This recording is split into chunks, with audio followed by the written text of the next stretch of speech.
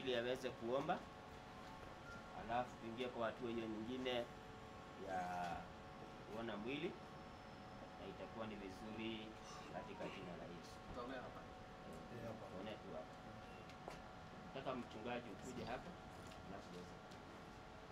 Ah, nataka tumkaribishe Ah, nataka tumkaribishe mchungaji ili aweze kuomba, alafu tuingie Baba Mungu, mara tena tunao shukurani tele kwa sababu ya kutufikisha siku hii njema ambayo Baba Mungu tulikusihi ili Baba wetu mipango iliyo mbele zetu tupate kuikamilisha. Asante kwa sababu ya kuturahisha tukiwa waheri wa afya, na ni asante kwa sababu ya umbali ambao umetuleta. Twajiweka mkononi mwako Baba wetu, tukiomba upate kutuongoza Baba wetu katika jina la Yesu. Hata tunapoangalia huu mwili Baba Mungu, katupe nguvu na ujasiri na matumaini makubwa ndani yako. Asante Baba wetu, wafariji wote watakaoiona huo mwili na hasa jamii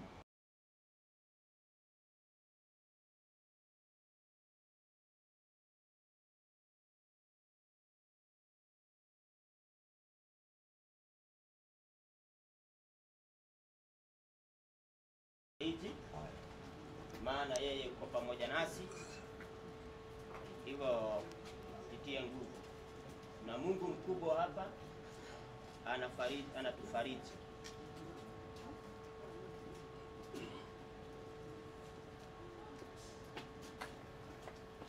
Na Bwana wa faraja hapo hapa. Fariji Mtu anataka kuona mwili na ame mtu alikuwa anataka kuona mwili na ame mtu alikuwa anataka kuona mwili na ame mtu alikuwa anataka kuona mwili na ame mtu alikuwa anataka kuona mwili na ame mtu alikuwa anataka kuona mwili Haja.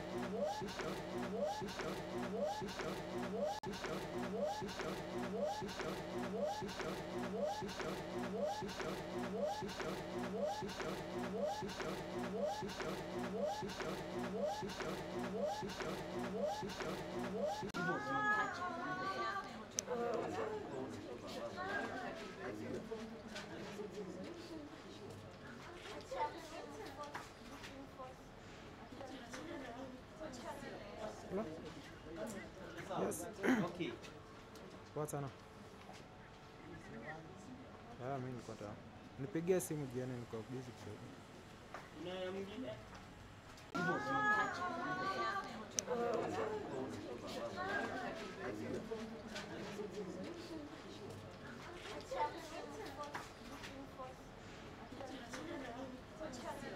Hello? Yes. Okay. Poa sana. Ah, mimi niko tayari. Nipigie simu jia. Sema ndio sisi tunafuata. Alafu nataka hivi hiyo gari itakuwa ina, inaenda mbele, unachukua magari tena inaruka tena, sawa sawa. Ndio huko. Kuja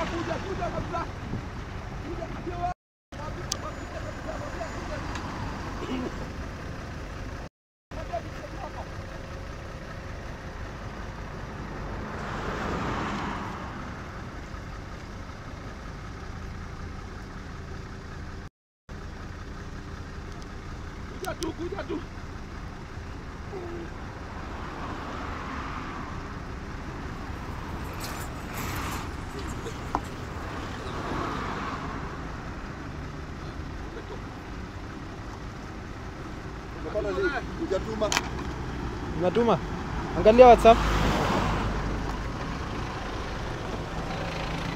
Nani? Wewe. Magari yote twende. Kwa kwanza magari yote alafu twende.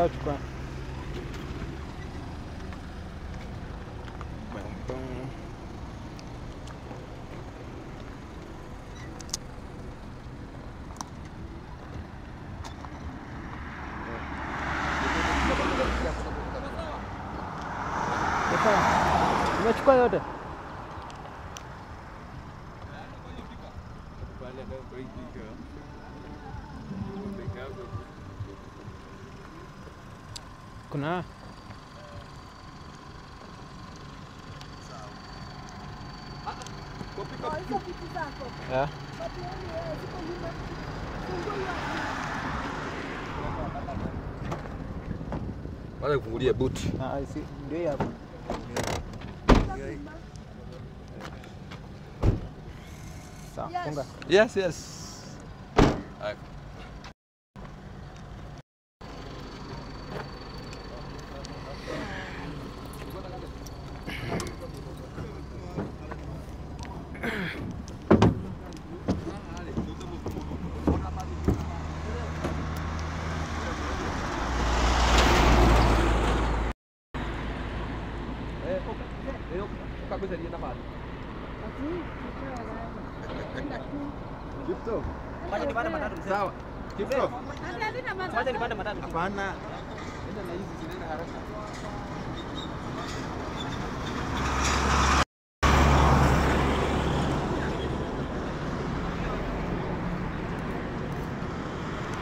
Saya.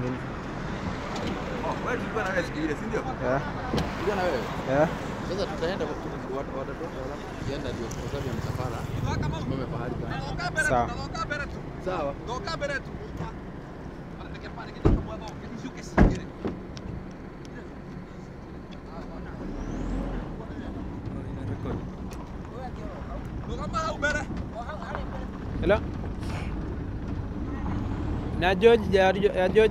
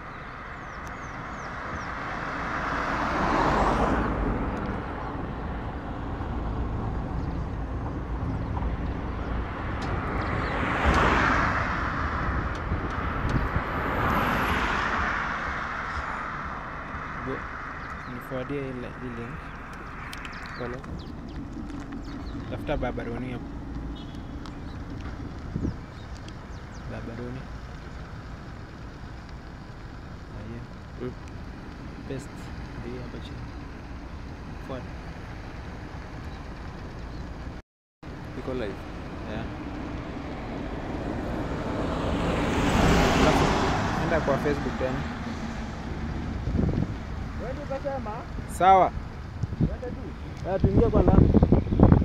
Yeah. Ah, tuende kwanza alafu tukifika kwa kona ndio tutasimama. Oh, sawa. Yeah. Alafu. Yeah, tuende. Alafu.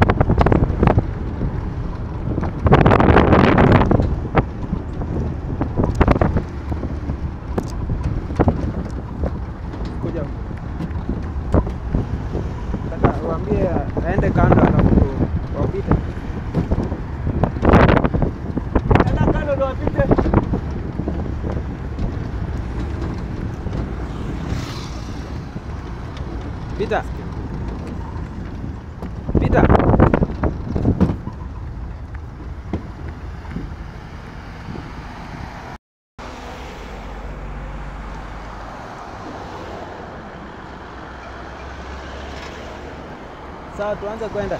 Ah, twende. Ah. Ah, twende, twende. Ni mingi. Taleta jam.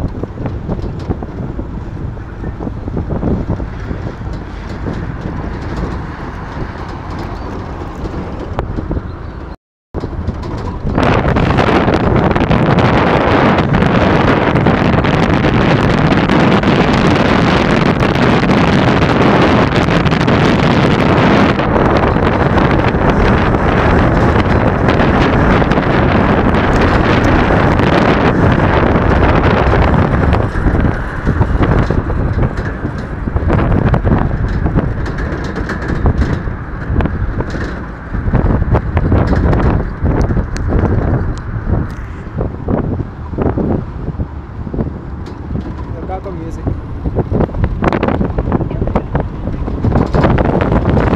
Enda kwa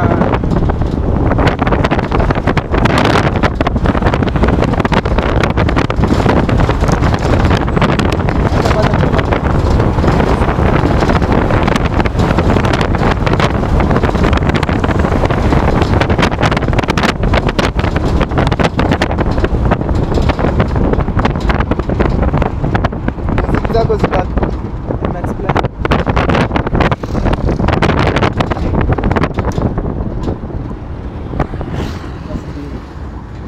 Na habari ilikuwa imeenda YouTube.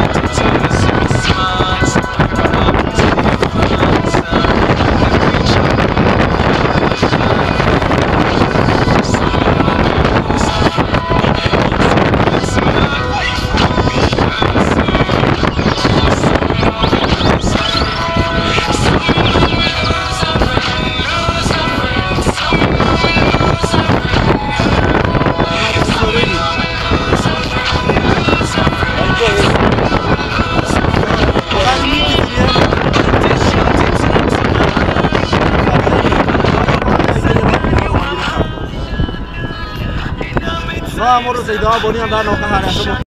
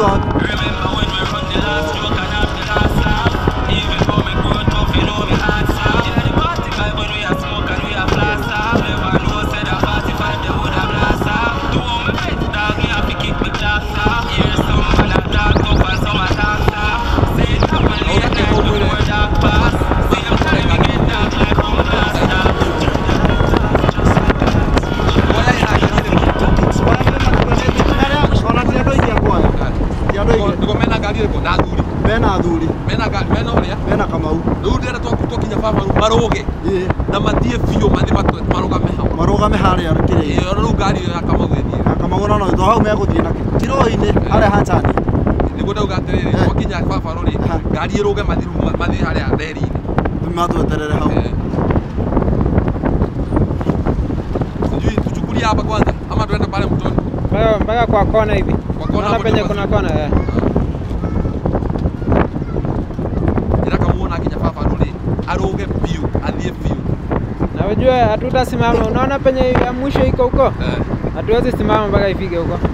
Tutafanyaje Wapiga mpaka katikati tu. Uh. Na tukifika matunda drone itachukua sasa. Uh. Ndio itachukua zote. drone Eh. Yeah. ukikaribia madudu unaichukua unaipiga juu Yeah. hapo kwa reli si ndio sasa si utafuata na reli Ita, ya, ah, kutoka kwa soko. kwa soko si tunasema kwa reli hapo mbele tunaanza msafara hii ya kuipa hapo kwa mafuta ya cargo. Unajua snack penye inaweza pita 30 minutes. haiwezi Drone inaenda 30 minutes kwanza. sasa It will change battery. Barracks. Tuko Kwa barracks hatuwezi pita 30 minutes. Oh, sawa. eh, hapo kwa chanya mwambie akuja hapo kwa chanya Ah, sasa huyu juu ianzie hapo. Unaenda wapi oh sawa sawa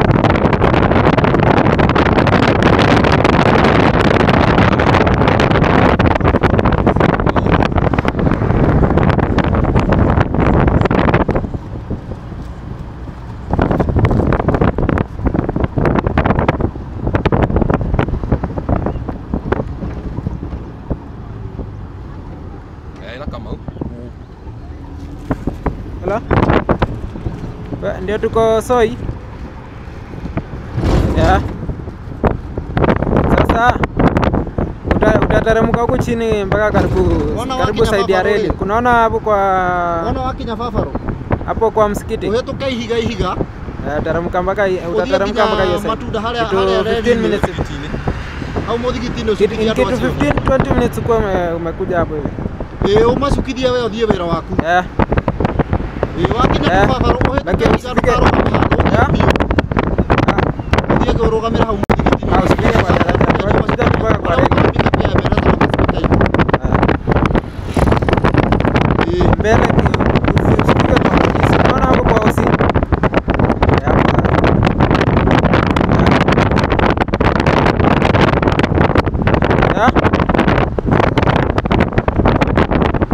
Kwa gari. Kuna gari.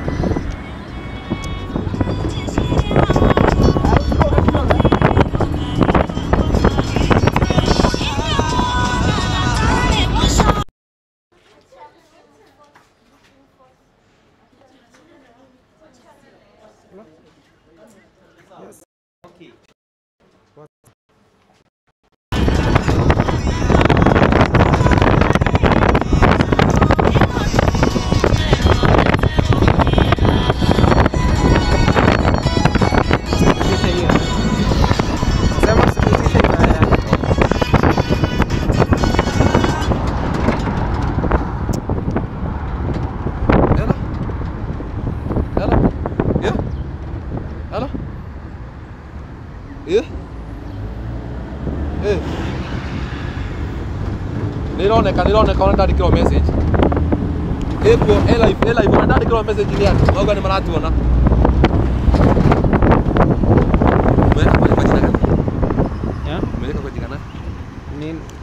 YouTube. Acha. Niona muuliza tu. Maina. Maina Maina Nä ironeka ona ndandä ni kama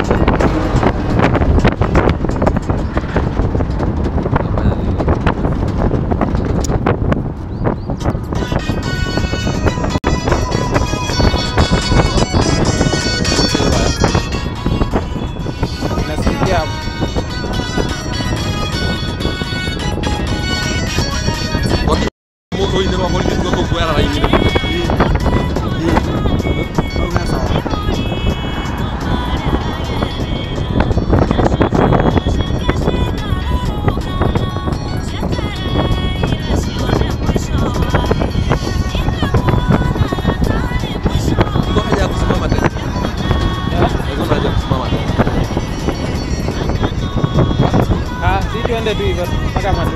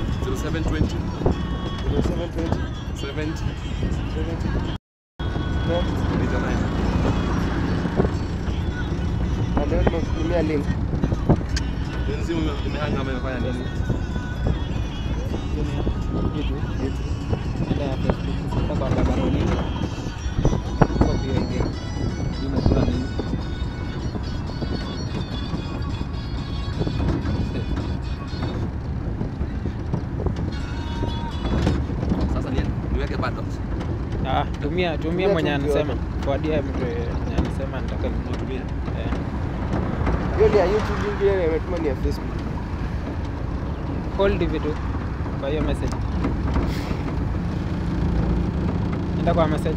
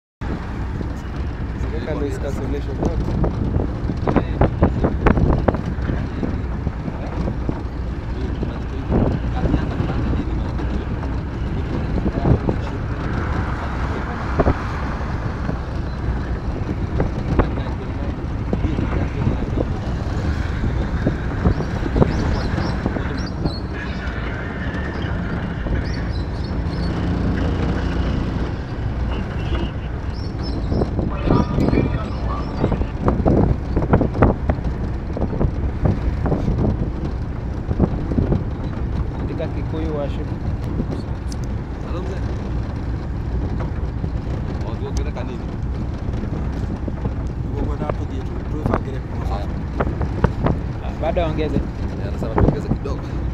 Eh, ongeze kabisa.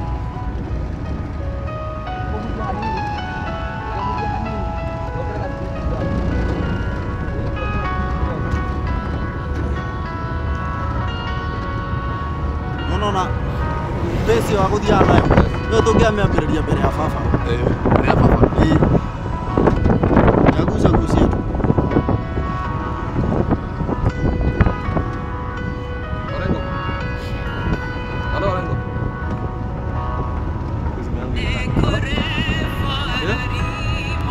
哎呀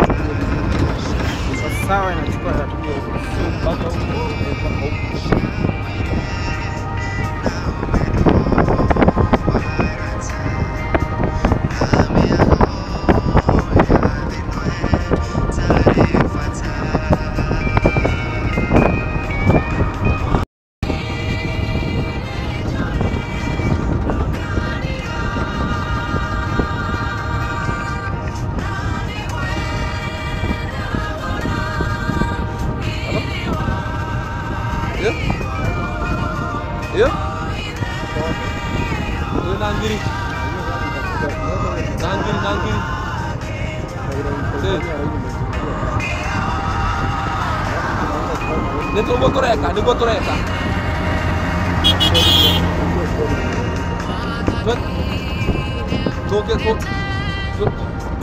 To toge yo gari cine nyingi muno ino wa kĩrogo twaroga macui, twaroga macui na tuoya kuoya nginya nuthu.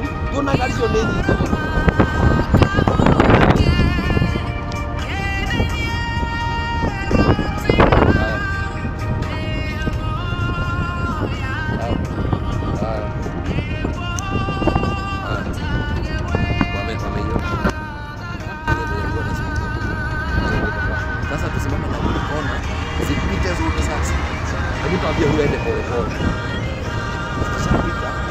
Speed moja tu.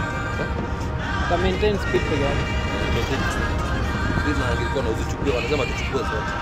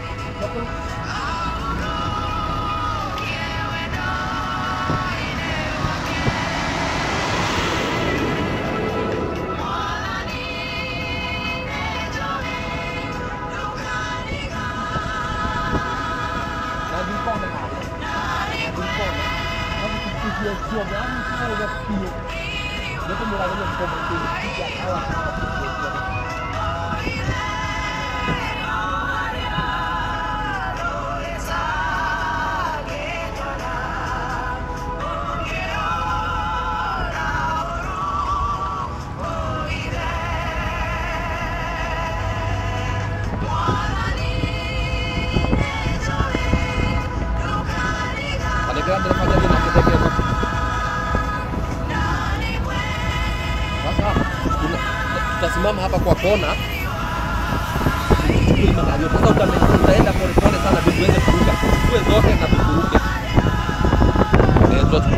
polepole. Eh, kwa tumeweka kando, wewe uende pole pole pole pole kabisa, ndio tuweze kuchukua magari yote na tukuruke.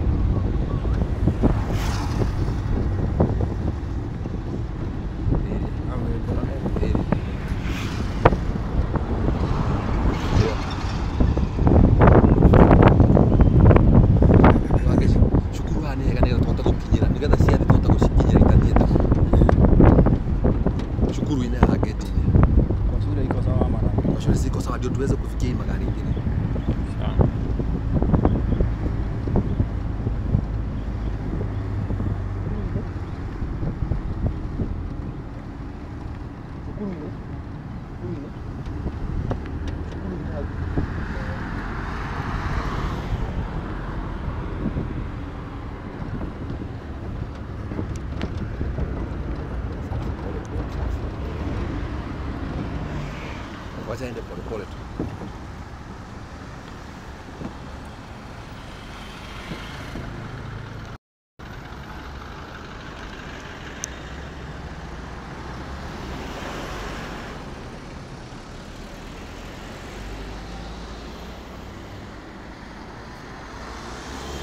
Mwambie napiga video.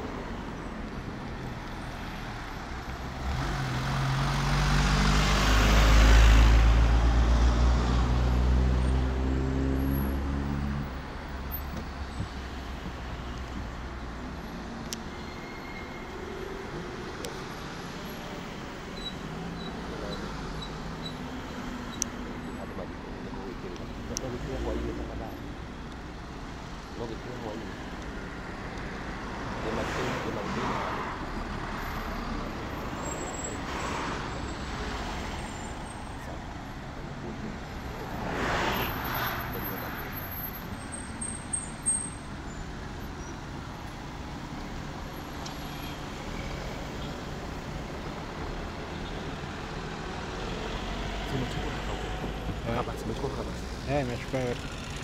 Imechukua mpaka huko mbali.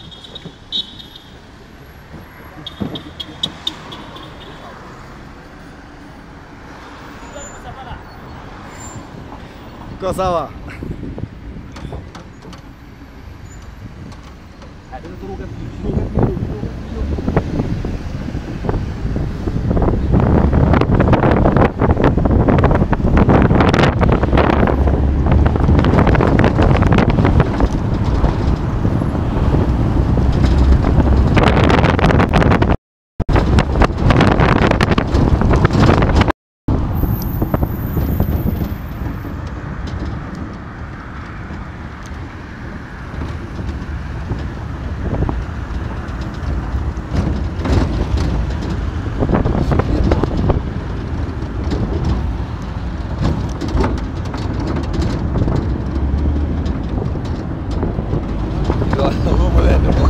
Ndio nafasi ya pale.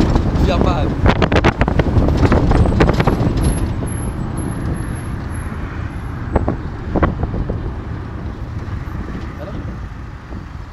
Eh, sawa, ni nini?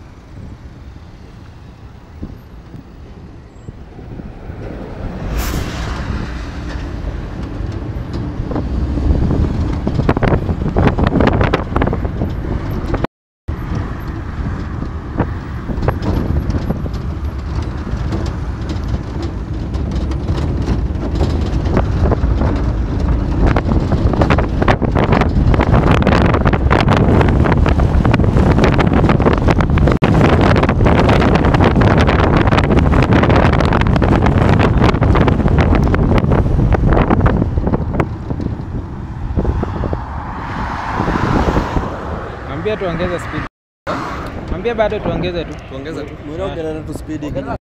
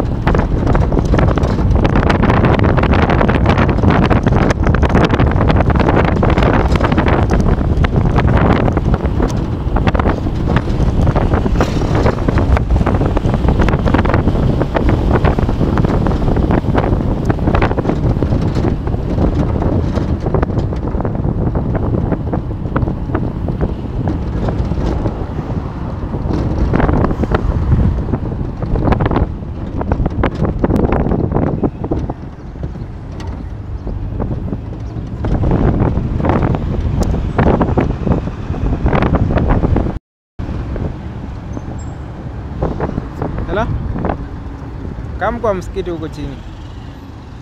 Yeah. Kutoka huko juu. Uh, wewe si kuja mpaka hapo karibu stage basi. Yeah. Akuja kagu kama ah, lakini hautafi. Panda nduthi 30 bob. Zenye 30 bob itaishia ni hapo. Ah. Karibu tunafika.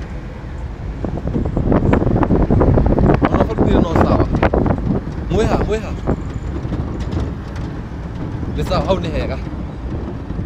Eh, sawa.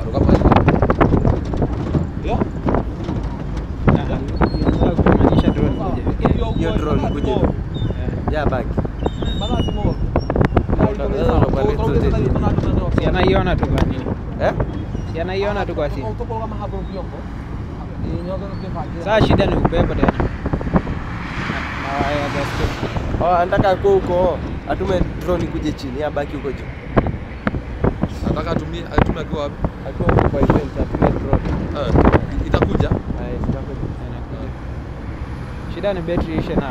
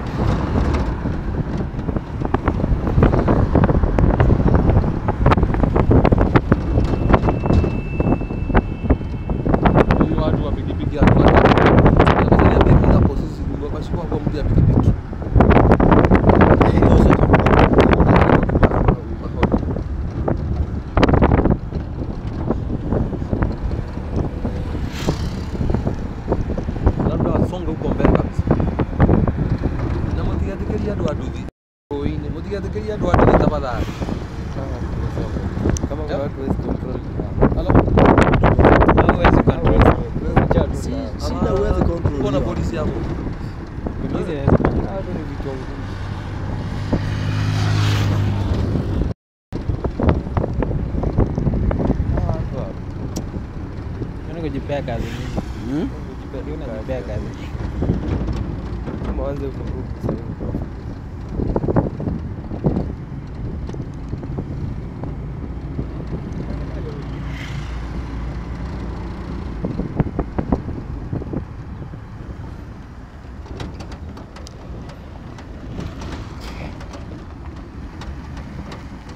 Ano? Umemaliza? Umekuja ngapi? Ya? Ya? Ano?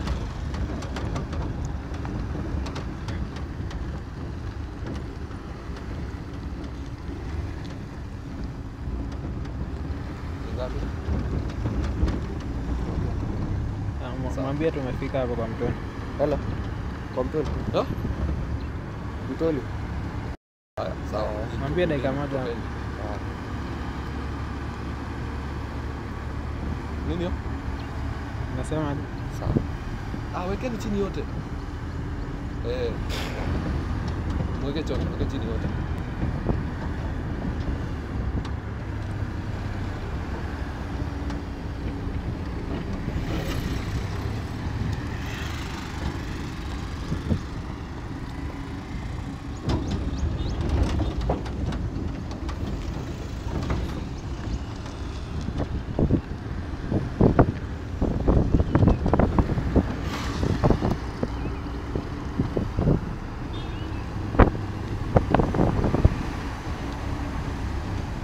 yote. Fagia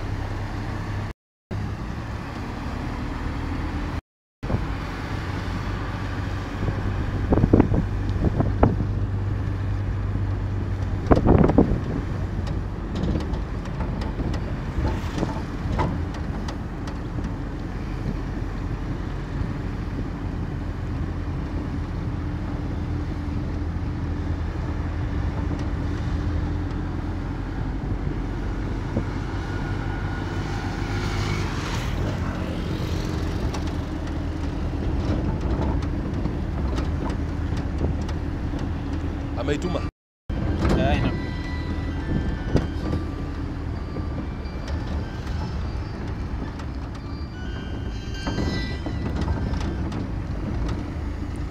Najua haiwezi hai- hai- haiwezi kuja hapo kwa polisi. Hiyo distance. Ah, ah. Unaweza kukataza nini fly around the Yeah. fly na huko. Ishafika. Eh, ndio hii. Ndio hii.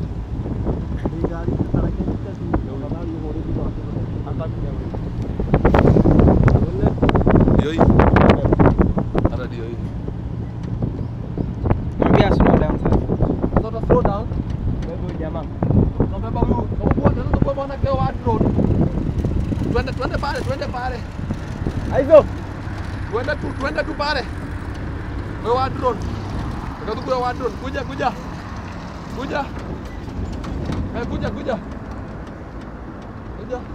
Kwa tukachukua wa drone. Iko wapi? Eh, imepotea. Ile huko juu. Okay, yeah. Hau hau washe Pole pole, hau mwambie mali. ende- Mwambie pole pole pole. Pole pole, okahora kahora. Ianze kurudi Ndio hiyo. Joseph.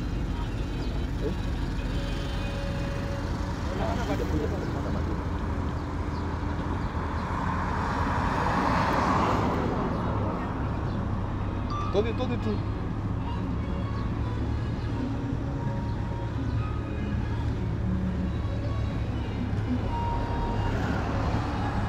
Wazee wetu wako wapi? Wako hapa, Wengine hata wajafika. Hivyo. Iko sawa. Iko sawa. Waweke weke iko sawa. Iko sawa.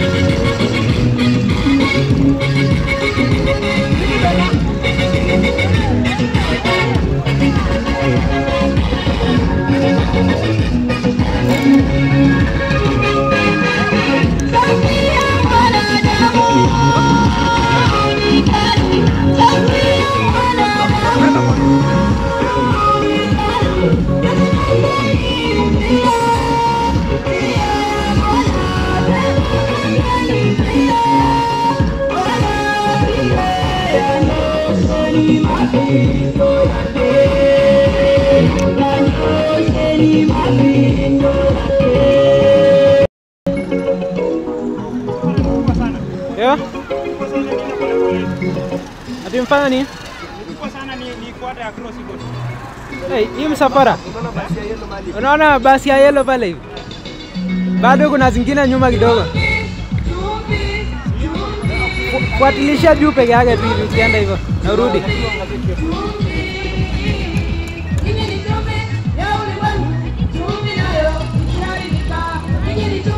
Lakini unaweza chukua pia ya matunda ya matunda tu alafu ushukishe.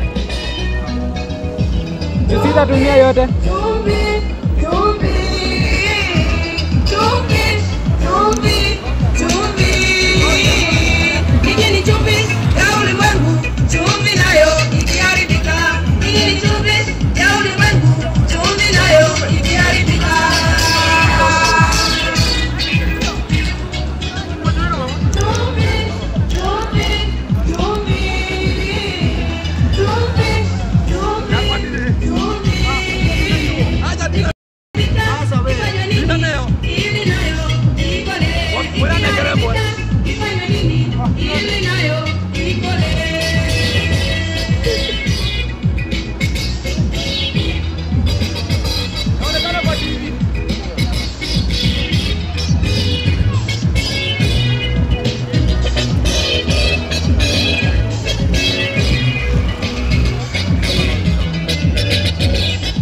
Ianze kukuja hivi.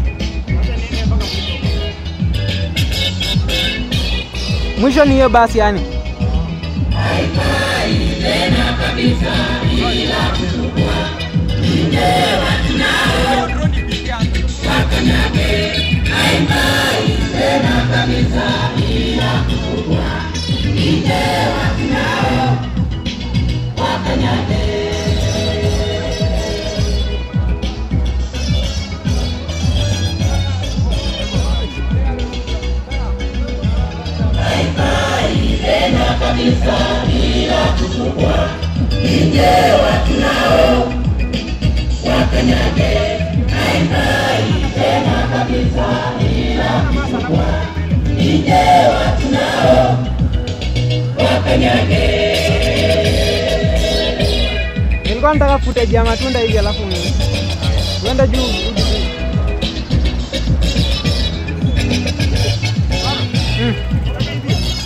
Ah, hivyo sasa. Nice one.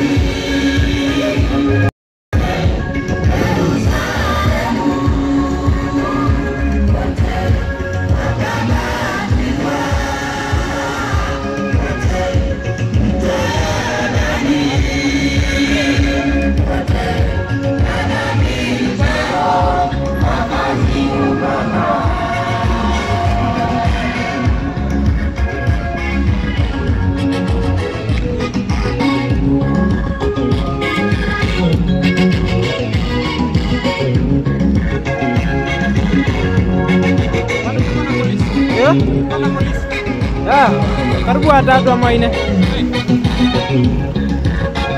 Jamaa alikuwa Songwa.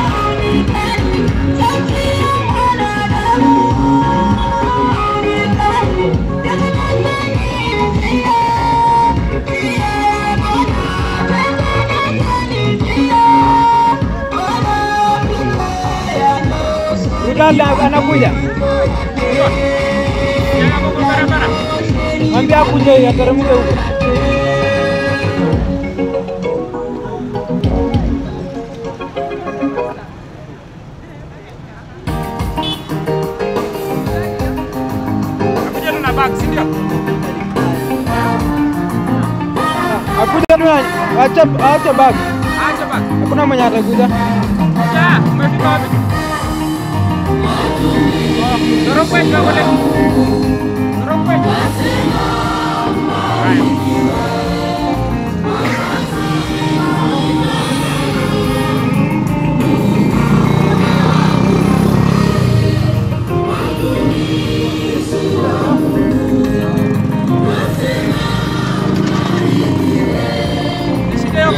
Hakuna mwenye atakuja. Yeah?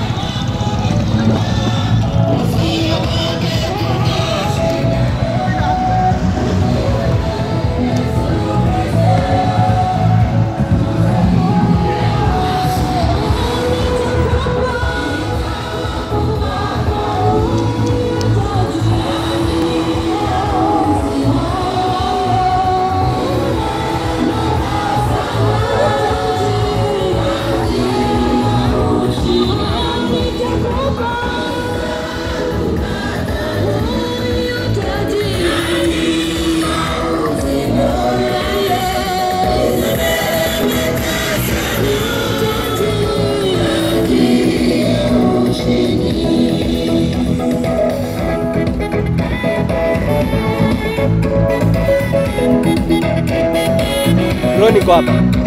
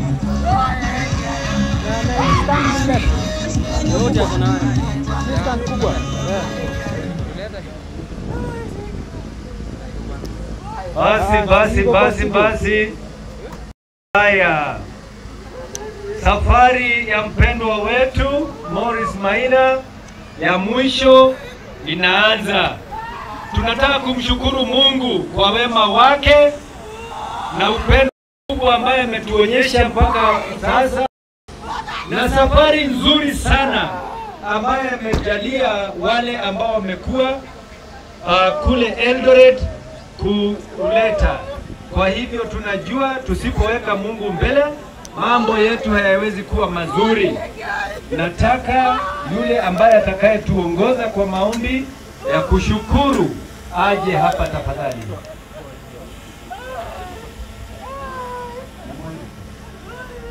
Karibu.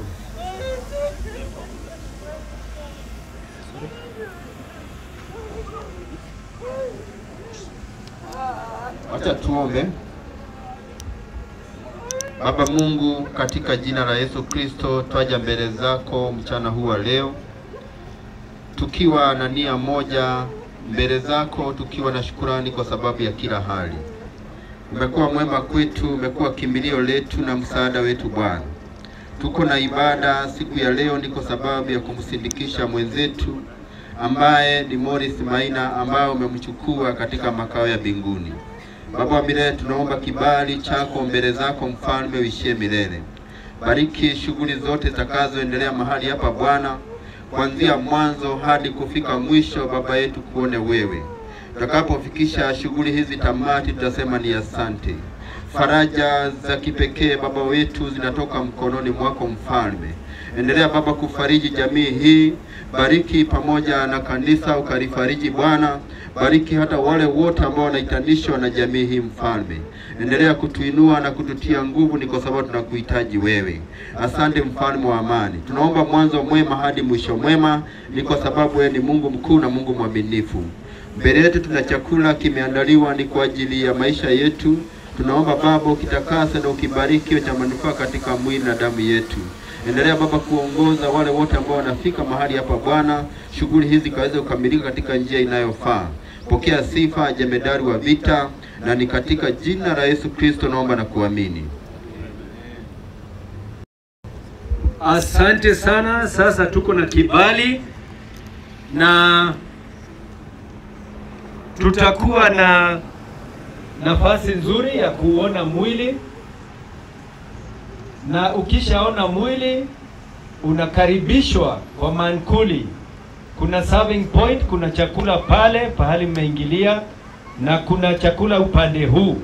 Baada ya kuona mwili utaenda upate chakula, urudi uketi.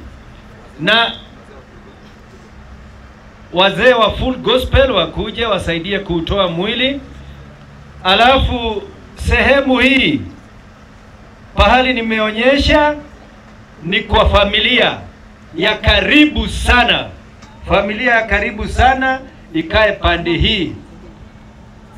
Chini yake ni kanisa la Full Gospel, pahali mwenda zake alikuwa anashiriki.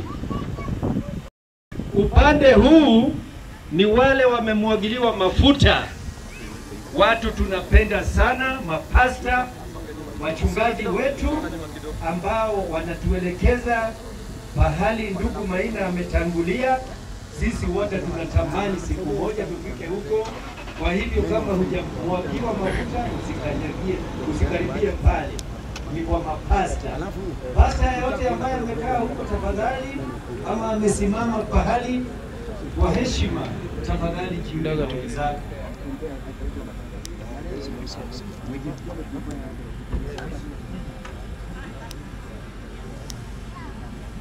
Tunangoja mwili kutolewa ili tuanze viewing.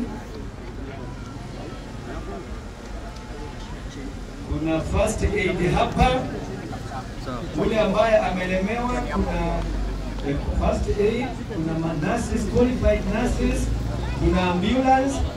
Kwa hivyo yule ambaye amelemewa tunamsaidia haraka haraka kumfikisha pale, anahudumiwa na kurudi kwa sherehe, na tuna imani hakuna yeyote hata mmoja ambaye atalemewa, labda mwenye amesahau pahali tunamwombea huyu ndugu awe na sisi tunatamani pale, kama tunatamani haya, na imani kuna pahali pazuri hivyo, itakuwa ni siku ya furaha, kwa sababu mmoja wetu ametangulia, nasi tutafuata.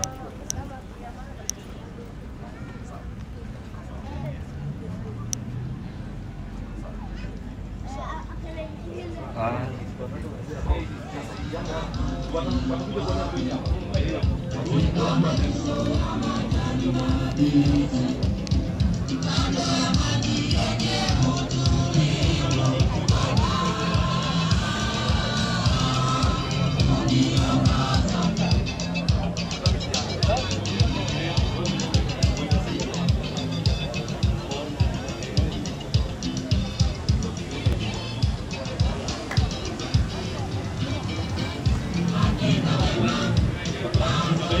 Ya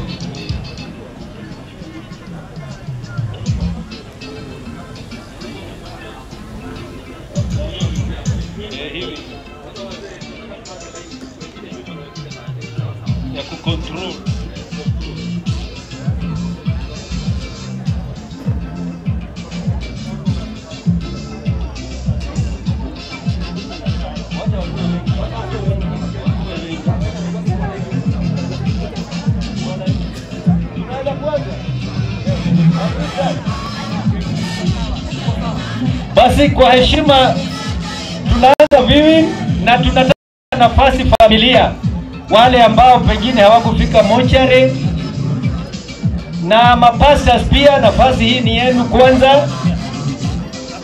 Familia, ule ambaye hakuweza kufika Eldoret ako hapa na mapasta wote, chukueni hii nafasi ya kwanza tafadhali. Na vile tumesema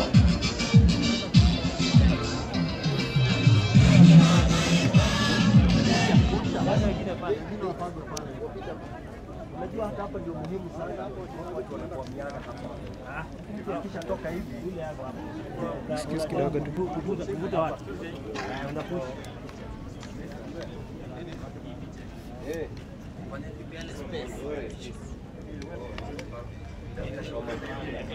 oh, oh, familia familia na mapastors tafadhali, karibu. Hello, yes. Hello.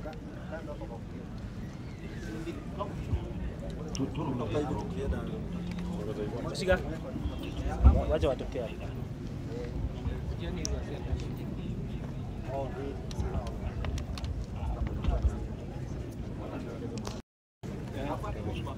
Pole.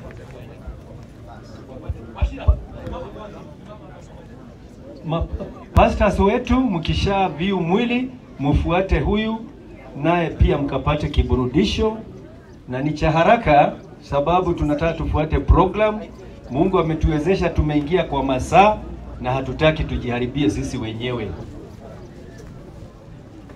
Nafasi hii ni ya familia na mapastors. Mama Mwangi wa Gikunju anatakikana hapa. Mama Mwangi wa Gikunju ni urendekana hapa please. Umeka wapi betri tena. Betri kaka. wapi? Polisi na nikoyo ni atia. Tafadhali.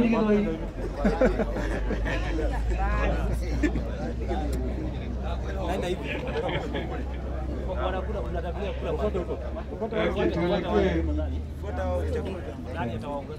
Hawa ni familia wanafuata mapasta wetu, watu disciplined, watu wanajipanga wenyewe.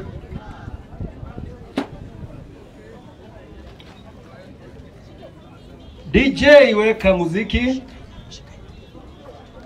sio Lingala, Lingala ya Yesu. Kwaya. Oh, DJ sima, sitisha kidogo. Kwaya wamekasirika sababu wamejiandaa wiki mzima, wanasema wavurumishe. Karibu kwaya.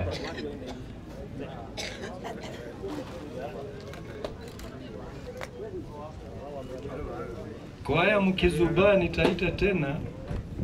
Najua tuliambiwa tusipomwimbia mawe itamwimbia. Kuna kwaya, kuna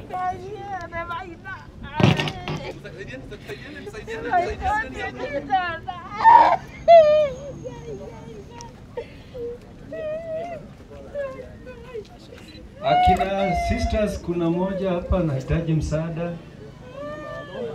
Kwaya tunangoja wimbo. Acha tuambie MC. Oh, Ma sisters wako hapa wanakuja.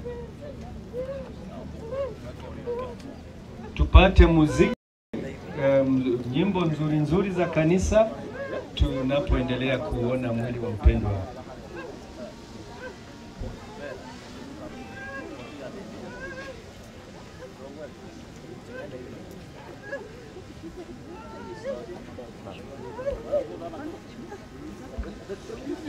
Mama Mwangi wa Kikunju hajafika bado? Oh, ako nao. Okay, aorganize wengine.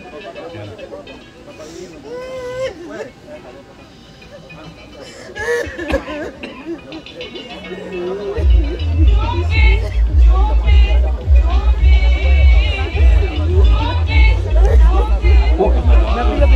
Ashas, Ashas wa mama wa kanisa Ashas wa mama wa kanisa la Full Gospel, pia nanyi mnatakikana hapa mpange.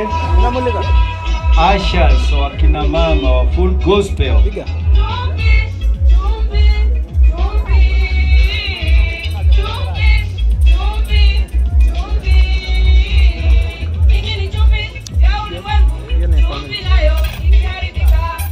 Kama umeona mwili, tulisema unaelekea kwa chakula huko, hatutakuwa na nafasi. Baada ya mazishi, tunataka hiyo kazi iwe imeisha.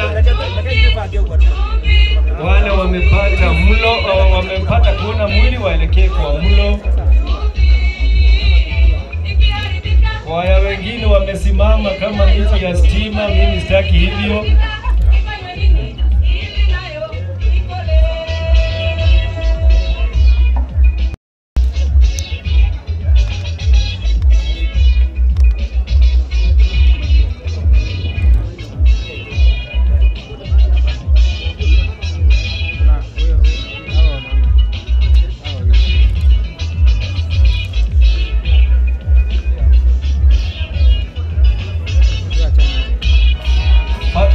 Familia familia, ninyi hamtaenda kwa chakula. Chakula chenu ki, kiko kando na ni baada ya hii sherehe ndio mtakula familia, lakini wengine tuendelee kwa manzuri huko. Wale wameona waende wapate topulea.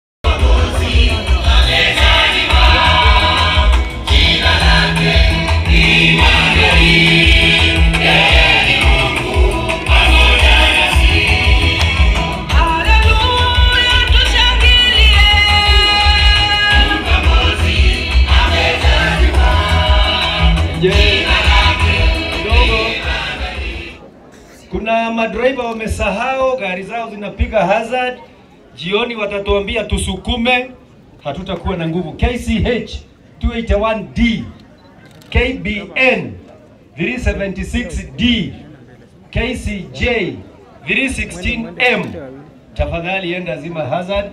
Alafu kwa haja za kimwili Uh, wengi wetu hapa ni watu nomo, ukiwaangalia tulikunywa chai asubuhi, wengine uji, wengine supu. Eh, pahali ya kuenda akina mama ni hapa hapo hapo hapo kwenye huyo msichana ako, hiyo plastic iko hapo hapo, ni kwa kina mama. Alafu wengine akina mama Wazee, tutapita hiyo njia kwenye hiyo gari nyeusi, ile mabati tunaona pale, enda tu hivi na mlango inaonekana. Wale ambao walikuwa wameenda zile mbili pale eh, hawakujua, tumewasamehea, lakini waziende tena. Hizo ni za wanaume,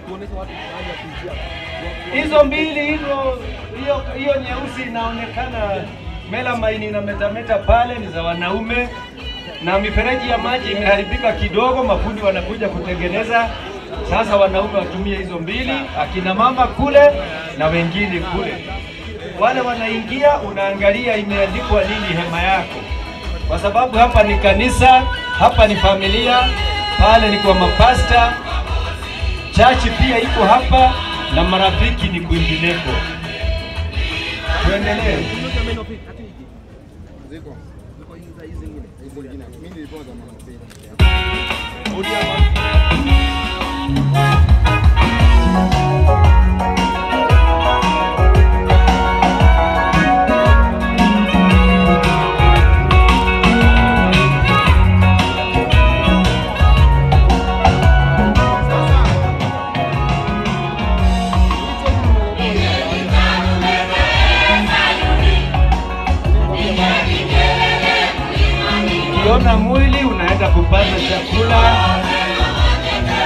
Serving point ni mbili, laini moja hapa, laini nyingine pale, na zote ziko sawa. Hakuna ile iko na githeri na ingine nyama, zote ziko sawa tu. Uende huko, uende huko, ni sawa. Chakula kitamu sana cha sherehe ya siku Kuna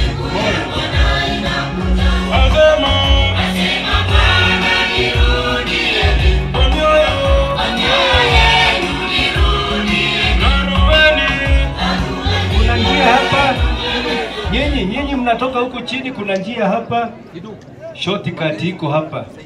Owe mama, te, tengenezeni njia hapo tafadhali, wapitie hapa kuzunguka huko mbali. Wale hawajaona, kuna njia hapa pia, unaweza kupita mbele ili tuweze kuruka pande ile ingine. Mama Wambui. Mama Wambui. Tuendelee. Laini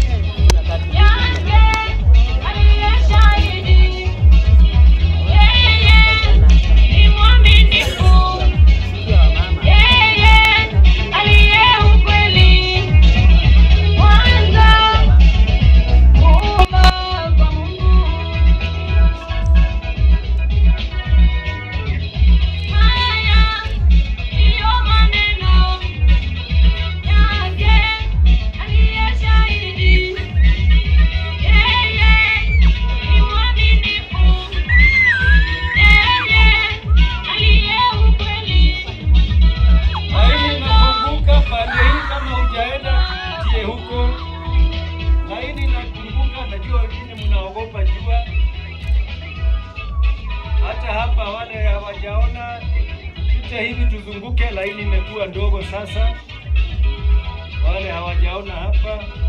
Hiyo ni yangu.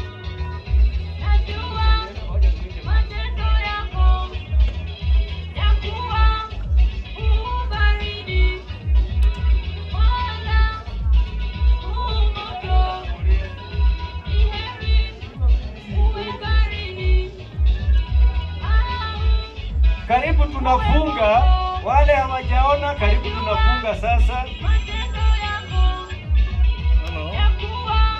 Kama kuna viongozi na watu wa heshima sana, muwaelekeze pale kwa hiyo kona.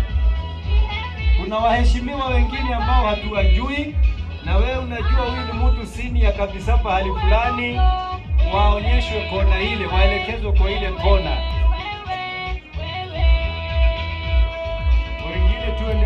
Kuona na kupata chakula. Tunataka saa tano tuanze program. Huyu ndugu washiriki na wengine lunch ya kule.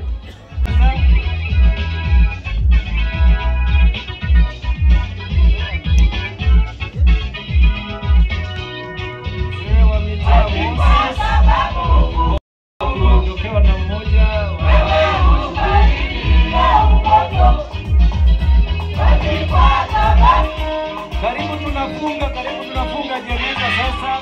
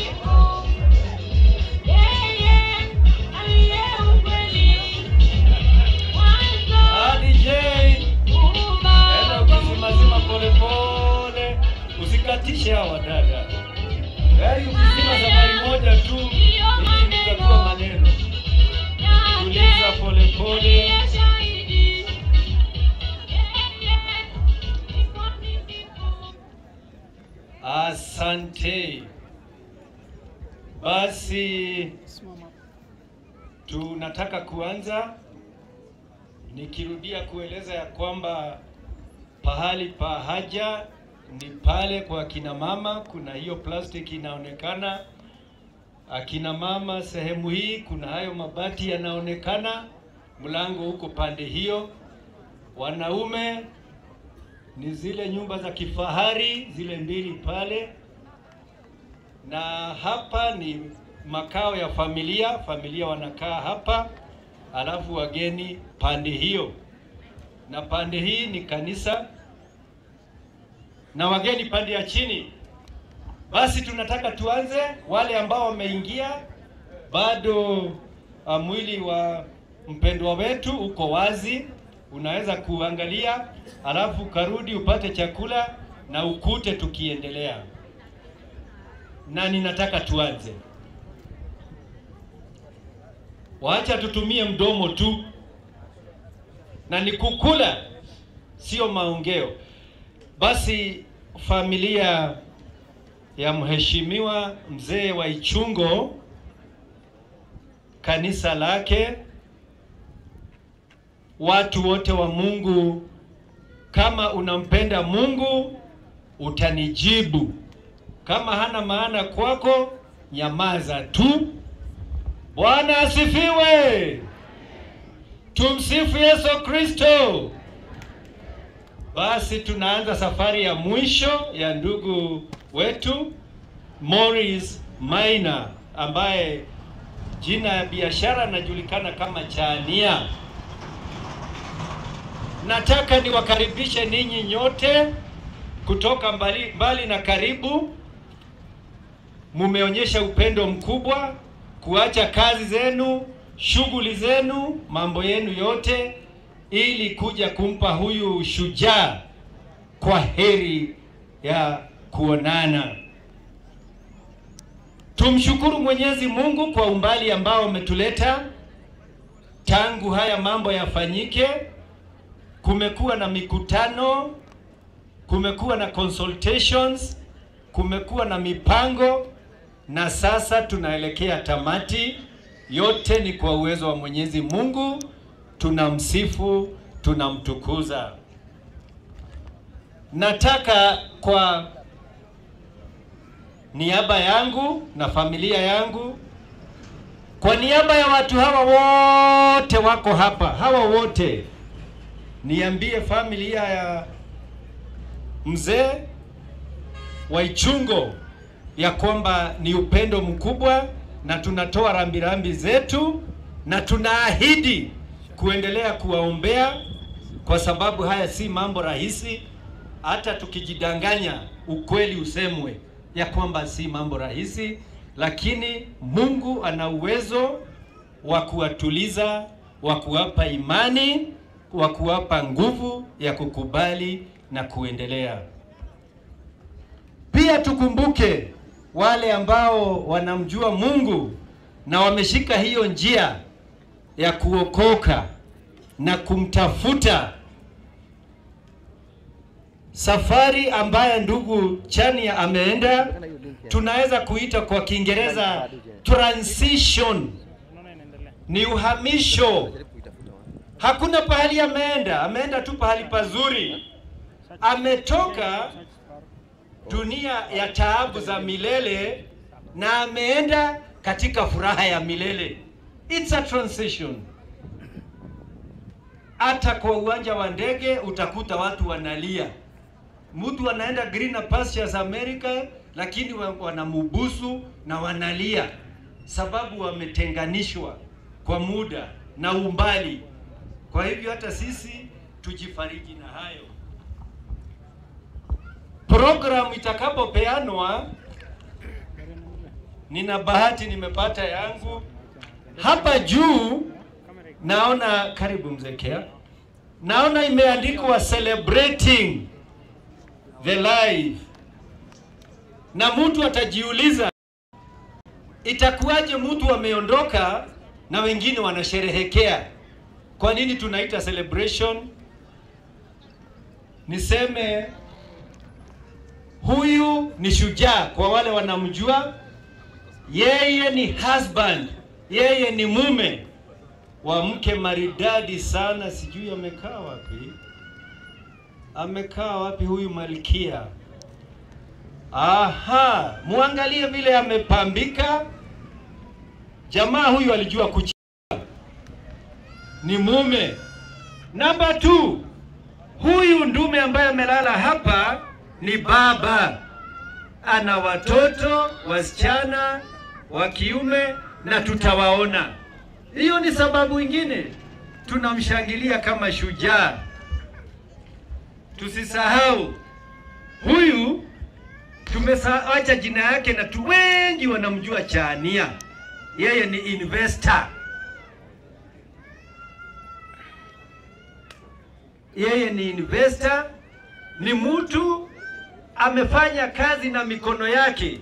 Babaye mzee wa Ichungu wako hapa, ninamuona. Tukimpea nafasi, atashuhudia ya kwamba hakuna pahali alienda akachota pesa akampatia Chania na Kiondoo, kamwambia aenda fanyia biashara. Alimpea masomo na moral encouragement, na huyu akajitafutia. Tunajua biashara yake, tunajua boma lake safi, na ndio sababu ingine tunamuita hero.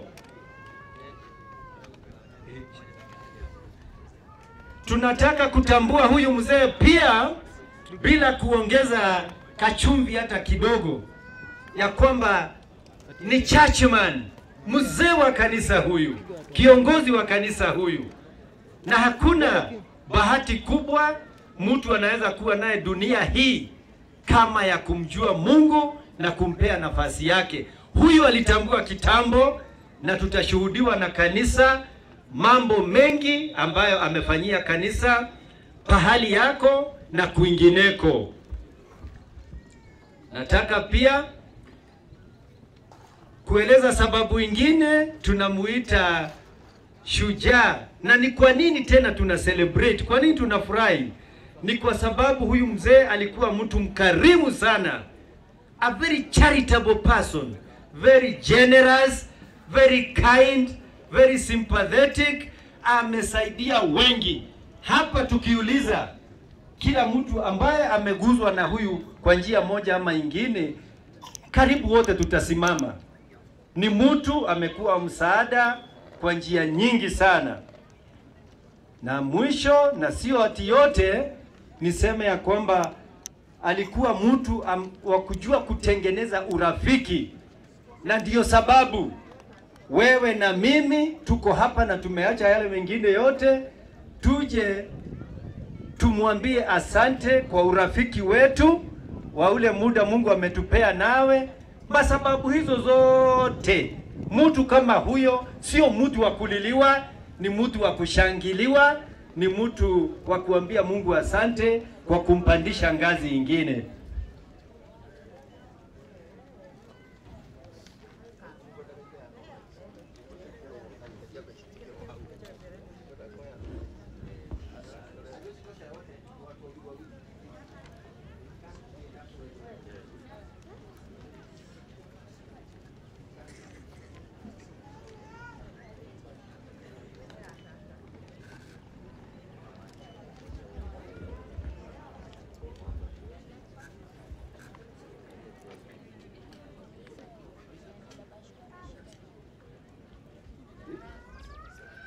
Okay, tu, tu, tunaendelea. Um, daktari ameniambia wale watu wa familia ambaye wanaweza kuwa na shida kukaa mpaka tumalize ndio waende kula, tafadhali ile hema kuna chakula chenu, mtu anaweza amka polepole uende upate chakula. Tunajua kuna magonjwa kama ya sukari ambaye haipendi njaa. Ule ambaye anajisikia strong tutaweza kula baada ya mambo yote, lakini wengine tafadhali jisikie huru upate chakula. Na wale ambao wanakuja kama wamechelewa, mwili bado unaonwa, alafu ukiona mwili unaenda unapata chakula, unakuja unaketi. Basi nimeeleza kwa nini tuna celebrate, sababu mambo hayo yote si ya kuhuzuni, ni mambo ya furaha. Na sasa tunataka kuingia kwa maongeo speeches.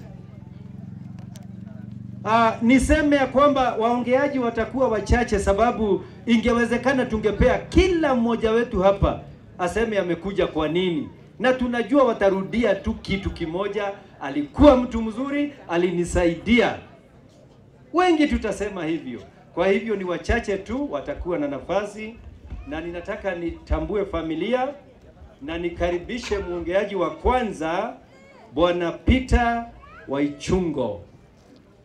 Bwana Peter Waichungo, njoo nena na hawa uh, marafiki wa familia. Huyo ni mzee, tumkaribishe na makofi sababu ni mheshimiwa. Family ya Waichungo ni family inaweza jaa sijui basi ngapi. Kiongozi ni huyu, amebarikiwa sana.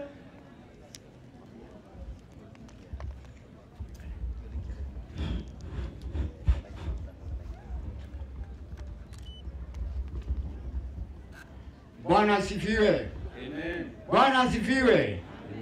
Narudishia Mungu shukurani kwa vile yote mnakuja, mnakuja kwa ajili ya heshima yetu, na ninajua mtoto wangu huyu Shania ni mtu mpenda watu. Bwana asifiwe sana.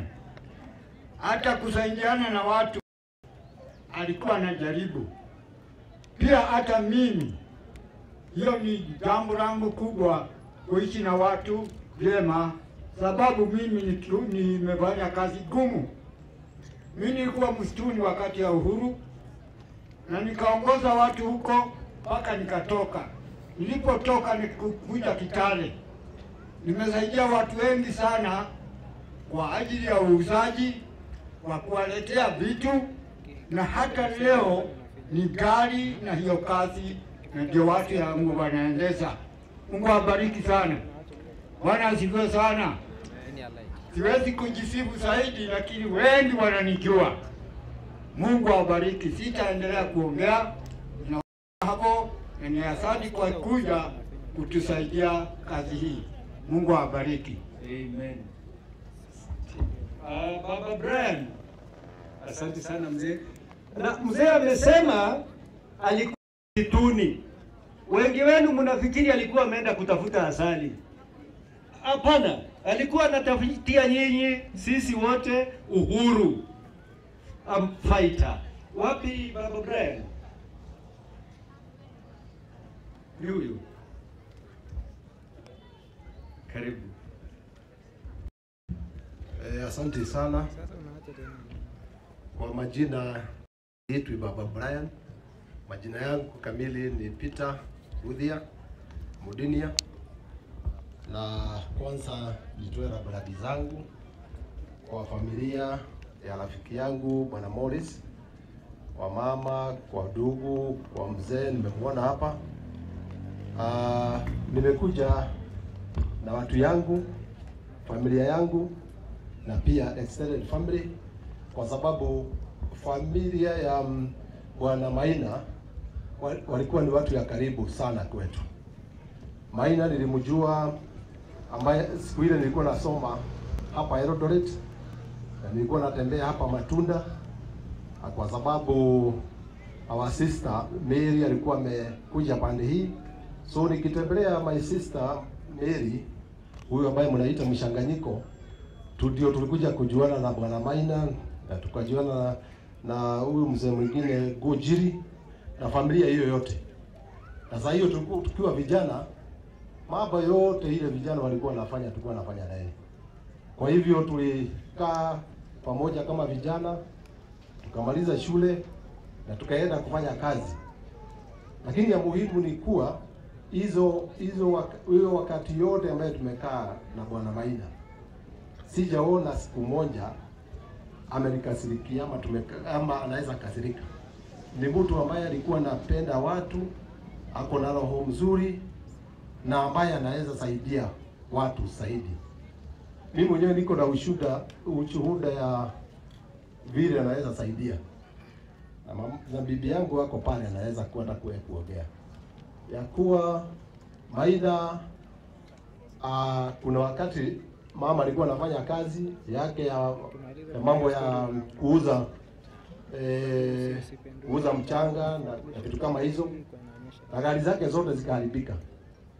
Bwana Maina akakuja akamkuta nyumbani, akauliza kumefanyika nini? Wewe unakaa nyumbani inaliacha kama kazi yako unaendelea nayo.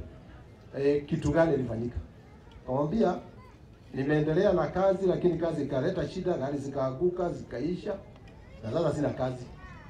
Maina mwenyewe alisema nitakusaidia upate gari ingine, na ile Maina alifanya, alienda akatupeleka kwa kwa bank, tukachukua loan na jina yake, sio jina yetu, tukachukua loan na jina yake uh, Maurice Maina Waichungo, na aka- aka- akakuwa ako na na uhakika ya kuwa hiyo pesa ambaye amechukua on our behalf tutarudisha. Na tuli, uh, mama akafanya kazi, tukafanya kazi, tukarudisha hiyo pesa na mambo yote ikakuwa sawa. Kwa hivyo mimi nikikaa hapa naweza kusema hakuna mtu nimekaa naye dunia hii, na ni mzuri nimepewa hii nafasi ya kuja kusema hivyo kwa sababu eh, I'm celebrating just like uh, the MC was saying this is a person who requires to be celebrated. He lived his life very well and he loved people. He loved everybody. So sisi vile tunaweza kusema ni kusema alale mzuri na Mungu ah, siku moja atatupatia nafasi ndio tuweze kuonana na yeye. Kwa jamii ile naweza kusema ni mkae vile mzee alikuwa anakaa. Familia yake yote ninaiona hapa na wajua wote, kwa sababu wamezaliwa kama vile nimesema, wamezaliwa ni kuwaona, kwa sababu nilijua Maina kabla tukiwa shule, tukiwa secondary school. Kwa hivyo wote nimewaona na wajua, ningetaka mukae mumeshikana kabisa, na ndio sasa muweze kuiga legacy ile ya mzee ameacha, kwa sababu ile lega- legacy kubwa mzee ameacha ni ile legacy ya ku make sure wa, amependa watu wote na angetaka watu wote wakae pamoja na wasaidiane. Kwa hivyo hiyo ndio ningeweza kuambia jamii, mukae pamoja na muendelee kupendana, na tukifanya hivyo basi tutakuwa tuna celebrate yule ambaye ametuacha. Kwa hivyo sitasema mengi kwa sababu yake ni mingi ile tumekaa tume- na yeye, lakini wacha nisimamie hapo, na ninashukuru kwa nafasi hiyo. Thank you. Thank you, thank you. Uh, bado tuko kwa familia, tupate Alice Wanjera. Familia Alice, sijui yako kona gani? Alice, ah, apatia yeye njia hapo.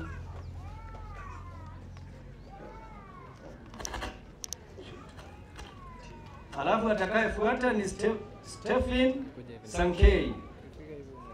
Huyu akimaliza tu, mama Alice akimaliza, Stephen akaye tayari. Karibu.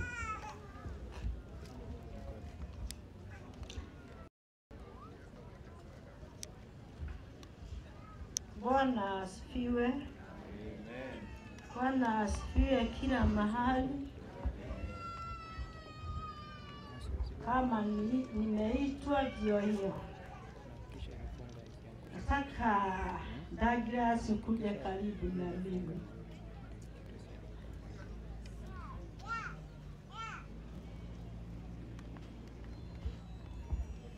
nimeokoka.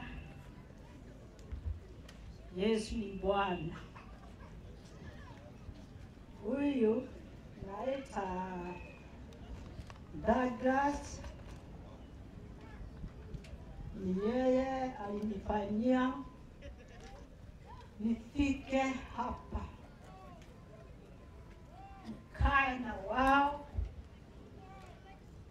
Hata nikiwa mgonjwa nikuje. Kwetu ni upande wa Nyeri, Weomirege. Mume wangu anaitwa Washira, naishi huko. Ah, Douglas atasema kitu, namwomba hiyo kwanza useme.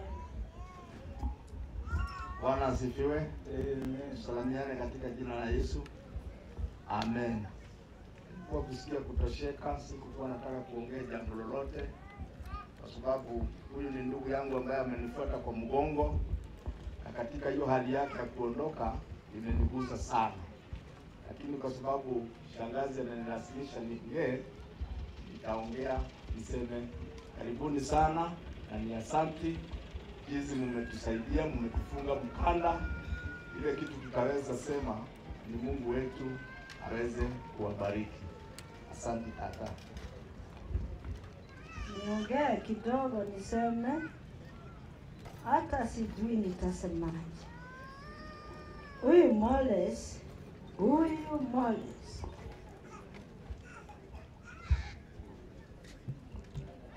ndalingalo werwageko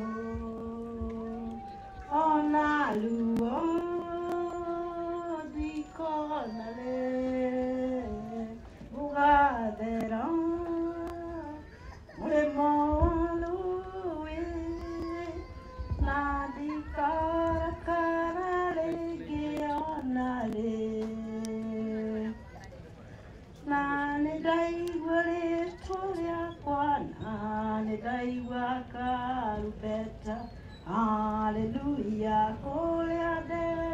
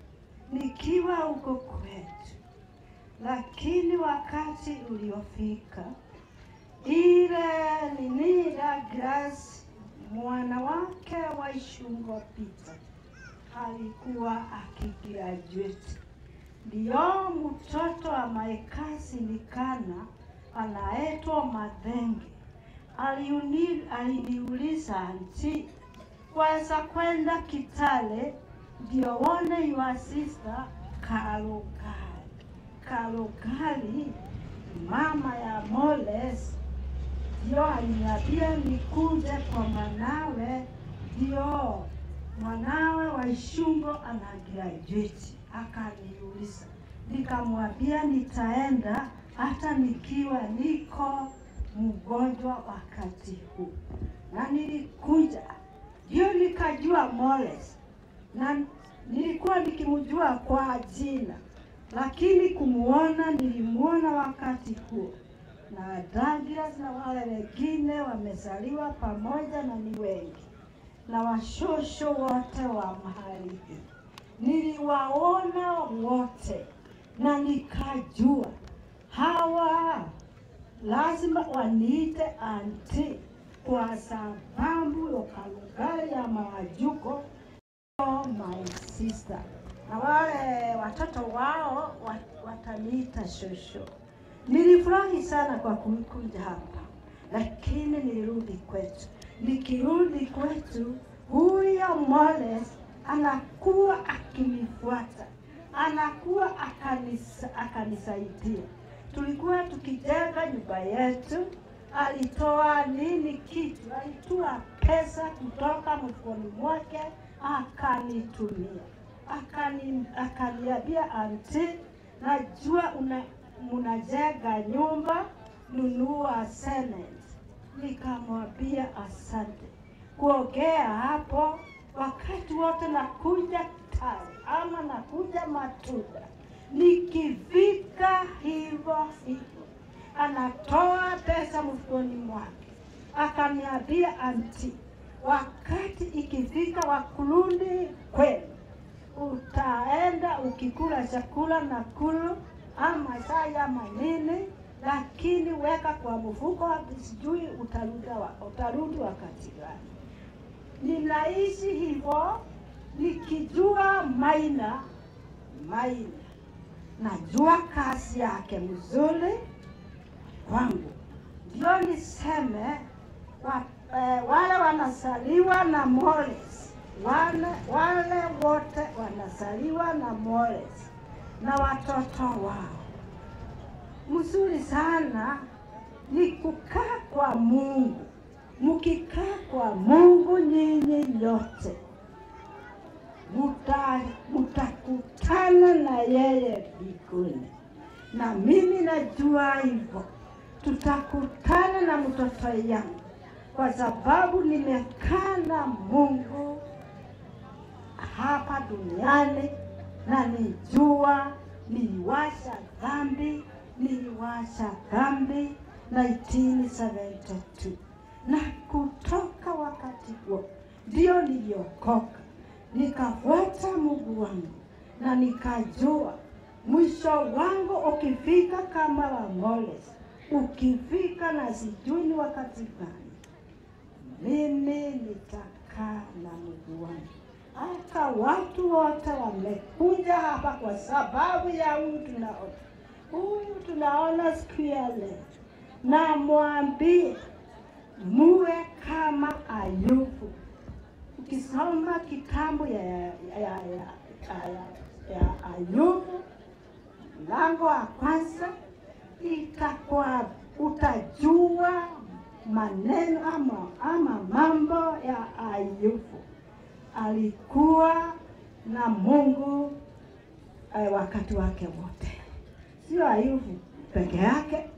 Msome Dari kumi na mbili mutaona Musa yule alisaliwa na Harun na Miriam, mutasikia maneno ile eh, ile ali- waliambiwa waliambiwa ni Mungu.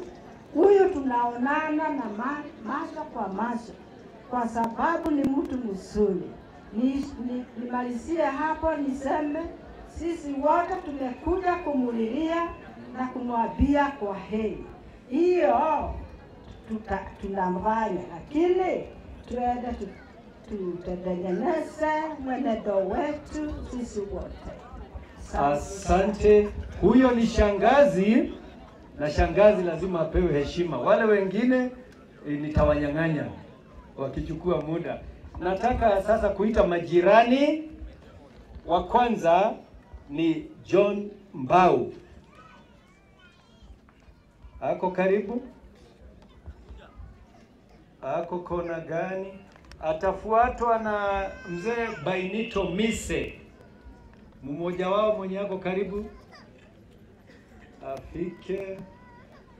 John ndiye huyo anakuja, atawaambia jina lake. Hii mbao ni ya biashara tu. Ah, Bwana asifiwe. Bwana asifiwe tena. Tumsifu Yesu Kristo.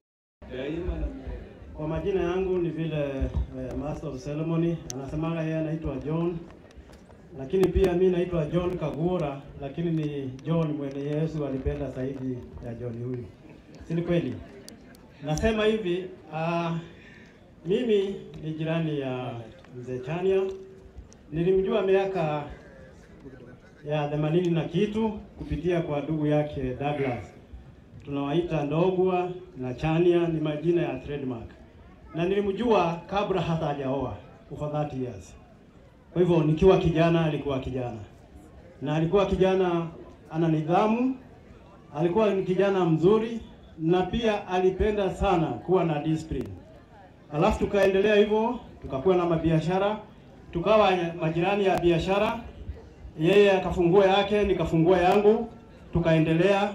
Huyu kwa biashara huwesikia yeye jimba kibiashara, sababu mimi ni neiba wake wa biashara, hawezi. Alikuwa na nidhamu mzuri sana sana sana. Tukakaa kidogo, nikajenga boma na yeye kidogo pia akajenga, na akawa jirani yangu mahali nimejenga. Huyu mzee ni wa ajabu. Kuna jirani mara mingi, niseme ya kwamba watu wote mnajua ya kwamba jirani ni God given. We know that. Jirani ni God given. Unaweza kuwa umetoka mbali, umenunua shamba mahali na unakuta jirani hapo, wewe hujui ni jirani namna gani. Kuna jirani na ninasema ni God given. Mungu anaweza kukupea jirani ambaye ni jirani sumbua, na Mungu anaweza kukupea jirani ambaye ni jirani mzuri. Huyo alikuwa jirani mzuri. Maana yake tukikuwa na mambo ya ujirani, yeye anashiriki. Kwa hivyo ningesema pole kwa jamii kwa kuondokewa na mzee ambaye alikuwa wa maana sana. Sisi kama majirani pia poleni sana, na pia tunaomba Mungu amweze kumweka mahali pema, na pia tuige mfano huu, usiwe kwa jirani yako, sababu tunasema ya kwamba Mungu ndiye anapeana jirani. Usiwe jirani sumbua, uwe jirani mzuri kama jirani chanya, si kweli? Mwana tumsifu Yesu Kristo.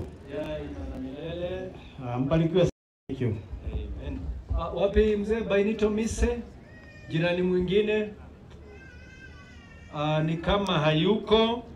Kwa hivyo nitaenda kwa Reverend John Uningo, Pastor Reverend John. John tuko wengi. Nilisahau kuambia pia mimi ni John ambaye Yesu alipenda sana.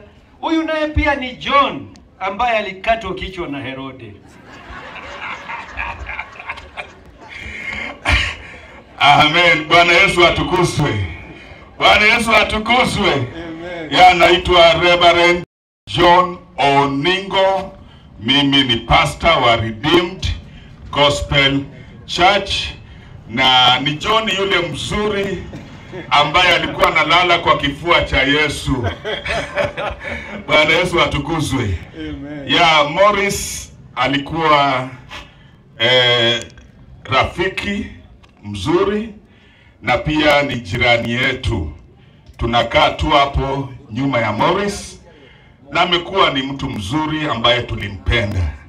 Tunaomba ya kwamba Mungu apeane faraja kwa jamii yake, maana Biblia inasema heri wafu wafao katika Bwana wapumzike na taabu yao, maana matendo yao yatafuatana na wao. Ninajua siku moja tutaonana na Morris kule binguni. Poleni sana jamii ya Morris Maina, barikiwe. Asante sana pastor. Basi wa, kwa marafiki tuko wengi na wengi na wengi, tutawakilishwa tu na mmoja ambaye alionyesha Goliath vumbi. Kumbuka hiyo story, story kijana mdogo vile alifanyia Goliath. Huyo ndio mzee nataka nilete hapa. Jina yake pia kwa Kikikuyu inasema bahati. Kumbe ndio mambo ya Morris imeenda vizuri hivi, sababu imekuwa na bahati kwa kila kitu. Watu wanajitolea magari, watu wanakuja wakismile, wakicelebrate shujaa. Karibu David Munyaka, rafiki wa karibu sana na mwenyekiti wa kamati ambayo imeandaa mambo haya yote. Welcome.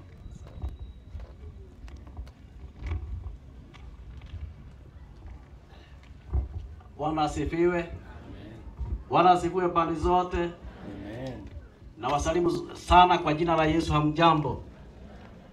Ah, nimeokoka. Yesu ni Bwana, na majina yangu ni kama vile director au shujaa amesema. na msiulize yeye ni shujaa wa nini, lakini yeye ni shujaa. So mimi kwangu ni rafiki ambao nimesimamia marafiki wengine wote, kwa sababu ninyi nyote ni marafiki wa mzee Morris, na niliamua kwa sababu tumeongea mambo mengi sana na wangu wetu wameongea mambo mengi sana kumhusu vile urafiki na nini, niweze kuwaletea part of his speech ambao aliwahi kunipatia mimi mahali ambapo nilimwalika kama mgeni wa heshima na nikawa mimi ndio host ili muweze kuisikia. Kana kwamba alitaka niisome siku hii ya leo, kwa sababu nimekuwa tu nikitaka kuihepa, lakini ninaona ya kwamba niisome. Kwa hivyo nilikuwa tu ni 20 years ago, na siwezi kosa mtu mmoja au wawili ambao walikuwa eh, mahali hapo siku hiyo, na hawa naweza sema ya kwamba ni mashahidi. So nataka niisome, na kwa bahati mzuri yeye alinipatia hiyo speech kwa Kiingereza. Kwa hivyo mimi ba, tena mimi nitaisoma kwa Kiingereza na ninajua kwa Roho Mtakatifu ambao hawajui Kiingereza atawafahamisha. Wacha nisome. A great friend. Good morning to one and all present here. I'm going to present a speech about our very good friend, brother, mentor, and father to many. He's such a treasure that anyone can possess. God gave us the right to choose friends because they were they will be with us forever. Our parents and sibling- siblings are loving us, loving us as they are our blood, own blood. But a friend is someone who is ini- initially a stranger, who then takes a place in our lives above all other relations. Morris, Morris' friendship was nothing but true and pure love without expectations in return. He was very supportive even during the hardest times. Morris was a friend who felt happy for our success, and on the other hand, he felt gloomy for our failures. He could scold us if we did mistakes and guide us in the right path. That's why it's being said that true friend is more precious than any gem in our life. Love from Morris was unconditional and, expected nothing from us. Mr. Morris has left us with thousands of fun, of fun moments that we will memorize even in our old age. Brother Morris one time told me about a worker by the name Mr. Stevenson who applied for a job as a sweeper at the streets of New York. It's a true story. I'm telling you a true Story. story. He worked for several years until he retired from his job. During his tenure, he was a very hardworking and worked with minimal supervision. The New York City authorities were so happy for his hard work to a point that they hung a billboard bearing his name saying, Here lived a great sweeper, Mr. Stevenson. That's a speech from Mr. Morris, and he gave us, he gave it to me 20 years ago. The whole story was to encourage me that whatever job you apply for is available for you to do. Do it at the very best. Love it and do it happily more than anyone else so that when you, leave, you retire, you will leave a mark for others to remember you. As I conclude, let me say this about Morris. Here lived a man of God. Here lived a great thinker. He challenged his friends to be everyone else's friend. When he stood to speak, everybody listened keenly. Here lived a very generous person. Here lived a very kind person. Here lived a great ad- advisor. Fare thee well, Brother Morris. Thank you. Barikiwe ninyi nyote. Yetu sasa ni kujiweka pamoja na Mungu, uji- uji- uji- tuji- tusiweke karibu na Mungu ili pahali ambapo Brother Morris ameenda, sisi tukasane na sisi tufike mahali hapa. mbarikiwe sana sana na Mungu awabariki sana. Na kwa vile mimi pia ndio chairman pia wa hii kamati na mambo haya ambayo yamekuwa yakiendelea, mlikubalia tu dakika moja ni consult eh, Shujaa, alafu nimwambie jambo moja. Asanteni na mbarikiwe sana.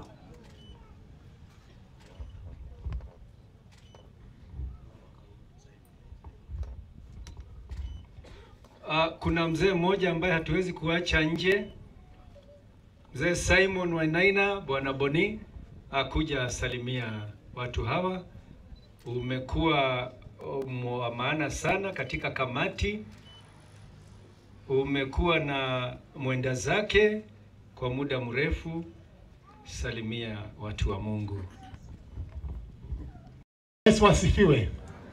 Bwana Yesu atukuzwe.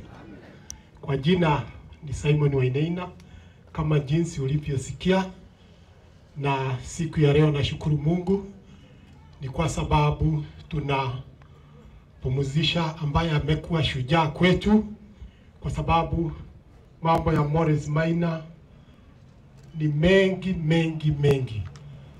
Tumejuana kitambo, na hata hiyo familia ya Waichungo ni marafiki wangu tangu zamani, na Morris Maina ni mtu tofauti, na kama iko mtu alikuwa anajua kutuza urafiki ni huyu mzee.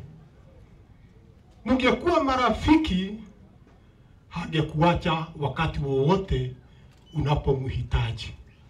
Unajua, rafiki wengi ni kwa sababu labda unaka kitu, labda huyo rafiki anakuja saa ile wewe unasherekea, lakini wakati wa shida huwezi mpata. Lakini Morris, hata iwe namna gani, lazima umpate. Tumekuwa tukitembea naye, saa ingine anialika, tunaenda pahali pengine, hata mimi bado fika, lakini yeye ananifikisha huko. Hata saa ingine mimi namuuliza, na hapo ulijuaji? Akaniambia hawa ni marafiki zangu. Kwa hiyo kwa urafiki, Mwalimu Maina alikuwa mtu wa maana. Jambo la muhimu, wale ambao tumebaki, ni kuombea hii familia, tuiweke kwa maombi.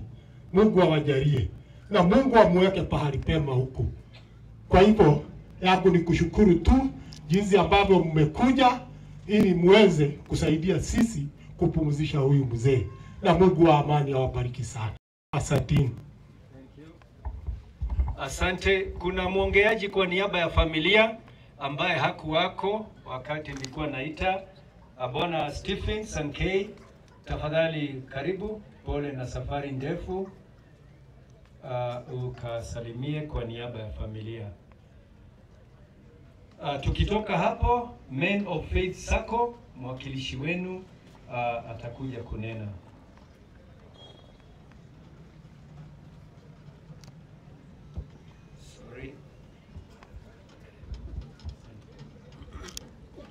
Familia ya baba yetu marehemu Morris,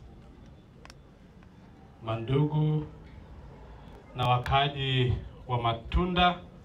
Bwana Yesu asifiwe.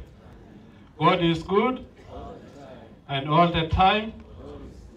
Kwa majina naitwa Steven Sankei, natoka kule Narok. Naomba msamaha eh, tumechelewa na ni vile safari ni ndefu. Mimi ama familia yetu ni mashemeji ya familia ya Morris. Ndugu yangu ameoa msichana wa marehemu Morris, na kwanza kabisa kipenda kwa niaba yangu na kwa niaba ya familia natuma pole zangu kwa familia, marafiki na jirani na watu wote wa Matunda. Juzi juzi tu tarehe ishirini na tatu mwezi wa nne tulikuwa kule kwa mzee, alituita. Kwa tunapanga mambo ya kulipa mahari ya msichana, lakini hatukujua alikuwa anatuita kuwapatia sisi kwaheri, na mimi nimeweza kujuana na mzee kwa muda mfupi sana. Kuna wakati tulikuja kwambia yeye sisi ndio tuko na msichana na tulikuwa waoga.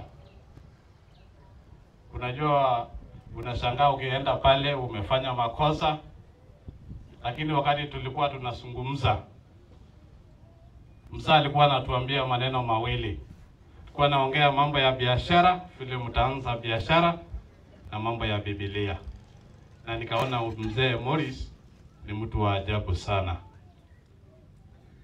Na la mwisho, tunaomba tunaelekea siasa, tunaomba watu ya matunda tuchague viongozi ambayo watatuletea amani, ambayo watatuletea eh, economy mzuri, na tuombe Mungu tufanye siasa ya amani. Yale yalitokea 2007 yameisha. Nasema asante sana na Mungu awabariki. Asante uh, sana Bwana Stephen. Uh, tuliongeleshwa na baba wetu mzee Peter Uchungo. Uh, nataka nafasi hii nimpee mama mdogo wa Chania naye pia asalimie uh, watu upande. Anakoma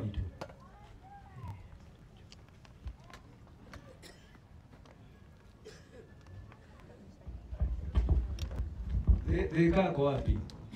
George Deka, kuja kuja,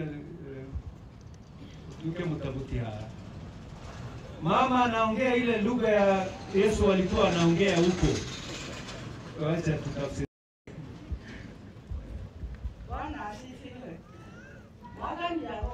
Bwana asifiwe. Bwana asifiwe. Wacha tusalimiane kwa hewa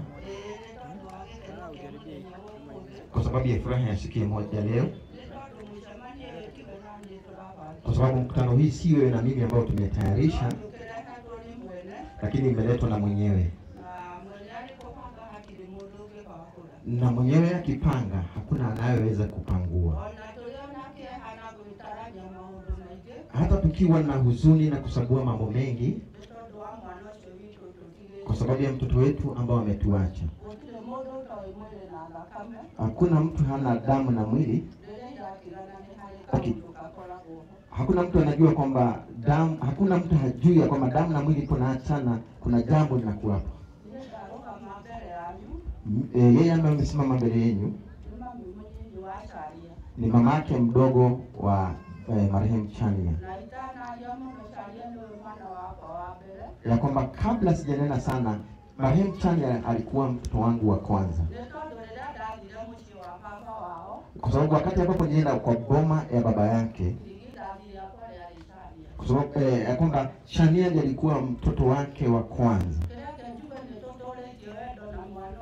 Wacha niseme kwamba tumedumisha upendo na mtoto huyu, na nasikia kwamba nimeguzwa na na kile hakuna kitu naweza mwambia Mungu ni kusema tu ya kwamba anastahili, maana hatuwezi kumtoa makosa kwa sababu tukimwambia kwamba alifanya makosa kumwondoa uh, marehemu Chanya, na anaweza kutuuliza swali ya kwamba kama mkutaka marehemu Chanya aende, mlitaka nani aende? Hivyo hatuwezi sisi kumtoa Mungu makosa. Wakati ambapo nilikuja nilikuwa nina tafakari, kwa sababu wakati ama mwezi wa Disemba iliyopita nilikuwa kwa marehemu Chanya Mm, akiwa pamoja na watoto wake na mandugu zake na hata dada zake, na wakaja kwa marehemu Chanya kumwona na hata tukafurahikiana, na nataka kusema hivi, kuna mpango wa Mungu unakuwa na fiche. Kwa sababu niseme kwa wakati ambao tuko nakuja kwa marehemu Chanya, hatukujua kwamba harusi ya marehemu Chanya ilikuwa imetaandaliwa, na hata mimi alama sisi hatukujua kwamba hiyo ilikuwa wakati wetu wa mwisho kuongea na marehemu, ya kumwona, hatusiweze kumwona tena. Basi na kuongea sana, na- nataka kusema kwamba marehemu Chanya tulipendana na ni mtu ambao alipenda familia yote ya, ya, ya mzee wa Chungo, na hakuna mahali ambapo kulihitajika na asiweze kufika. Yeye alienda kule Nyeri. Na nikiwa huko, wakati mwingine nilikuwa nasikia kwamba gari imepiga oni pale nje, na wakiwa pamoja na ndugu yake Douglas Ngojiri, na anasema ya kwamba Douglas ambao ume, ume kwa sababu watoto hao walikuwa wakija kunitafuta mpaka mahali ambapo nimekuwa. Wakijua kwamba walikuwa na mama yao ambao wamebaki. Wacha niseme kwamba sitaongea kwa muda mrefu, wacha Mungu amkumbushe mahali pema, na sisi ambao tumebaki tuwe na upendo. Hata watoto wengine wote wamebaki, tushikane, na wakati ambapo tuna jambo tunakutana, tunafurahikiana kama vile Morris ametuacha. Mungu wa amani awabariki na wapende na wapaki salama. Ah, basi kwa haraka nataka mwakilishi wa Men of Faith Sacco. Program inasoma, kanisa inaanza saa sita, imebaki dakika kumi, kwa hivyo tuwe wa wafupi kwa maneno. Karibu. Bwana asifiwe. Ah, nachukua nafasi hii kualika Men of Faith Sacco. Kwa majina anaitwa mchungaji Simon Mwarigi. Nataka Men of Faith wawe nyuma yangu wote. Ah, nina hudumu pale Eldoret, Mount Ephraim chini ya mchungaji Evans Chumo, na kabla niondoke mahali hapa ah, nimekuwa uh, Morris Maina. Ah, tulipohudumu naye alipokuja kanisa letu 208 ah, tumefanya kazi naye kwa upande wa kanisa, alikuwa akisimamia development committee, nami nikawa nilikuwa mzee wa kanisa kwa miaka kumi na nne na nyuma yake nikachaguliwa kuwa mdogo wake from 20, eh, 2008 hadi 2018 tumefanya development uh, nikiwa mdogo wa Morris Maina na Bwana ametusaidia sana.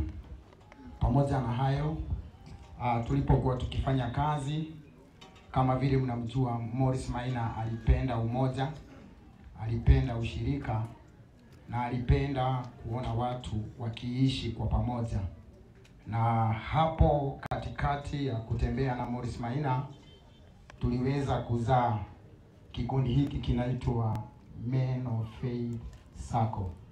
Ah, alipokuwa ali, tulipoanzisha kikundi hiki alichagua alichaguliwa kuwa trustee na nikachaguliwa kuwa chairman na nikakiongoza kikundi hiki kwa miaka mitano.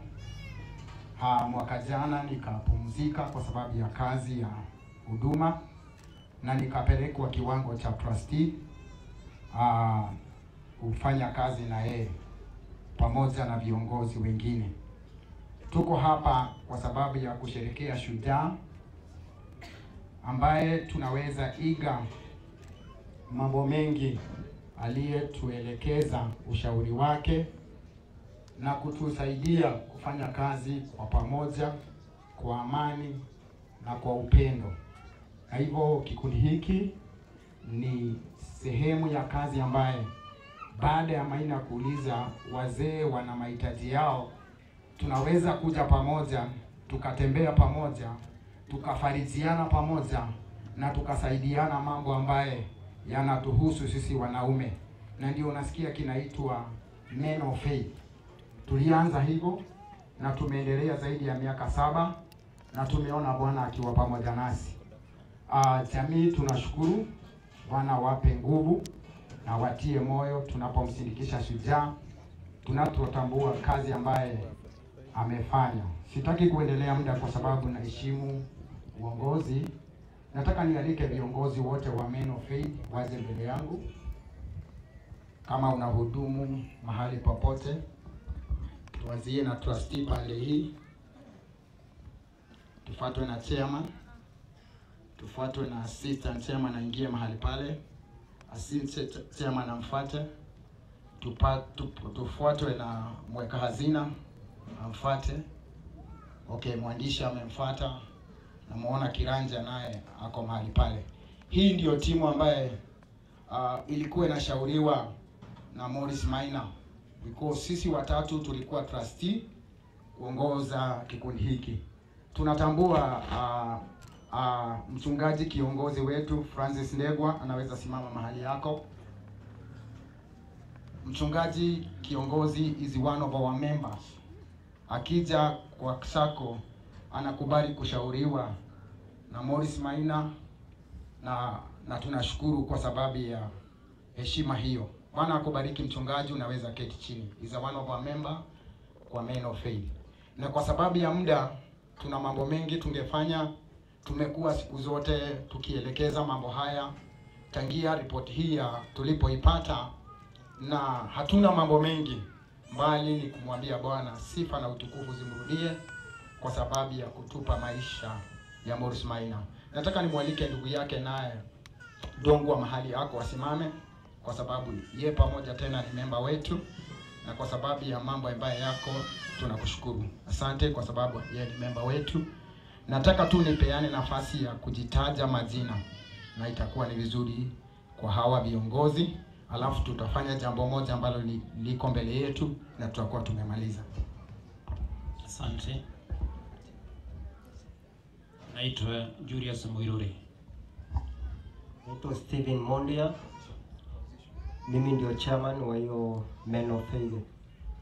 Solomon Ng'ang'a as chairman. Naitwa Pastor Ng'ang'a, mimi ndio mweka hazina treasurer. Naitwa Michael Otieno, mimi ndio secretary. Naitwa David Mwangi. Naitwa David Kamau, mimi ndio discipline master. Kiranja. Kwa heshima nataka tuje Men of Faith kwa pamoja. Tungetaka kutoa pole zetu na tungetaka kijana mkubwa wa boma hii apokee cheki kwa niaba ya mama. Picha, tunaomba tu tafadhali kuja pokea pole yetu ya Men of Faith, maana tunatambua kazi ya mzee wetu. Tunaamini Mungu ni- ni mwaminifu kwa kila hali.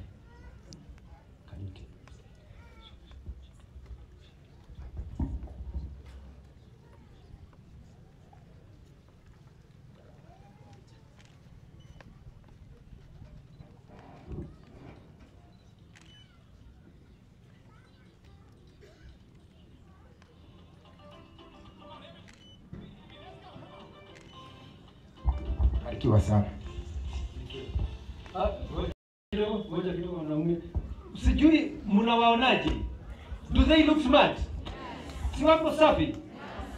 Pahali nyingi wanaume si rahisi waone hivi. Wapeni makofi moja ya nguvu. Na asante sana kwa wake zao. Mumeweka hawa wazee safi. God bless you. Na mimi nitakuwa member. utaniona. Kando. Basi tunaendelea vizuri na wote tunajua ya kwamba ukiwa mgonjwa unaenda hospitali na unaenda na imani moja ya kwamba daktari anatibu, lakini mponyaji ni nani? Mungu. Daktari anatibu, lakini hawezi kuponya. Mungu ndiye anaponya kupitia hao madaktari, ushauri na madawa ambayo unapata hospitali ambayo mwenda zake alikuwa walifanya kazi nzuri, lakini iko pahali hawangeweza, sababu hiyo ni kazi ya Mungu. Pahali wamefikisha, Mungu ndiye anaamua. Nataka mwakilishi mmoja wa Oak Tree Hospital aje atunenee, a representative of the hospital Oak Tree Uh, mwakilishi tafadhali. Aha, ni madam. Asanteni kwa bidii yenu. Naomba ni wasalimu wa mjambo. Tree. Tunaambia familia pole, tumetumwa na Dr. Koech, Dr. Karone na wale madaktari wengine wote tunafanya kazi pamoja.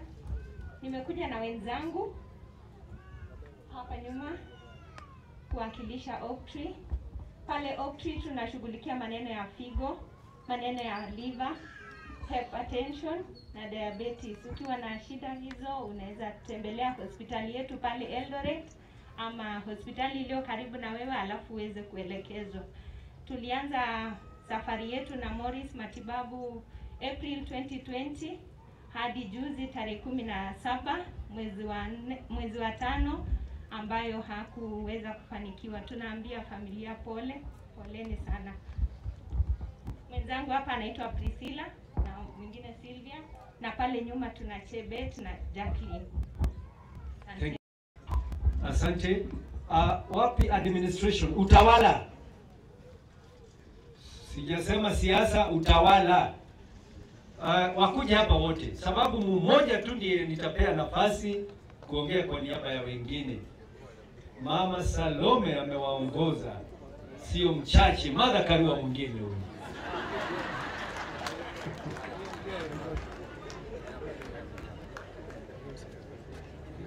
Ladies first, eh? Asante. Mmoja tu ndiye ataongea, wengine tafadhali ni jina tu. Kwa hivyo wacha wengine waseme tu jina na ile area wanatoka. Mama Salome Kinzi atakuwa mwisho, wa kwanza walikuwa watakuwa mwisho. Jina na pahali natoka. Kwa majina naitwa Joshua Kibet, natoka sehemu za Matunda B. Thank you. Mimi ni senior Joseph Wanyonyi natoka Maendeleo B. Eh, huyu mzee ninamjua anatoka upande ya kwetu pande ile kaunti wa Sinigishu. Kwa hivyo chief amesema poleni na MCA wa kwetu huko wako na shughuli, wanawasafika saa yote na wanasema pole familia ya wasee hapo. Kama chifu wako sawa, atakuja. Asante na Mungu awabariki. Bwana Yesu asifiwe. Bwana Yesu asifiwe tena. Kwa majina ni Wafula Moses. Mimi ni mzee wa mtaa wa Matunda A ambamo hiyo nyumba ya mare- marehemu Morris iko huo mtaa ambaye inawakilisha, na vile ime- eh, nikawa nimeongea na chief akasema akipata nafasi atafika. Wacha tuendelee. Ah, wamama sasa. Bwana asifiwe. Wote. E, mimi natoka Pasin na pia tuna, tunafanya kazi mpaka pande hii. Kwa hivyo kama mwami wetu wako tunamkaribisha kwa jina ni Teresia. Tunasema pole kwa wote ambao wamefiwa, familia yote.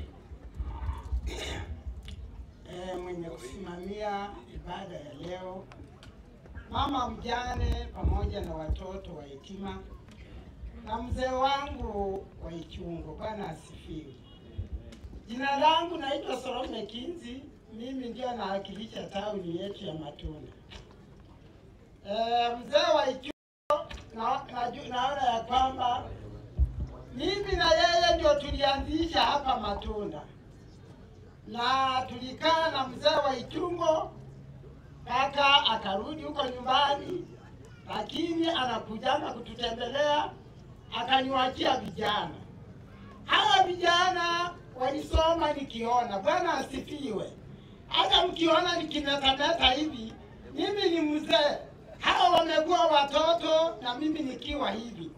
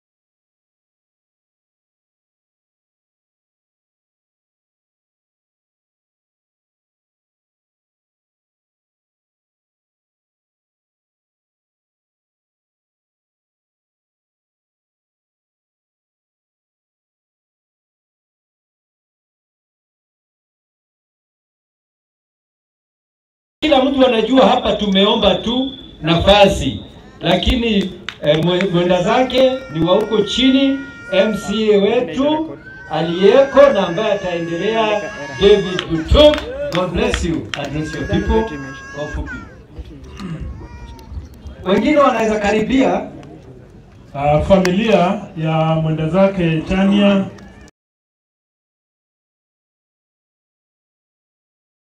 ndugu na dada, kanisa, wafanye biashara wote na waombolezaji na wasalimu hamjambo. Bwana Yesu asifiwe. Kwa niaba yangu, kwa niaba ya watu wa Kapkures Ward ambao nawakilisha, nataka kusema pole pole sana kwa sababu ya, ya kulala kwa ndugu wetu, na pia nataka kushukuru Mungu sana, ingawa ni tumeambiwa tusiseme mengi. Nataka kushukuru Mungu kwa sababu ya ndugu huyu na maisha ya ndugu huyu. Nikiwa mwakilishi wa Kapkures na sehemu hiyo ambayo alikuwa anafanyia biashara, mimi nataka kushukuru Mungu na kucelebrate yeye kwa sababu ya, ku, ya ile kazi alifanya na watu wote wa matunda wafanye biashara kwa kuwa na yeye na kulea yeye. Kama vile mti mmoja huwezi kuwa saidi katika forest, lazima forest iwe na miti mingi. Nataka kusema watu wa matunda wafanye biashara, ongera, kongole, na nyinyi ni mfano mwema wa watu ambao ni hustlers, watu ambao wanatoka bottom na wanaenda up. Mimi ni MCA na ni mwaniaji kiti kwa chama ya UDA Kenya Kwanza, na kwa sababu ya kazi ambao hao wanafanya, hata ndugu, hata, hata mwalimu wangu MC huyu alipokuja shule ya Kapkoren alikuwa mtu wa shati peke yake, lakini kwa sababu ya bidii ya kuamka chini kama hasla. Kwa hivyo hawa watu wote nawaambia poleni sana na Mungu awasaidie. Asanteni. Kwa majina naitwa David Tarus Butu, MCA Kapkures Ward na mwaniaji katika kiti ya tarehe tisa mwezi wa nane. Asante sana. Thank you. Uh, nimekaa nikingoja mnipigie makofi sioni. Amesema nilifunza yeye primary na sasa yeye anaelekea kuwa MP very soon. Kwa hivyo nataka eh, eh, kukaribisha MCA wa hapa pahali tuko, aneni machache sana, lakini wengine vile nilisema jina tu na neno moja. Karibu ndugu Mbayo. mwakilishwa ah, familia ambayo imefiwa, kanisa letu ambalo limesimamia shughuli hii, waombolezaji wote hamjambo, mlembe mwesi, watu wa hapa mko e, beba mikono tujue, wageni wetu wajue tuko, wanaweza fikiria ni yao tu. Asante na mmekuja kwa wingi na washukuru. Nataka kusema pole sana kwa jamii ambayo imefiwa, sisi tukiwemo. Marehemu ni mmoja wa wale wafanyabiashara ambao tulipounganika hapa vile tunakaa, walifundisha sisi ambao tulikuwa tunajua tu ukulima, tukaanza biashara, na wale wakulima wetu pia nao wakafundisha wale wafanyabiashara wakajua ukulima, wafugaji wakafundisha wafanyabiashara na wakulima. Sasa sisi jamii yetu hapa tuko complete na tuko Kenya yote hapa na tunakaa kwa amani, na tungependa tuendelee kukaa kwa amani hata wakati wa siasa. Asanteni sana, Bwana wabariki. Furaha ndiye huyo. Bwana Yesu asifiwe, asifiwe tena. Waja msalamiane kidogo. Hamjambo, hamjambo. Kwanza nasema pole sana kwa familia ile imefiwa. Mungu mwenyewe ndiye hupeana na akachukua tena, hatuwezi kumkosoa. Kwa majina, mimi naitwa Michael Furaha, mkaaji wa hii town yetu ya Matunda, na mimi nimesimama nikitafuta kitu ya MCA ya Nzoia Ward, hii Matunda ikiwa ndani yake. Mimi sitaongea kwa sababu nimeelezwa hii ni matanga, lakini watu ya matunda, nyinyi wenyewe mtaamua nani atakuwa. Lakini bahati ni kwamba mimi mkaaji hapa, nataka kubadilisha hii town yetu.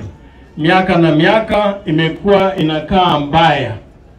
Tafadhali tufikirie wakati huu tubadilishe hii town yetu ikae mzuri.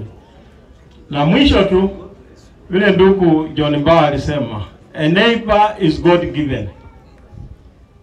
Sisi hata Kibaki alikuwa anasema he never chose to be born a Kikuyu. Kibaki alikuwa anatumia hiyo sana, but we are one family.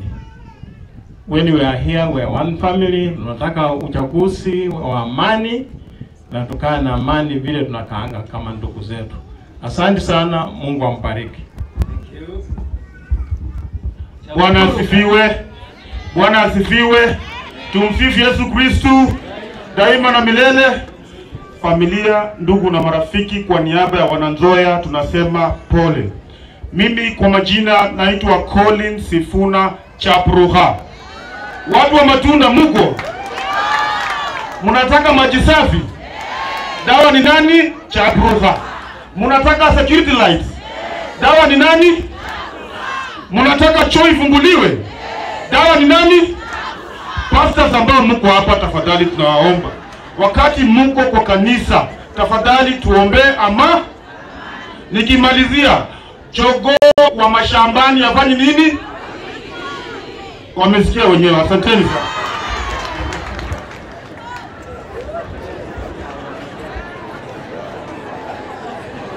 uh, jamii ambayo Tutulie, tutulie, matamu zaidi yako njiani bado. Hicho ni kionjo. jamii ambayo imefiwa ya ndugu Chanya, wapendwa wa Mungu na wasalimu wote katika jina la Yesu. Hamjambo? Jambo. Bwana Yesu asifiwe. Amen. Mimi kwa majina naitwa Asami na mimi ni jirani hapa, na mimi ndio jogoo wa Bujini, sio wa mashambani. Nataka niseme kwa watu wa matunda, ninawapenda tu sana. Mmekuwa mkinipigia kura na msichoke. Nasimama kama MCA na hizo kura mmekuwa mkipiga, huwa napata kura nzuri sana kwenu. Wakati huu mulisema ya kwamba leo tunataka mtu wa karibu matunda, mtu mwenye anaelewa shida zetu hapa, ili tutoe kwa wale ambao hawajui kufanya kazi. Na waomba mnipigie kura, kwa sababu kazi ya MCA ni tatu: ni kulegislate, kutoa sheria, kurepresent, kuwakilisha watu wako, ulete maji nini na employment ya youth, na kuoversight, kuchunga mali ya kaunti. Asami yako tayari kuwafanyia hiyo kazi. Hata wale ambao wamekuja, angalieni yule mtu anaweza kutunga sheria, aongee Kiingereza vizuri, atoe sheria safi na ni Asami. Mungu awabariki sana. Kura kwa Asami 2022 Disemba, mwezi wa nane tarehe tisa. Thank you. Bwana Yesu asifiwe. Amen. Bwana Yesu asifiwe tena. Amen. Mimi nasema pole kwa familia. Mimi kwa majina najulikana kama Raymond Kusimba, nasimama na chama ya ANC, natafuta kiti ya Nzoya Ward. Mimi nitafuata vile tumeambiwa, sitasema mengi kwa sababu mimi si jogoo, mimi ndio simba ya Nzoya. Mbarikiwe sana. Asante Simba. Akina mama, najua watu wa- ni waheshimiwa huongea mwisho mwisho. wa mama msifikiri nimewadunisha, ni hiyo sababu, sababu very soon munaenda kuwa president, tayari mko vice president, pengine wenyewe mkatae. Ah, Bwana Yesu asifiwe. Wakaaji wa matunda, Bwana asifiwe. Ah, mi kwanza kwa majina naitwa Jenny Shwani. Huyu alikuwa mmoja wa familia yetu, alikuwa rafiki yetu. Hata niseme ushunde wake, alinipepa siku moja nikiwa njia mzito na nikazaa mtoto kijana, na huyo kijana amekuwa ameniletea msichana kutoka Kikuyuni. Bwana Yesu asifiwe. Sasa alikuwa mtu wa maana. Sasa mimi namshukuru, lakini mwezi wa nane tarehe tisa mkumbuke Josephat Chiwani Idambo. Ah, kabla hajaongea, huyu anawakilisha MP wetu Daktari Eno Kibunguchi. Karibu. Asante sana familia ya mwenda zake Bwana Morris, jina maarufu Chania, kanisa, marafiki kutoka pembe zote za hii Kenya, wakazi wa Matunda. Bwana Yesu asifiwe! Bwana Yesu asifiwe! Tunamshukuru Mungu kwa sababu ya familia ya Matunda. Tunashukuru Mungu kwa sababu ya familia ya Bwana Chania. Mimi niliyesima, ni- ambaye nimesimama mbele yenu nimekuzwa na Chania na Mama Shiko, na mara nyingi ninakumbuka mambo yake matatu. Alikuwa akiniambia kufanya bidii na kusomesha watoto, unapiga hatua kibinafsi. Nikikumbuka hayo mambo yake huwa yananitia nguvu. Leo hii katika hii nafasi niko nayo, alikuwa akiniita a political lady. Mungu aipumuzishe roho yake na iweke mahali pazuri. Ninaleta rambirambi zangu binafsi na kutoka kwa Mheshimiwa Kibunguchi. Ninaomba hivi, watu wa Matunda na waheshimu, mumelea na kutunza hii jamii yote ya Matunda. Shule zetu na makanisa yenye iko hapa ni kwa sababu ya jamii ya Matunda. Tunaomba Mungu azidi kutuweka pamoja na kututia nguvu, tuleane kwa bidii. Katika uongozi, jinsi watu wanasimama hapa, uongozi unahitaji mambo matatu: uheshimu, uogope Mungu, uheshimu wenzako na uchukue majukumu ya kufanyia watu kazi. Mtakapoenda kupiga kura tarehe tisa, tafuteni waakilishi wa kuwafanyia kazi, msije mkafanya mchezo mkacheza kamari. Na tunaomba ya kwamba siasa zetu zikawe za heshima. Waweza kuchagua vitu vyote duniani, huwezi kuchagua jirani, jinsi John alivyosema mahali hapa. Unaweza kuchagua rafiki, uchague bibi, uchague mume, lakini jirani hutamchagua. Na ndio vile tunakaa katika hii soko ya matunda. Atakaye yoyote lete jambo la kutusambaratisha, tunamwombea Mungu ampe urejesho, kwa sababu sisi ni familia ya watoka mbali na tutaishi hivyo, na sisi ndio tulitengewa Likuyani tarehe tisa mwezi wa nane. Kumbukeni Mheshimiwa Kibunguchi, tumetembea na yeye safari mrefu, na ninamaliza nikiwatangazia yafuatayo. Maisha yamekuwa ngumu kwa wakati huu. Ninaomba ya kwamba wale wana watoto shuleni kuanzia secondary mpaka university, basari zetu tulitoa last week. Jaza form, peana kwa ofisi, tuone yale tutafanya.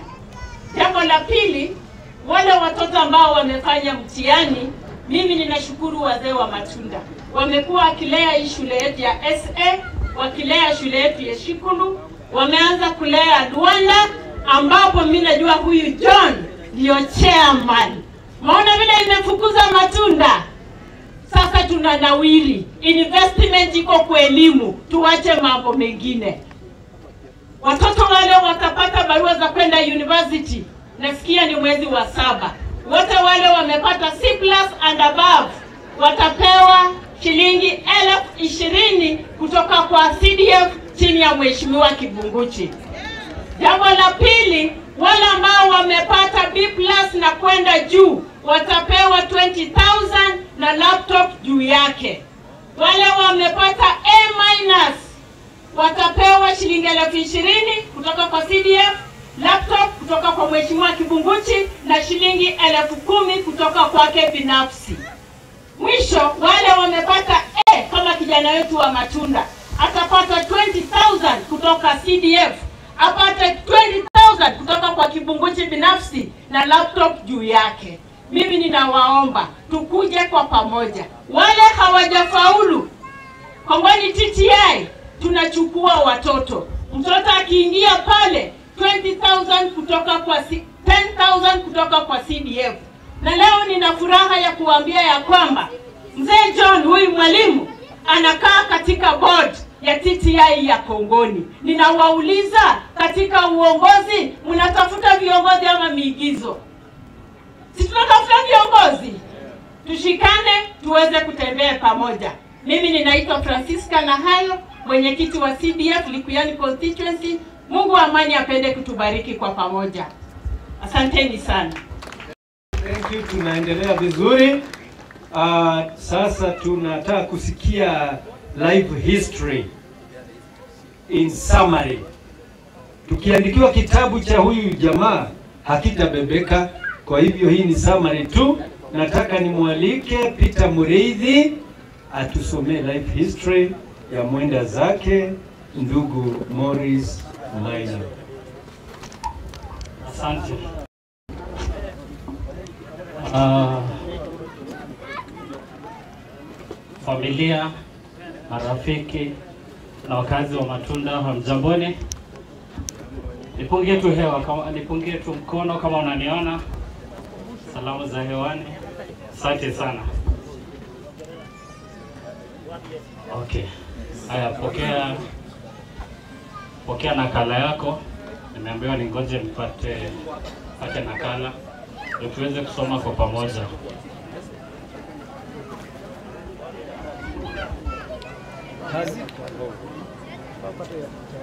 Eh, nimesikia watoto wanapromisiwa wale watapata B plus wanapata laptop na 20000 sijui nirudi form 3 hey, that is good eh? Aya, natumai umepata nakala yako, tusome kwa pamoja. Yeah, you can just start. Kama alivyosema, jina langu ni Peter Mureithi na huyu alikuwa babangu. Kwa hivyo tutasoma tutasoma kwa pamoja. Nitaanza na kuzaliwa kwake.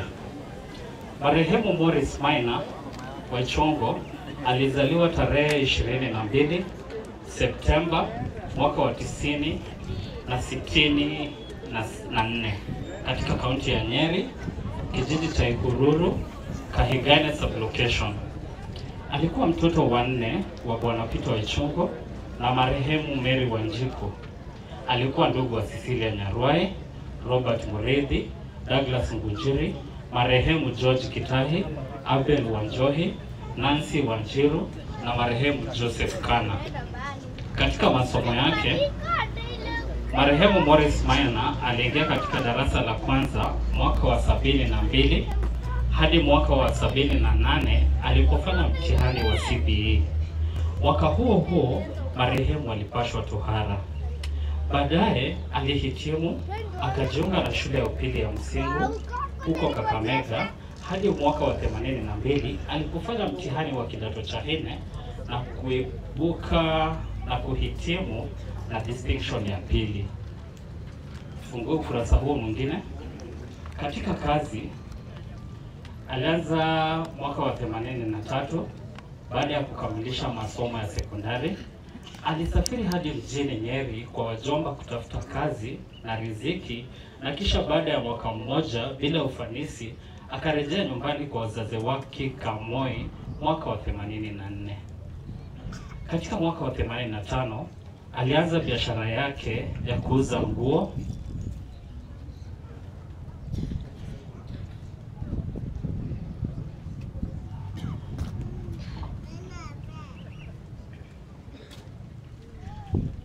Uh, katika mwaka wa 85 alianza biashara yake ya kuuza nguo sokoni ambayo ilifanikiwa na baadaye akafungua duka lililoitwa Chania Suppliers mwaka wa 89 ambalo limedumu hadi leo.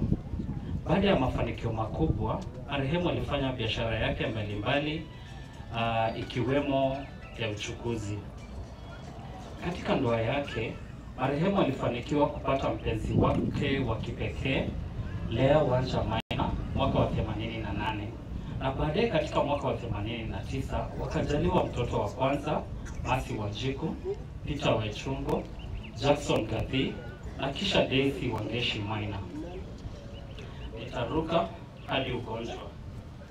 Marehemu alianza kuugua mwaka wa elfu mbili na ishirini mwezi wa tatu, akalazwa katika hospitali mbalimbali.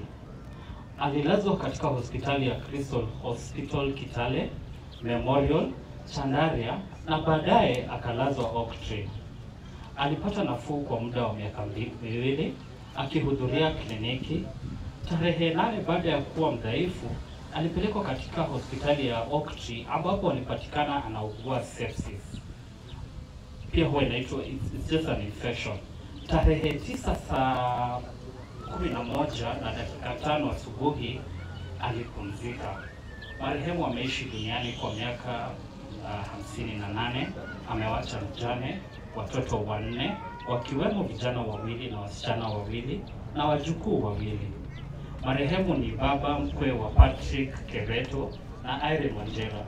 Ni Mungu alitupea na ni Mungu amemchukua na jina lake libarikiwe. Asanteni. Uh, thank you. Uh, wote tumesikia na sasa nataka tu, tuingie upande wa uh, tributes ambazo sio nyingi, na ya kwanza ni ya mama. Ninaamini kuna ule ambaye atamsaidia kusoma tribute to my dear husband. Uh, sijui nani na kusaidia mama.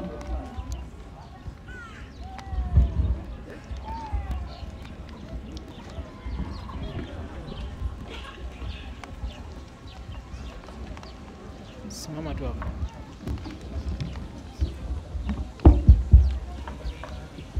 Bwana Yesu asifiwe. Tufungie mkono hivi, inua mkono yako, kwa maana neema ya Mungu imetujalia na tunasema Yesu ni Bwana. Naye soma jina ni Dorcas Kafesha, mwenda zake ni Semeji na alikuwa rafiki yangu kama brother. Kwa hivyo nisome tribute to my dear husband. I lit, uh, I little knew that morning God was going to call you a name. In life, I loved you dearly. In death, I do the same. It broke my heart to lose you. You did not go alone. For a part of me went with you. The day God called you home, you left me peaceful memories. Your love is still my guide. And though I cannot see you, you are always at my side. Our family chain is broken and nothing seems the same. But as God calls us one by one, the chain will link again. Till we meet again, my dear husband. Rest in peace. God bless. Asante. Uh, watoto wa mwenda zake ninawahitaji hapa wote, jipeni nguvu, tuje tusimame hapa, alafu mmoja wenu atasoma.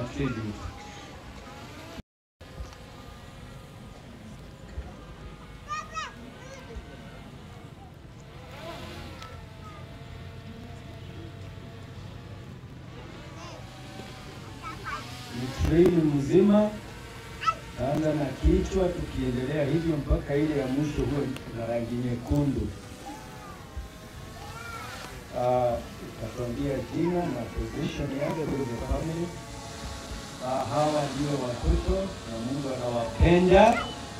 Kama hangewapenda hamungekuwa na nguvu ya kusimama hata baada ya haya ambayo yametokea. Tuende kujintroduce kwa majina.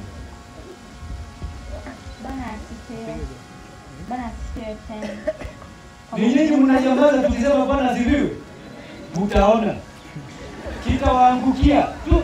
Tukisema usichoke, Mungu hajachoka na wewe na wewe umechoka na yeye. Tuendelee tena. Kwa majina naitwa Maxi Wanjuko Maina, nimeokoka, ninampenda Yesu. Mimi ndio firstborn wa Tania ama Moses Maina. Injini yenyewe Bwana Yesu asifiwe. Amen. Ndio Patrick, ndio wa Kristo. Ndio. Bwana asifiwe. Bwana asifiwe. Bwana asifiwe tena. Kwa majina ni Peter Maina. Najua sitapata hii nafasi, lakini ningependa kushukuru kila mtu ambaye amejitokeza mahali hapa. Nashukuru sana na mbarikiwe. Bwana asifiwe. Bwana asifiwe tena. Kwa majina ni Irene Mandera. Mimi ni the daughter-in-law wa baba. Bwana wabariki. Praise God. Amen. Praise God again. Uh, kwa majina ni Jackson Maina Gade na the third born in this family. Karibuni. Asante. Bwana asifiwe. Bwana asifiwe tena. Kwa majina ni Daisy Wange. Mimi ndo wa mwisho kwa hii familia. Mtoto wa Morris Maina na Lea Maina. Na Mungu awabariki. Asante sana. Peter atabaki, wengine wakienda oh, nani anasoma? Ngoja kidogo. kuna kitu eh, wengine waketi Peter abaki kidogo. Akisema baki na Peter. Ah, wa- wa- Wachungaji angalia huyu kijana sana. Yesu kabla ya kuenda juu aliwaangalia wote na akaona yule anafaa kuongoza na akamwambia kuanzia leo wewe sio Simon, lakini wewe ni nani?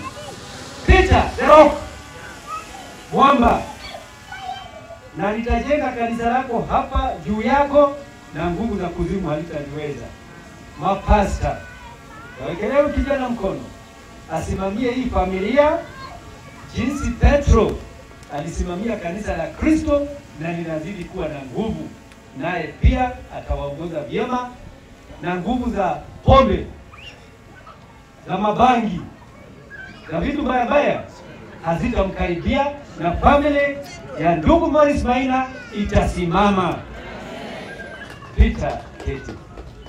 John Kagwara atatusomea tribute kwa niaba ya watoto wa mwenda zake. Welcome. Uh, to the family of Mr. Village, Mr. Morris Maina, immediate family, Mama Shiko, the children, to the extended family, church na watu wa matunda. Bwana Yesu asifiwe.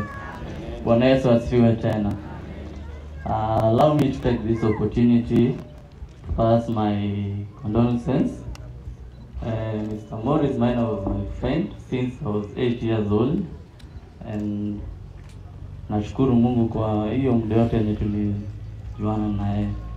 So allow me to read the tribute on behalf of the children. Tumeza- Tumeelelewa pamoja nao all along since Jack of one of them tulisoma naye one in the same school, high school. Na for that, allow me to read the tribute. Tribute to our dad. Our dad was our hero. He was the most courageous and resourceful man. We never questioned if he loved or cared for us because he made it so obvious. You are a dad who was so special and who was loved so very much and brought so much happiness to the many hearts you touched. You are always kind and caring and so understanding too. If we, if and if help was ever needed, it came from dad freely. You are a gift to all the world and brought joy to everyone. And life has never been the same ever since you left dad. One day in God's hands, we will meet again.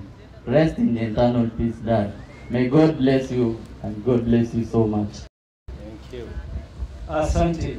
Uh, sisi ni wanyonge, sisi ni wadhaifu, sisi ni bure mbele za Bwana, na kile ambacho tunaweza kumwomba Mungu Mwenyezi wa upendo mkuu na huruma nyingi, amwangalie kwa upendo ndugu yetu ambaye alilala na aone yote mazuri ambayo alitenda, akampe nafasi apumzike pamoja na wateule na watakatifu. Wale wanajua, tutasema pamoja, raha ya milele umbe e Bwana, na mwanga wa milele umwangazie, apumzike kwa amani. Amina. Asanteni kanisa, karibu.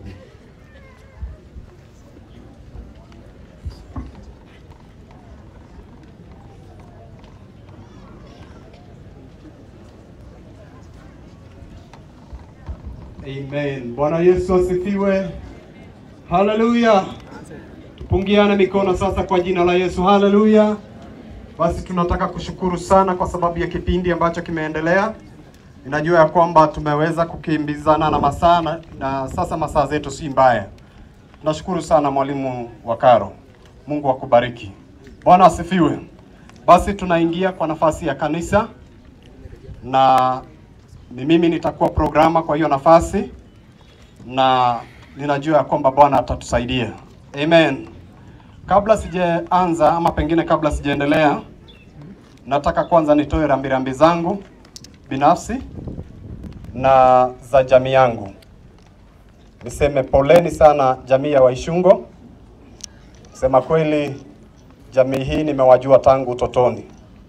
Sisi tulikuwa wale wavulana wadogo, tulikuwa tunatumwa kwa mzee. Siku hizo alikuwa na duka inaitwa Chupa Chupa, ilikuwa inaitwa Chupa na Debe. Ilikuwa ni duka ya mzee na tulikuwa tuna, tuna kununua. Kwa hivyo tumewajua, japokuwa sasa kuji, kujuana sana na mzee Maina ama Morris Maina ni wakati ambapo alijiunga na sisi katika kanisa la Full Gospel. Nimesikitika sana ama nimesema nimehuzunishwa sana na kifo chake, maana najua ya kwamba alikuwa ni mzee shupavu. Kwa habari ya kwa habari, habari ya maisha yake, kusema kweli, tangu nilipomjua yeye alituheshimu. Wakati huo nikijua ama tukikaribiana sana, nilikuwa already mimi ni mchungaji, na aliniheshimu sana, alituheshimu na akatupa, akatupatia ile heshima ambayo tulihitaji kama watumishi wa Mungu. Amen. Na support kubwa sana kwa sababu ningemjia na nimwambia tuna mradi hata kama ni jambo ndogo kanisani, angekuja na atusaidie angalau mkono wake uonekane. Siku hizo nilikuwa nahubiri sehemu za kule Chukura kabisa. Huyu mtu wa Mungu alikuwa mzuri. Amen. Bwana asifiwe. Haleluya. Tuseme nini? Tukubaliane na mapenzi ya Mungu, si ndio?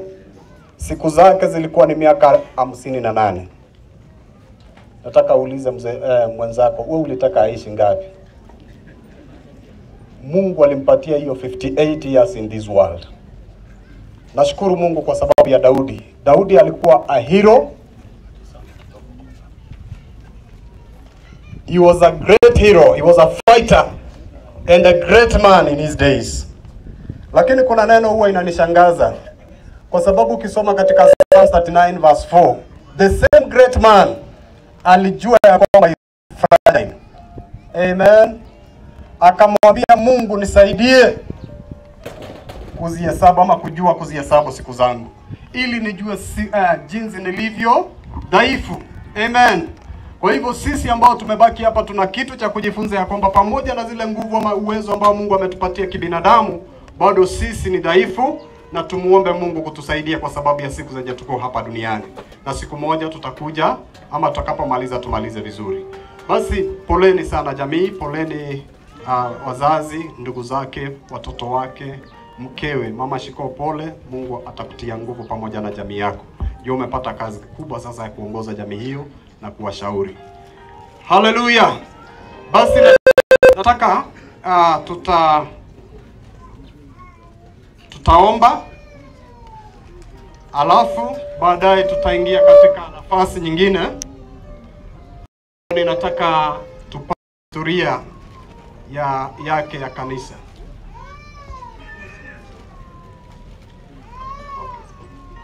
Haleluya! Basi tusimame zote tunapoomba, uh, tunapoanza programu hii ya kanisa. Hatu, tunaamini ya kwamba hatutachukua muda mrefu, kwa hivyo msichoke. Tuombe. Baba wetu wa mbinguni, tunalihimidi na kulitukuza jina lako. Asante kwa sababu wewe ni Mungu na hakuna kama wewe. Ni wewe uliyekuwako, uliyeko na utakaye kuwako. Tunakushukuru kwa sababu ya siku hii ambayo Bwana tumekusanyika mahali hapa kwa sababu ya kumsindikiza ndugu wetu. Tunajua kwamba hakuna jambo Bwana ambalo hukulijua, na hivyo tunakushukuru kwa sababu ya siku ambazo ulimpatia ndugu wetu pamoja nasi hapa duniani. Tunakushukuru kwa sababu ya neema kubwa uliotupatia ya kujumuika na kujuana na yeye. Asante kwa sababu uh, umetusaidia umbali huu, na hivyo tuna kila sababu ya kulishukuru jina lako. Asante kwa sababu ya nafasi ambayo tuko nayo mbele zako Bwana, kwa sababu ya kipindi hiki ambacho kimebakia. katika ibada hii. Tunaomba ya kwamba Bwana ukaende pamoja nasi, utuongoze na utuelekeze. Tunaomba ya kwamba kila jambo lifanyike kwa uzuri na kwa utukufu wa jina lako, na ni kwa jina la Yesu nimeomba nikiamini, amen. Basi tuna, tunaweza kuketi. Nataka sasa nitaalika ndugu wetu uh, Sami Gitau atasoma hiyo nafasi ambayo ni historia ya kanisa, alafu baadaye tutaendelea na hiyo sehemu nyingine.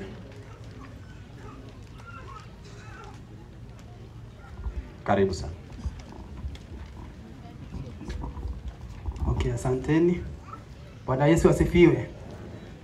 Okay, mimi naitwa Sami Gitao, nimeokoka Yesu ni Bwana na nimesimama kukusomea historia ya kanisa kama jinsi tulimwelewa marehemu ndugu Boris Maina ambaye tumekuwa pamoja naye pale kanisani Full Gospel Churches of Kenya Matunda tangu alipojiunga pamoja na sisi kuanzia mwaka wa elfu mbili na nane na wacha tusome historia ya kanisa. Fikiri uko na hiyo karatasi yako na itakuwa ni vizuri. Nasema hivi, alishiriki kanisa la AIC mwakani 1993 Karibari Tembo. Kisha baadaye mwakani 2008 alijiunga na kanisa la Full Gospel Matunda, na baada ya muda mfupi alichaguliwa kuwa mwenyekiti wa kamati ya maendeleo baada ya kuonekana ana kipawa cha kukusanya na kuelekeza Wakristo katika miradi ya nyumba ya Mungu. Marehemu atakumbukwa kwa jitihada na bidii yake katika miradi ya kanisa kama ifuatavyo akiwa mwenyekiti. Mradi wa kwanza ni ununuzi wa uwanja wa kanisa na ujenzi wa nyumba kwenye uwanja huo. Hiyo ni katika mwaka wa elfu mbili na kumi. Project ya pili ilikuwa ni ununuzi wa gari la mchungaji ambayo tuliifanya kama kanisa mwakani wa elfu mbili kumi na moja. Ya tatu ilikuwa ni ununuzi wa uwanja wa kanisa na ujenzi wa kanisa la kisasa kwa kipindi cha miaka miwili. Hiyo ni mwaka wa elfu mbili kumi na nne na elfu mbili kumi na tano.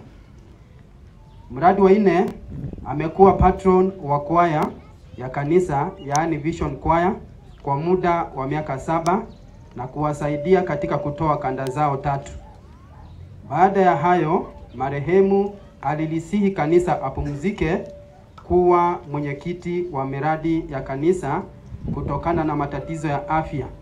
Mwishowe kanisa liliona ni vema kumtunukia na pia kumkabidhi cheti cha utambuzi yaani certificate of recognition mnamo tarehe nane mwezi wa nane mwaka wa elfu mbili ishirini na moja kanisani mbele ya Wakristo wote. Ameshiriki na Full Gospel Churches of Kenya hapa Matunda hadi kifo chake. Mungu awabariki. Asante. Amen. Pigieni makofi mazuri sasa kwa jina la Yesu Kristo. Nafikiri hapo tumeenda vizuri. Nashukuru kwa sababu uh, ya nafasi hiyo.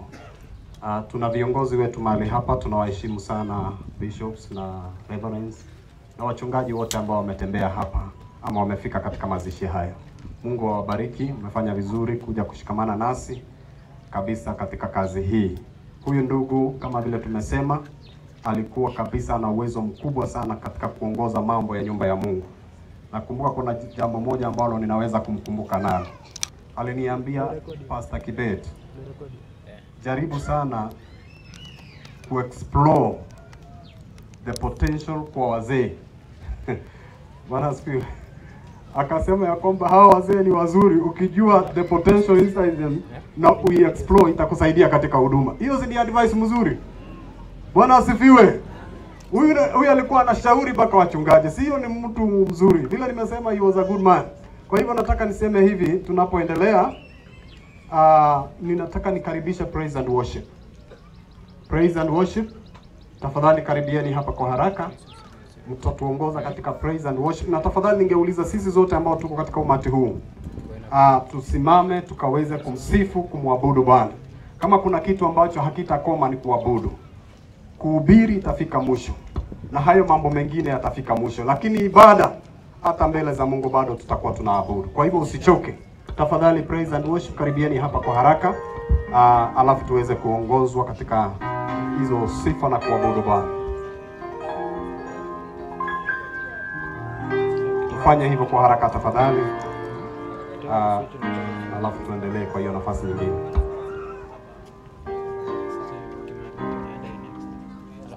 Karibuni.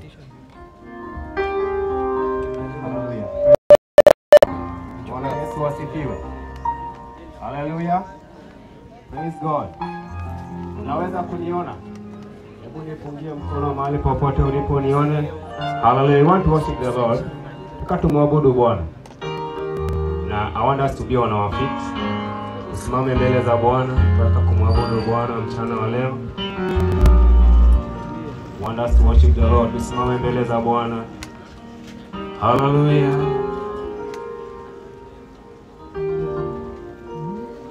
Kama unaweza kuinua mkono wako mbele za Bwana, tell Lord that I need your presence here. I need you to intervene this place. Wakati ambapo tunakuabudu, ibada yetu ikubalike mbele zako. Achilia anga iliyo wazi katika ibada hii. Mwenyezi Mungu, karibu na unene na maisha yetu.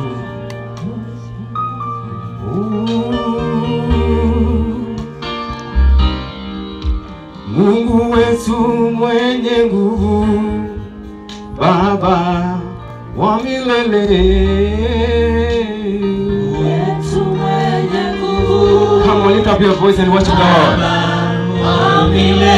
Oh, Mungu wetu mwenye nguvu ni Baba wa milele. Mwenye nguvu Mungu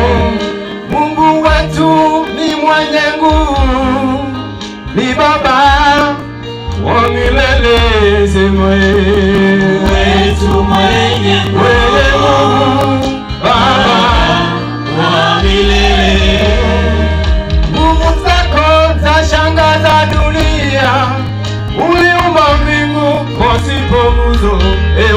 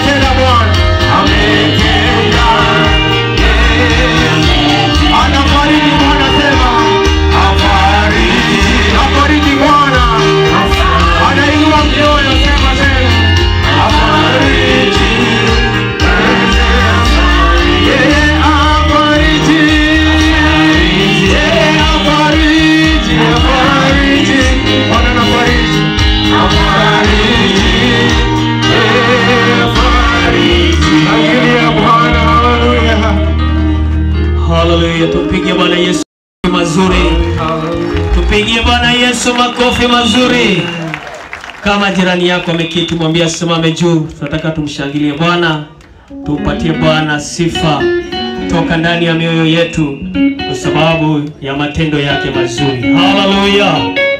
Bwana Yesu asifiwe.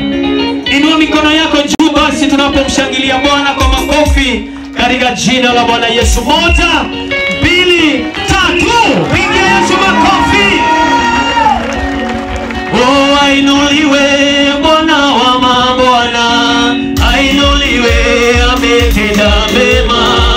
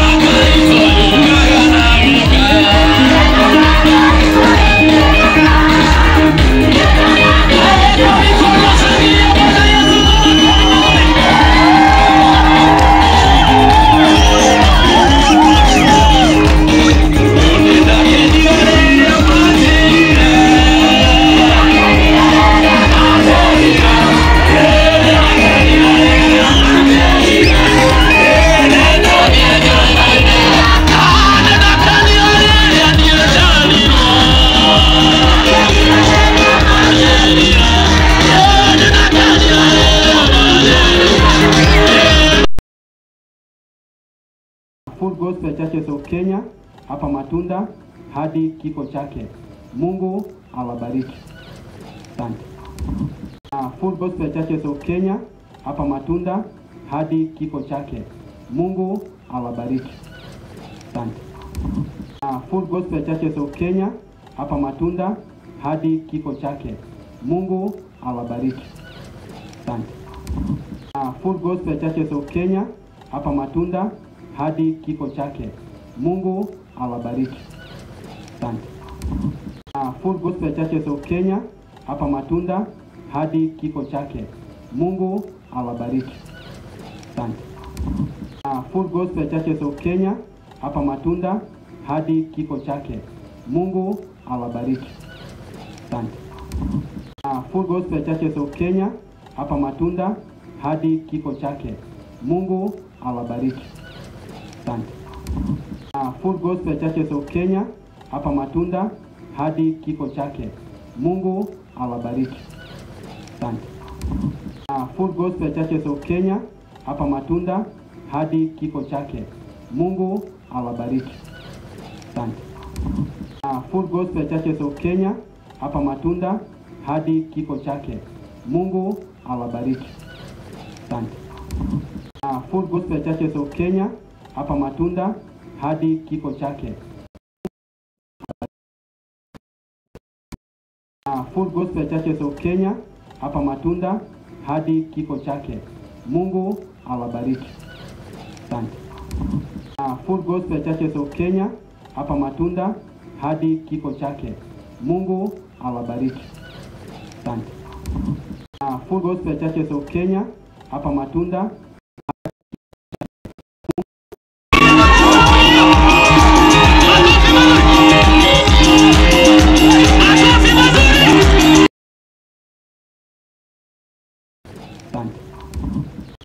Gospel Churches of Kenya hapa Matunda hadi kifo chake.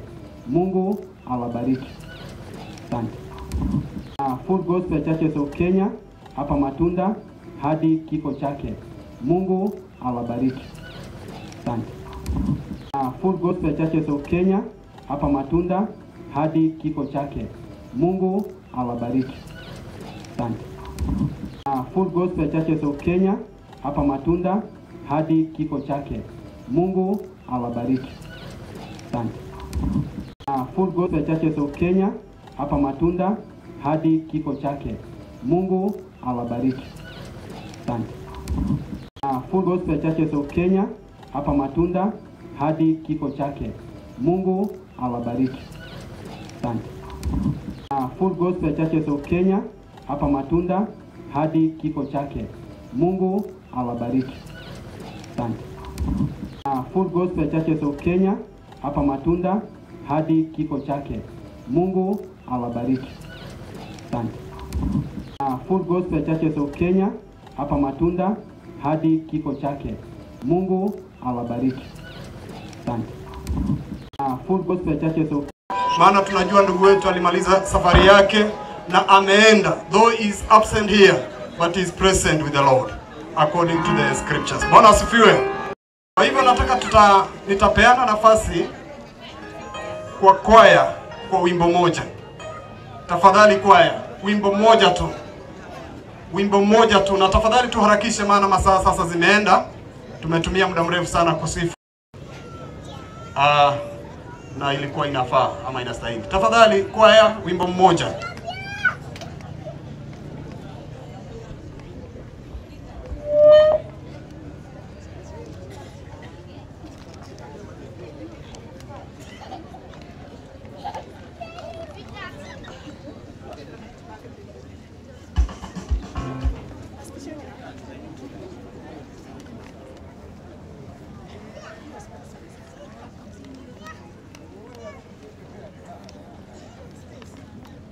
Toa kwa hiyo stand.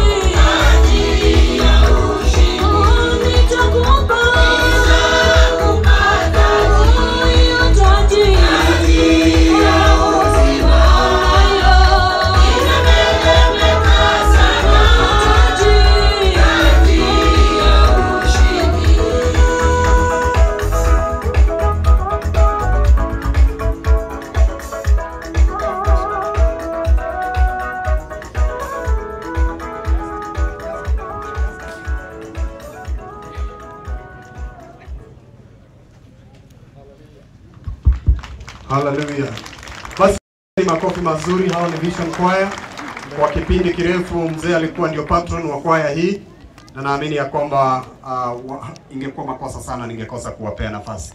Kwa hivyo kwa nafasi ambayo inafuata, nataka tumnivumilie. Tuna dada wetu Triza ataimba wimbo mmoja tu, wimbo mmoja tu, alafu baada ya hapo tutakuwa na men's fellowship katika local church mzima.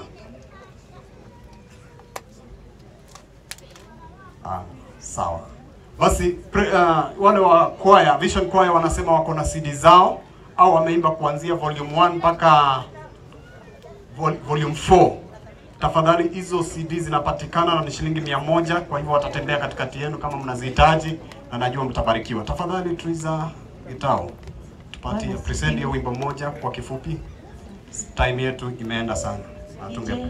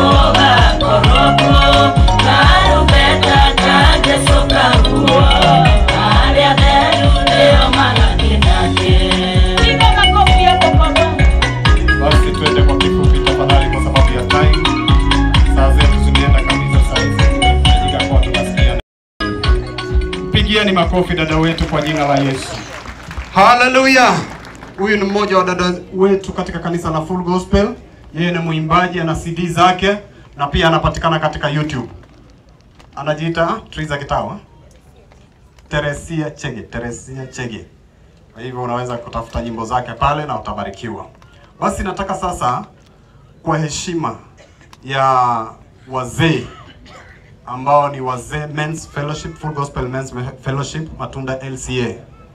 Uh, mzee Chani alikuwa ni one of the key members wa fellowship yetu katika LCA yote Matunda pamoja na branch zake zote. Tafadhali kama wewe uko hapo, wewe ni Walikuyani, wewe ni Wasoi, wewe ni wakule Chukura, Mbururu kule ninahubiri na maeneo yote, wazee Men's Fellowship, tafadhali kifikeni hapa. Uh, wameniomba tu wimbo mmoja tafadhali, alafu tutakuwa tumemaliza. Nitakaribisha mtumishi Pastor Mungai atakuja kutupatia wa introduce wachungaji. Tafadhali Men's Fellowship, nimesema kutoka all our branches. Kama uko hapo, wewe ni wa one of us, karibuni sana.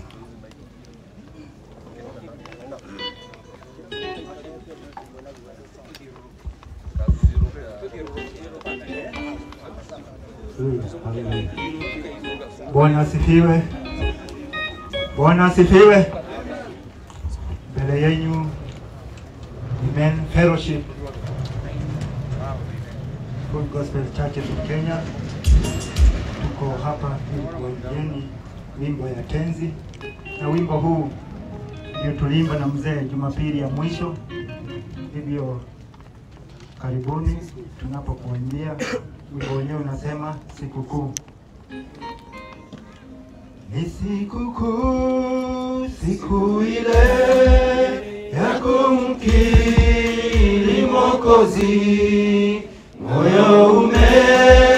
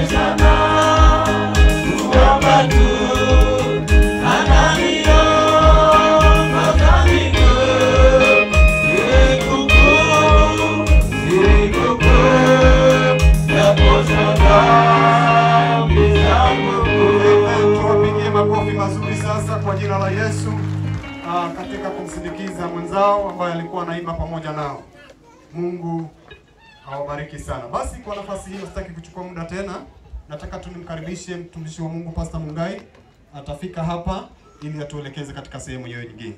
Mpigieni makofi anapofika hapa kwa jina la Yesu. Amen. Bwana asifiwe. Nisalimie kama unaniona. Bwana asifiwe. Ah, nataka kushukuru Bwana kwa sababu ya siku ya leo. Ah, kwa sababu ya kutupa wakati mzuri mbele za Bwana. Ah, mimi naitwa kama vile na, uh, Pastor amesema naitwa Onesmus Mungai. Ah, na nimeokoka Yesu ni Bwana. Ah, ninajua nina sehemu ingine ya mwisho lakini huacha nitangulie na hii. Nataka kufanya introduction ya wahubiri wahubiri wote isipokuwa senior pastors, na nitaanza na wahubiri ambao si wa ushirika wetu wa Full Gospel Churches of Kenya, kama uko hapo, na hatutaongea, tutasalimiana. Mmoja ndio nitapea nafasi. Wasimame wahubiri wote ambao si wa ushirika wetu wa Full Gospel tunawatambua, tunatambua uwepo wenu. Sikujeni tu hapa muevu, watu wa Mungu, kujeni tu wahubiri wote isipokuwa senior pastors na bishop.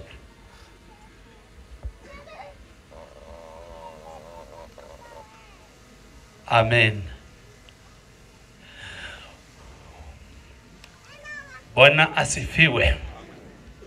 Hawa ni watumishi wa Mungu ah, ambao wamekuwa sehemu kubwa kwa wakati tumekuwa pamoja, na kwa niaba yao nataka wawawevu alafu bishop, nimesema si bishop, ninaita sasa. Unaona, nilikuwa najaribiwa bishop, kaa chini kwanza. Kama wewe ni bishop, si ukae tu, ninaona nafasi yako. Eh, nimeona watu sasa. Unaona, karibu nijaribiwe kukupatia uongee kwa niaba wengine. Wacha ni ongea huyu uh, aongee kwa niaba yao, wale wengine tu wave alafu huyu amekuwa akielekeza uimbaji, so wacha aongee tu kwa niaba yake, maana labda hatapata nafasi nyingine.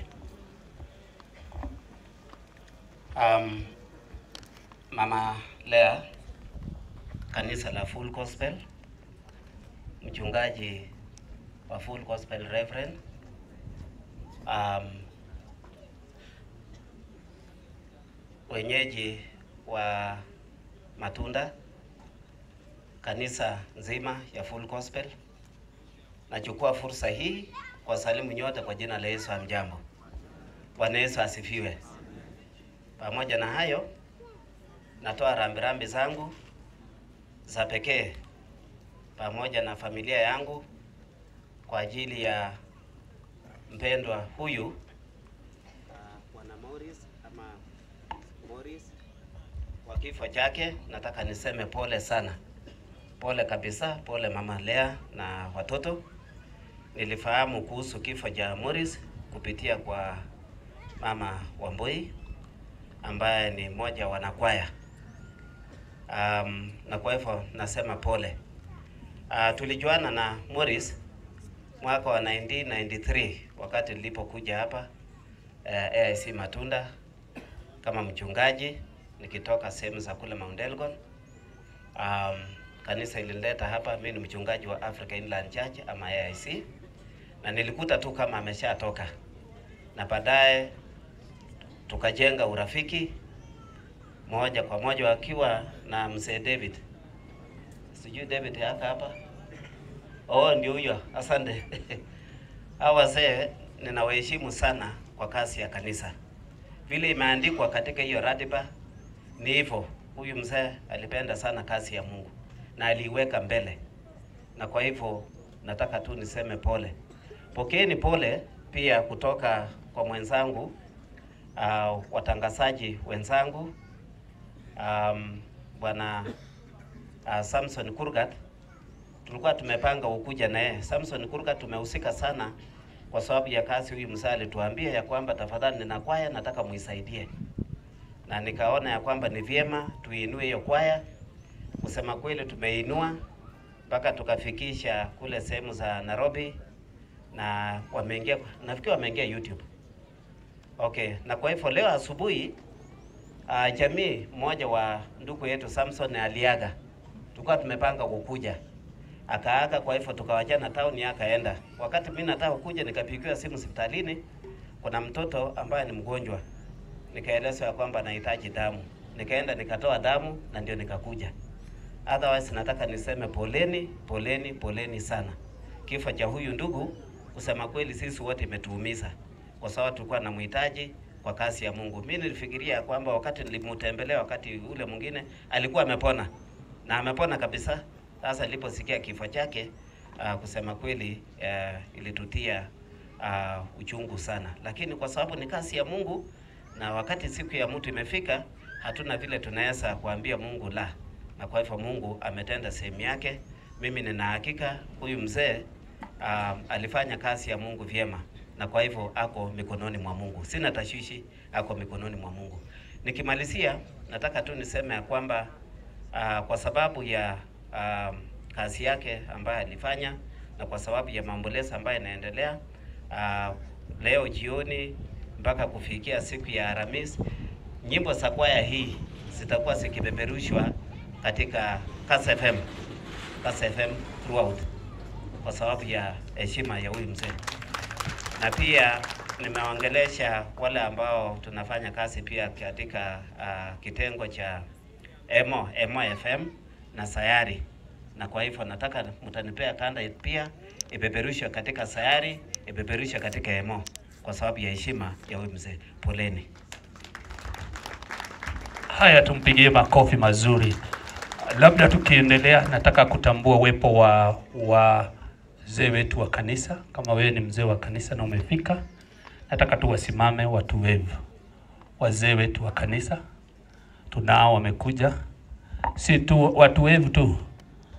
Asante, papigie wazee wetu wa kanisa makofi mazuri. Pamoja nasi tuko na wahubiri ambao tunafanya nao katika ushirika wetu wa Full Gospel. Wahubiri, kujeni hapa, alafu tuwave mmoja wetu asalimie kwa niaba yetu. Wahubiri, naongea juu ya pastors, kujeni tu hapa nyote. Oh, nita kwa hiyo group nitapatia Pastor Wanjama atasalamia na na poem anataka kusema kidogo kwa sababu yake. Watumishi wa Mungu, wacheni tu tuwevu, wawevieni. Hawa ni watumishi wa Mungu, wengine wametoka mbali, wengine kutoka karibu. Bwana wabariki sana, tuwapigie makofi. Wacha tupatie Wanjama ako na poem uh, kwa niaba yao. Bwana Yesu asifiwe. Bwana Yesu asifiwe. Basi kwa majina kama vile imetajwa, naitwa Pastor Wanjama, nahubiri upande wa Kitale chini ya my Reverend Washira na pia my Bishop uh, uh, Kigodho. Kidogo tu niseme ya kwamba nilimjua pia nami marehemu miaka ya themanini themanini na sita tukiwa wadogo. Nimelelewa tu hapa Matunda na tulikuwa tunafanya kazi nikiwa nimeajiriwa na shemeji yake Changanyiko. Tulifanya kazi pamoja, na ni kweli alikuwa mzee wa kuigwa, role model kwa wengi, hasa wakati wetu. So kwa dakika chache, sababu ya muda, nitaje machache ambayo nimesikia kuyataja katikati yetu, kuhimizana kwa sababu tu safarini zote. Ni ukweli maisha haya ni ukweli maisha haya siku moja twayaga, hivyo muda kwa muda ulionao utumie kwa hekima. Ni ukweli maisha haya siku moja twayaga, hivyo muda ulionao utumie kwa hekima. Duniani tunapita, tunaishi kwa neema, kama vile hema hili kuna siku kuondoshwa. Inaguza, inaguza tuwachuapo na wenzetu, ingawaje twawapenda, tuna yule mwenye sisi. Duniani tunapita, tunaishi kwa neema, kama vile hema hili kuna siku kuondoshwa.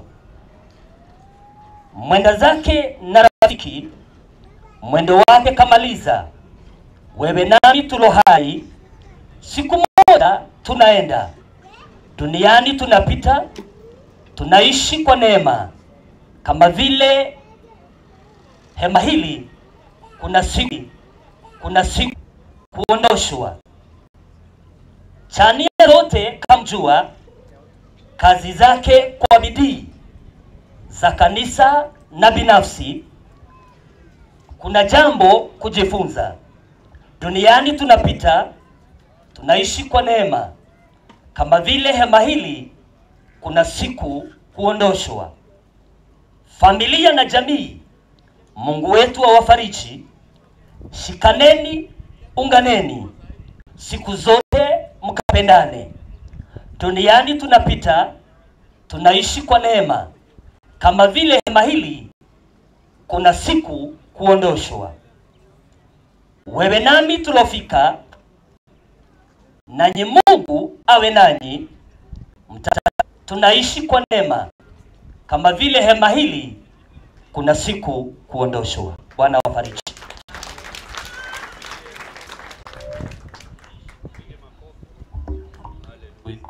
Haleluya. Tupigie pastor. Uh, sehemu hii ya kwanza nataka kumkaribisha kumwalika mke wangu wa salimu, alafu nikifikisha mwisho. Mke wangu ndiye amefanya niwe a, a, Shani awe mjomba, maana ni mjomba wetu. Wacha atusalimu. Bwana asifiwe. Bwana asifiwe nyote. Aa, kwa majina yangu naitwa Pastor Sera, nimeokoka. Yesu ni Bwana. Namshukuru Bwana kwa huo muda amempa mjomba wangu kuwepo. Aa, nina mengi naweza sema, lakini kwa sasa nasema kwamba lale salama. Amekuwa role model ambapo uh, alikuwa mahali pale tulikuwa tukiwa na rorashio na mambo mengine, alipatikana na aliplay that part wakiwa na uh, ndugu yake Dongwa. Asema kwamba Bwana awabariki kwa kutufariji. Tupigie Yesu makofi. Siwezi kosa kutambua wa mashemazi wetu wa kanisa letu la Matunda, sijui wako wapi, mnaweza wevu mahali mko. Mashemazi wetu wa, wa kanisa la Matunda wako wengi, wako wengine wapi? Najua wako busy wanafanya kazi na viongozi wengine. Bwana wabariki kwa kazi nzuri. Nataka wakati huu kumkaribisha Reverend wetu ili atuendeleze kutoka hapo. Nataka tutengeneze mikono yetu vizuri, tumkaribishe Reverend wetu na ili atukanyagishe hapo wengine. Karibu Reverend, katika jina la Yesu.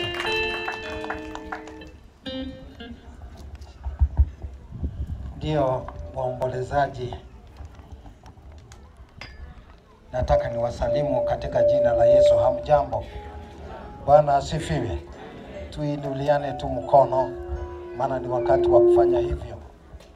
Kwanza nataka nimshukuru Mungu kwa sababu ya neema hiyo ambaye ametupa. Nataka tu kusema ama kuleta eh, rambirambi zangu kwa jamii ya marehemu.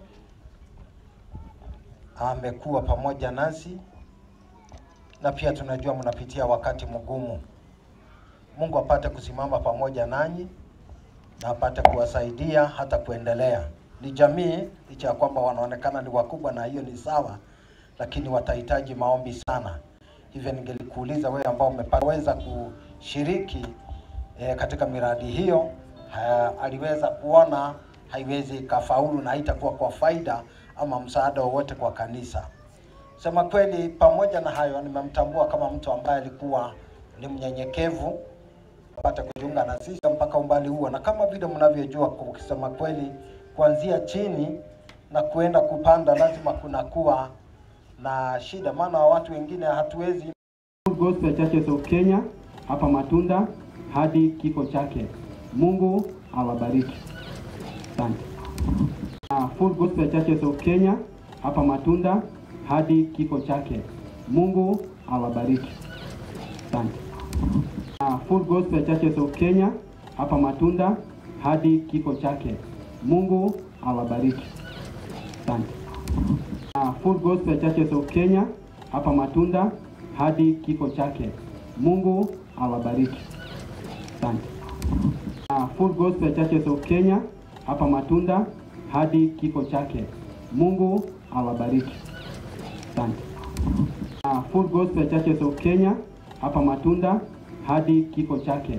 Mungu awabariki. Asante. Full Gospel Churches of Kenya hapa Matunda hadi kifo chake. Mungu awabariki. Asante. Full Gospel Churches of Kenya hapa Matunda hadi kifo chake. Mungu awabariki. Asante. Uh, Full Gospel Churches of Kenya hapa Matunda hadi kifo chake. Mungu awabariki. Tapata kufanikiwa. Ili ninataka nichukue nafasi hii kwanza kuwakaribisha wa mapastas, lakini kabla sijapata kukaribisha mapasta, nitakaribisha mke wangu ambaye pia ni kasisi, maana anafanya kazi pamoja nami. Pasipo yeye siwezi nikafanikiwa kufanya chochote, na nataka nimuulize mahali popote alipo, anaweza kuja na lete ra, ra, risala zake kama ako karibu ama ameenda kazini ama ako kazini. Okay. Haleluya. Bwana asifiwe. Bwana asifiwe. Bwana asifiwe sana. Kwa majina ni kama vile amewaambia, naitwa Dorcas Ndegwa na Kristo ni Bwana. Amekuwa mwema, amekuwa mwaminifu. Ninamshukuru Mungu wetu kwa sababu hatolewi makosa. Ninakumbuka mtu mmoja amekuwa na mimi mahali pale, na siku moja akatuambia tukiwa kwa mama Shiko, ati kama kungelikuwa kuulizwa kwetu, tungesema ya kwamba kuchukuliwe mwingine mubaya, huyu awachwe, lakini kwa sababu hatuwezi kumsihi Mungu ama kumwambia Mungu vile atafanya, ma, maisha yako fika kwenye mpaka lazima utaenda, situmruhusu alale tu kwa amani. Bwana asifiwe. Tulimpenda sana katika miaka hiyo na hakupitisha. Bwana asifiwe. Kwa hivyo nyinyi ambao umekuja kutufunga mkanda, maana amekuwa mshirika wetu, hata sasa bado kwa macho yangu ninaona kiketi yake kanisani mahali amependa kukaa, lakini ninaamini ya kwamba Bwana ataendelea kutufariji na familia, Bwana atawafariji. Kusema kweli, tutaenda sisi wote. Hawa watu unaona wataenda, lakini mama Shiko, ambalo tuna familia yako, nataka kukuambia ya kwamba Mungu hata kuacha kitandani, kazini, mahali popote utakuwa. Sisi tunaweza wengine ni wa mbali, hata labda ukiwaona leo hautawaona kwa muda, lakini Mungu wetu hata kuacha, lazima atakuja kukuangalia. Kwa hivyo mjitie nguvu katika Bwana pamoja na jamii yote, na Bwana awatende mema, awakumbuke na awe maisha marefu katika jina la Yesu, amen. Eh, ni kweli ni namna hiyo ya kwamba hata mara, mara nakumbuka mara ya mwisho nilikuwa nimesahau mara ya mwisho tulipo aliponialika wakati binti yake alikuwa ama kwa sababu ya binti yake wageni wa binti yake aliweza kuniandikia me, message ya shukurani. Hivyo ni kuonyesha hata habari ya kuishi na watu, taratibu na heshima alikuwa ako nazo, na hii ni ni, ni, ni, ni karama kutoka kwa Mungu na nataka sasa nichukue nafasi hiyo kuwakaribisha mapasta wenzangu ma reverend. Tunaweza tukasimama mahali popote, reverend yoyote ambaye ako mahali hapa, lakini si mabishop. Mabishop mtapata ma nafasi yenu. Reverend yoyote yule naweza kuja mahali hapa, ni wakati wenu, alafu nipate kuwakaribisha. Mjua kama Maina, nilipokuwa na ubiri huu mji nikiwa mdogo tumeongea na baba yake pale, akanikumbuka na amekuwa tukiwa na miradi kanisani, amekuwa msaada wetu. Tumefika na mzee wa kanisa anaweza inua mkono mahali yako, na Mungu awabariki. Bwana Yesu asifiwe. Tusalamiane mahali popote ulipo. Bwana asifiwe. Ninaitwa mchungaji James Rotich, nimeokoka. Yesu ni Bwana. Matunda hii ni nyumbani ambapo nimelelewa. Uh, nimekuwa mchungaji hapa Mbururu miaka nyingi hadi wakati juzi our dad Reverend Ndegwa akakubali niende upande sa Eldoret na huko ndio ninafanya huduma. Uh, jambo moja tu nimemjua eh, rafiki yangu Morris Uh, tumekuwa na michango mingi kanisani kwetu na amekuwa akisimama nami sana. Pia mimi nimekuwa mwenyekiti chini ya Reverend Francis Ndegwa ambapo amekuwa patron ya wamama. Mi nimekuwa nafanya chini yake na tumefanya na mama Shiko kama chair lady wetu na tumefanya naye kazi mzuri. Nimetoka Eldoret kuleta pole sangu na za mke wangu. Poleni sana na Bwana atakuwa pamoja nanyi. Bwana wabariki sana. Thank you. Waombolezaji hamjambo. Bwana Yesu asifiwe. Mimi ni Reverend Patrick Mbugwa na hudumu na ushiriki wa Full Gospel Churches of Kenya Kimilili Parish. Tunashiriki pamoja na Peter Waichungo pamoja na Irene Wanjera, na kwa niaba yangu pamoja na kanisa letu na mke wangu twasema pole kwa mama Lea pamoja na familia kwa ujumla. Farijikeni katika Kristo Yesu. Waombolezaji hamjambo, jina ni Elizabeth Mbugwa, nimeokoka na mpenda Yesu. Kwa ajili ya jamii nasema pole. Mungu ajuaye kufariji awafariji. Asanteni. Na wasalimu katika jina la Yesu. Hamjambo, majina yangu naitwa Reverend Samuel Waithaka Kahiga na hudumu na kanisa la Kenya Assemblies of God pale mjini Eldoret, na tumekuja hapa kumleta binti mmoja ambaye anamuita mjomba, na hivyo tuko hapa na niko na mjori wangu anaitwa Maritha Wangoi Waithaka, na tumesema kwa jamii poreni.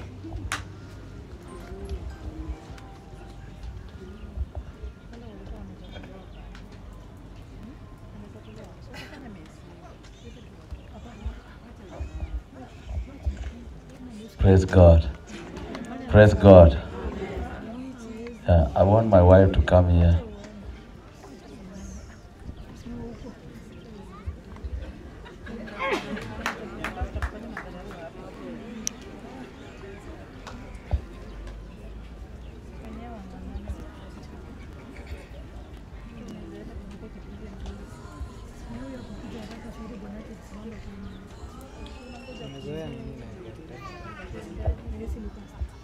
Jitia nguvu. Praise God. Uh, I will not. I will not talk much. Uh, our uncle Morris, he stand with us.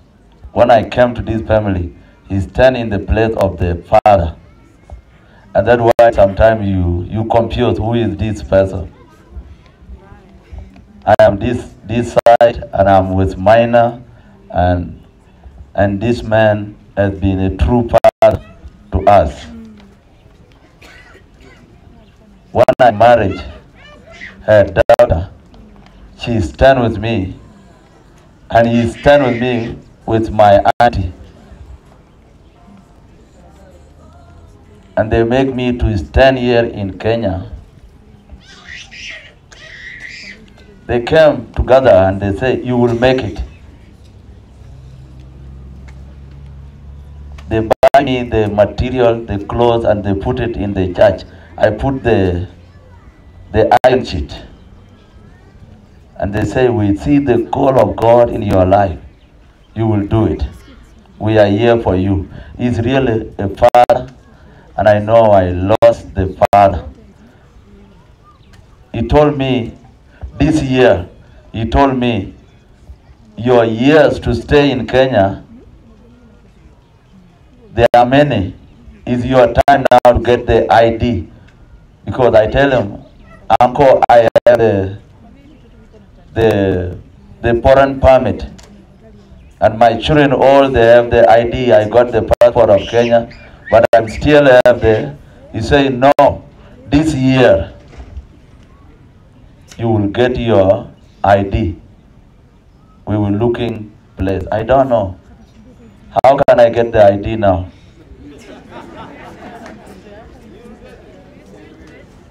Yeah, you know, sometimes people say you will. You were been there, but I didn't see you. The one I used to see is already asleep. Uh, thank you, Reverend. Reverend, you hold my hand too. I went to the man of faith. He's the one who brought me to the man of faith. Sometimes people think I'm in full gospel.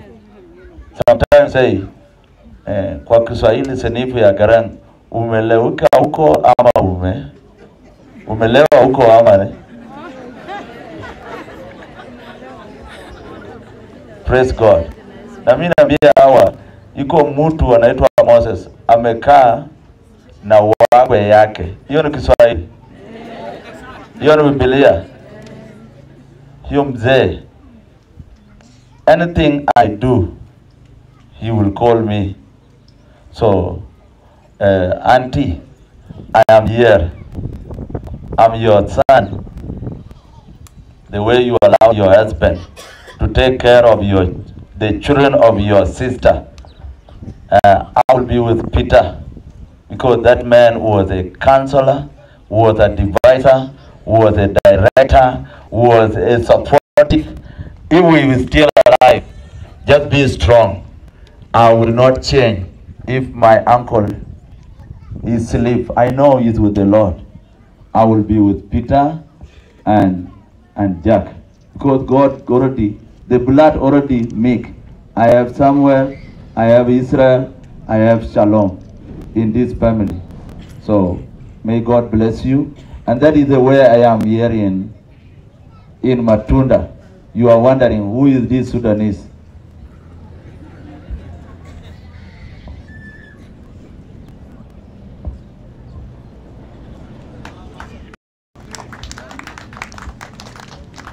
Bwana asifiwe.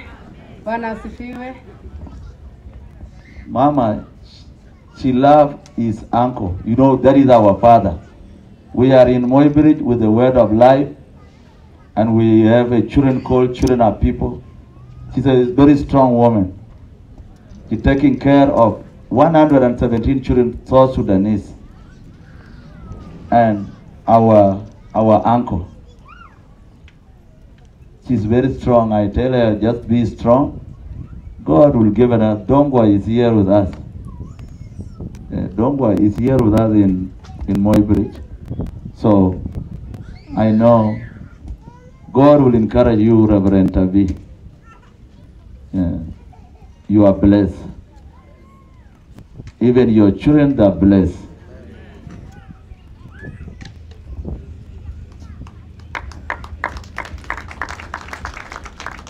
Ainuliwe Bwana. Nawasalimu sana kwa jina la Yesu. Tumshukuru Mungu kwa kila jambo, maana haya ni matendo ya Mungu.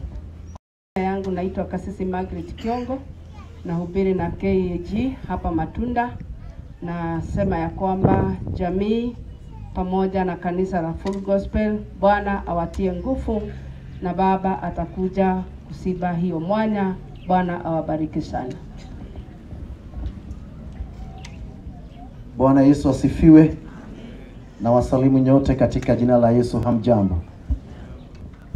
Uh, majina yangu naitwa mchungaji Simon Kiongo Kanyari, mchungaji wa kanisa la Kenya Assemblies of God katika mji huu wa Matunda, na pia mwangalizi wa makanisa yetu katika sehemu hii ya eneo la Matunda. Kwa familia Mama Shiko Shiko, Peter, Jackie, Daisy na famili yote kwa jumla. Bwana Yesu anajua kufariji na anajua kuponya hata na mchungu wa kifo, na anasema yeye ndiye uzima na ataleta uzima ndani ya mioyo yenu, tukiendelea kumtumainia Bwana na tutaendelea kuwaombea kiasi kidogo. Mzee Morris ninamjua tangu nilipoingia mji huu, sasa yaelekea miaka kumi, na kabla sijamaliza mwaka mmoja, baba Shiko na mama Shiko kupitia baba Paul alimkuta baba Paul ama mzee Geisha, na wakamwambia twataka kumsalimu mchungaji, na jioni moja wakatu surprise na wakaja mpaka kwetu. Wakati huo nilikuwa naishi mahali fulani pale chini, and since then tukabond na tukawa marafiki wakubwa sana. Kuna mtu mmoja alisema ya kwamba Baba Shiko ni mtafiti, ni mtu wa kuchunguza, ni mtu researcher. And for sure Baba Shiko ni mtu mzuri, anajua kufanya research yake tena dharari, na ni mtu anayependa neno na kulichunguza na kuliangalia. Katika kitabu cha Matendo ya Mitume Biblia inasema kuna kanisa watu fulani walikuwa wanaitwa watu wa mji unaitwa Beroya, ambao Biblia inasema ya kwamba hawakuwa kama watu wa Thesalonike. Watu hawa waliyachunguza maandiko, na hivyo ndivyo Baba Shiko alivyokuwa. Every time tukizungumza naye neno lote la maandiko, anataka kujua the background na content ama context ya hilo neno. Nilimtambua kama jinsi watu wengi wamezungumza mahali hapa. Nilipoanza ujenzi wa nyumba yangu binafsi, hata kabla ya wapendwa wetu hawajafika na ni washuhuda, baba hapa ni mshuhuda wa jambo hili na wazee wetu wa kanisa, ya kwamba mawe lori yetu ya kwanza ya kujenga hiyo nyumba nilipewa na huyu mzee ya kwanza, na si kulipa, tulikuwa tunalipa, alitutolea free. Ni mzee wa watu, alipenda watu wa Mungu, alimpenda Mungu, alilipenda kanisa. Shughuli zake nyingi, wakati walikuwa anajenga nyumba ya mchungaji, alikuwa kini update, tunafanya hivi tukikutana, tunafanya hivi, tuko hapa. Napenda kuangalia, naenda kuangalia wa, watu ambao wajenzi wanaojenga. Huyu mzee alimpenda Mungu. Na alipenda kanisa na alipenda huduma, na nilipokutana, niliposikia habari hizi, baada ya kuwaza sasa juu ya jamii yake, jambo lingine nililoliwaza mara moja ilikuwa ni kwa kanisa la Full Gospel Churches of Kenya na nikakutana na mama mchungaji, nikamwambia mama, peleka pole zangu kwa mchungaji, siku hiyo tutakutana naye jioni. Na hata sasa nataka kusema kanisa la Full Gospel Churches of Kenya Matunda, Mungu awafariji sana. Reverend Garan ametuambia jambo zito kabisa, zito ya kwamba hajui itakuwaje, na kweli tunaweza sema hatujui itakuwaje lakini Mungu aliyeleta hiyo divine connection yako pamoja na na ndugu wetu Morris, huyo Mungu yuko hai na huyo Mungu ataleta connection nyingine. Things are impossible with men but they are not impossible with God. Our good God will open a way for you, na mimi najua kwamba Bwana atatenda mambo makubwa katika maisha yako kama jinsi ulivyoambiwa na ndugu Morris, hata mimi nakuambia you will make it katika jina la Yesu. Mungu wetu awabariki sana, Mungu wetu awatie moyo na Mungu wetu awafariji. Tuna ndugu yake dada yake mama Sera kanisani. Mama Sera, Mungu akubariki, akutie moyo pamoja na familia yote, tuko pamoja mami, na mimi najua kwamba faraja za Mungu zitakuwa juu ya, ya Washungo family kwa utukufu wa Bwana. May our God bless you all katika jina la Yesu. Reverend Pole, Mungu akubariki. Asante. Tume ni watumishi wa Bwana, si tuwapigie makofi. Hawa ndio wanaochukua mzigo wa kuhakikisha kwamba injili inafika eh, matunda kila kwa kila jamii ama kwa kila nyumba, na ingeliweza kuwa ni hatia kama ningeliweza kosa kuwaita wale ambao tunafanya kazi na wao. Kunayo wazee ambao tunafanya kazi na wao na tunawaita wazee wa board ama wazee wa kanisa.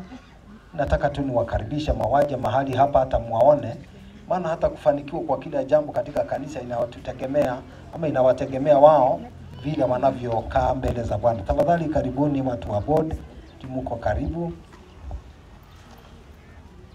Sami na wengine Mwalimu Gitau Mburu na hata Kenista aje, maana amehusika sana. Tafadhali mnaweza kufanya hima mpate kuja, alafu tupate kupata kusalimia watu.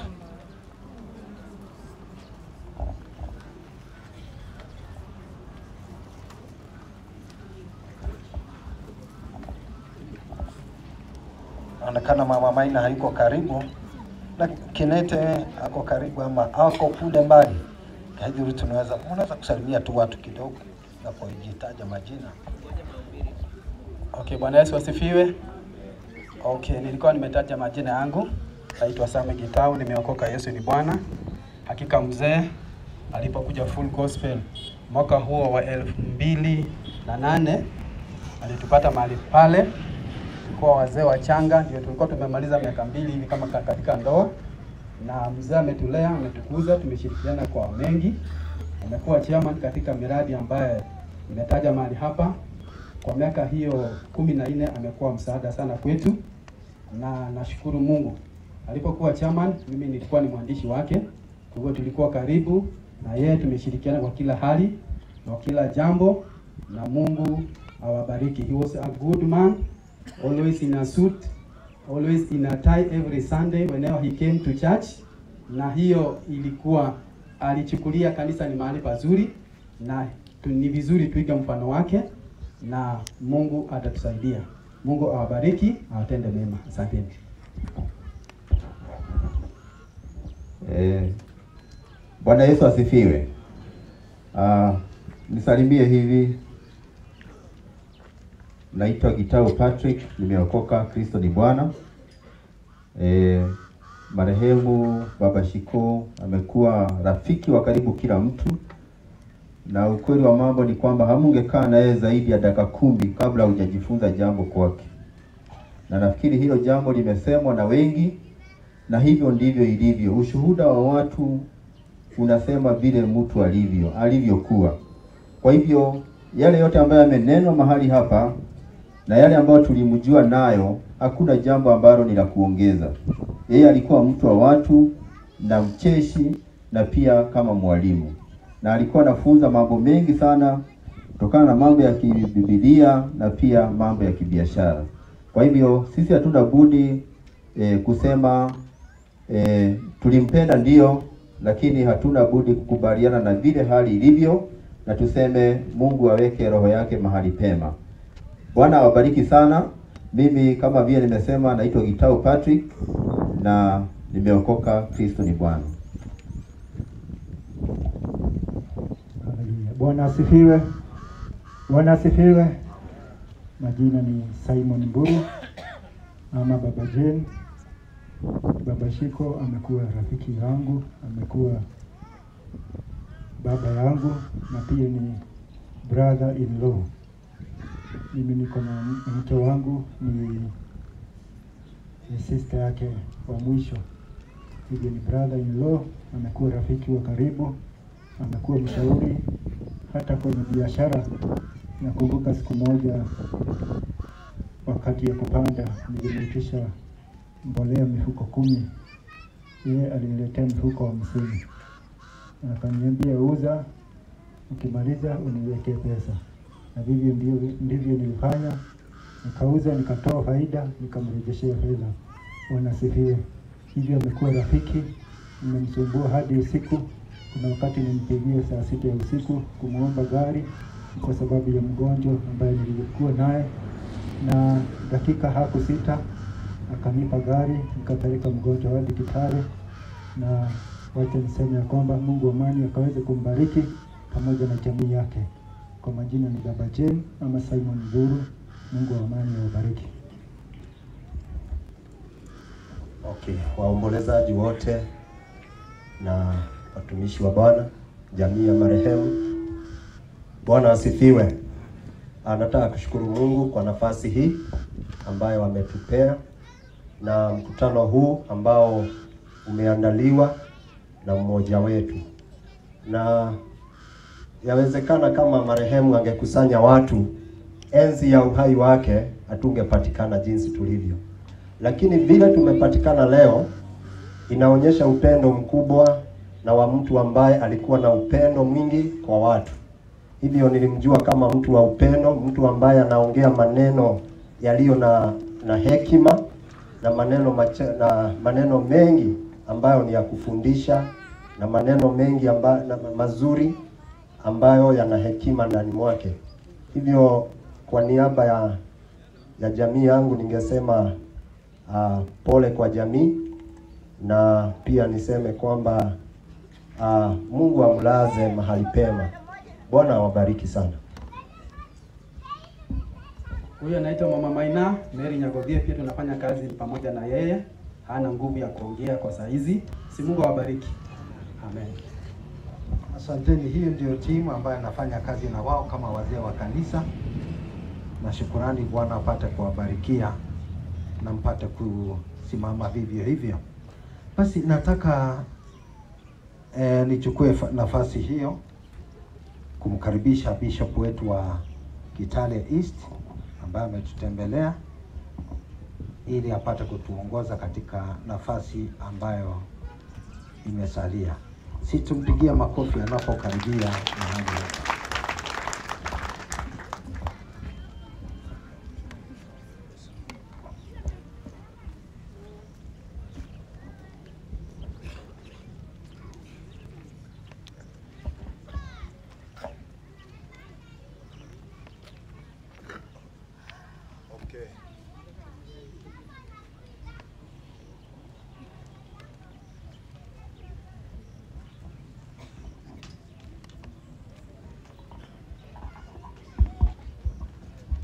Basi waombolezaji wote napenda kuwasalimu kwa jina la Yesu Kristo.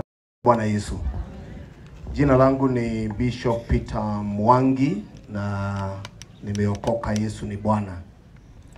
Uh, kabla sijaweza kueleza mengi, niweze kumkaribisha mke wangu, tuko pamoja naye mahali hapa, aweze kutoa rabirabi zake, baadaye niweze kuendelea. Amen. Bwana asifiwe. Nisalamie hivi. Bwana asifiwe.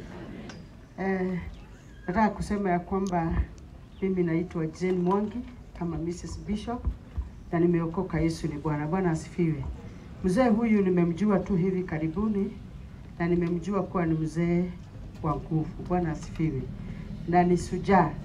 Na sujaa akilala watu hawakuangi na hofu, na maandiko inasema tunapohuzunika tusihuzunike kama watu wasioamini. Bwana asifiwe.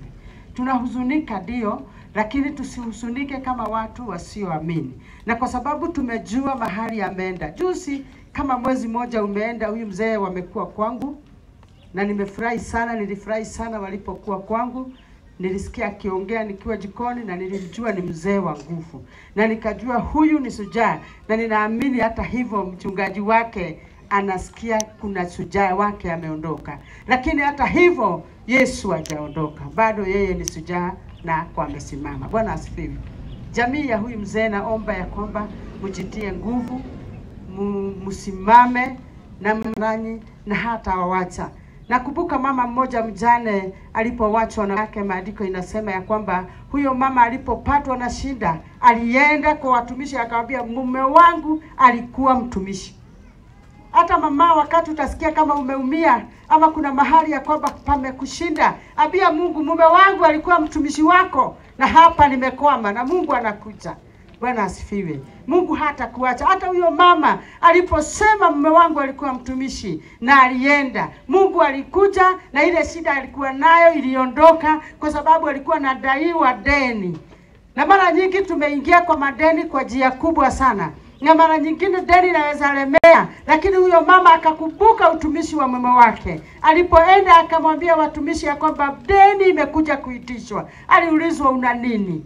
Akasema kile alichokuwa nacho alibariki ile mafuta. Huyo mama akakuwa mbiashara wa mafuta, akalipa deni na akamaliza. Bwana asifiwe.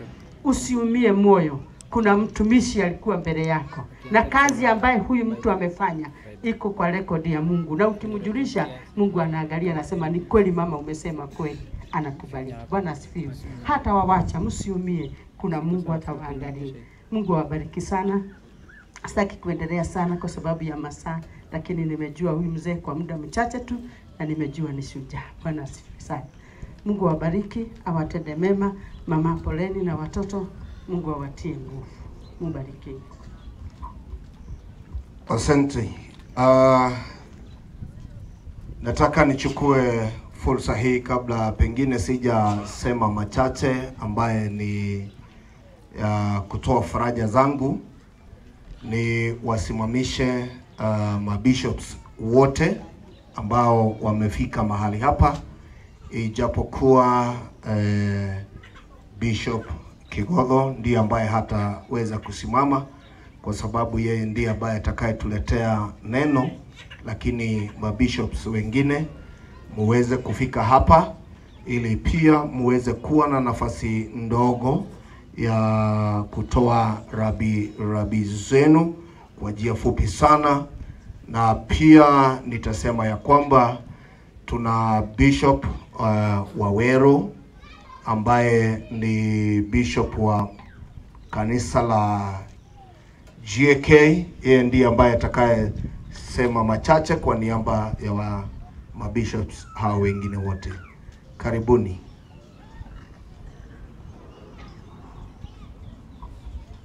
Bwana asifiwe.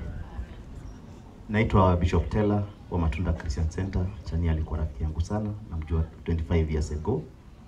Nikiwa mtoto mdogo alinisaidia nikafanya harusi, alinisaidia nikaanzisha kanisa na pia alinisaidia kwenda ng'ambo. He's a good man. May his soul rest in peace. Bwana asifiwe. Bwana asifiwe. Bishop Martin Medheu na hudumu na Gospel of Faith Ministries. Yesu ni Bwana, ni mwokozi wa maisha yangu. Langu ni kutoa pole kwa jamii hii yote, mama pamoja na jamii yote. Poleni sana na Bwana azidi kuwa pamoja nanyi. Basi Bwana wetu nasifiwe.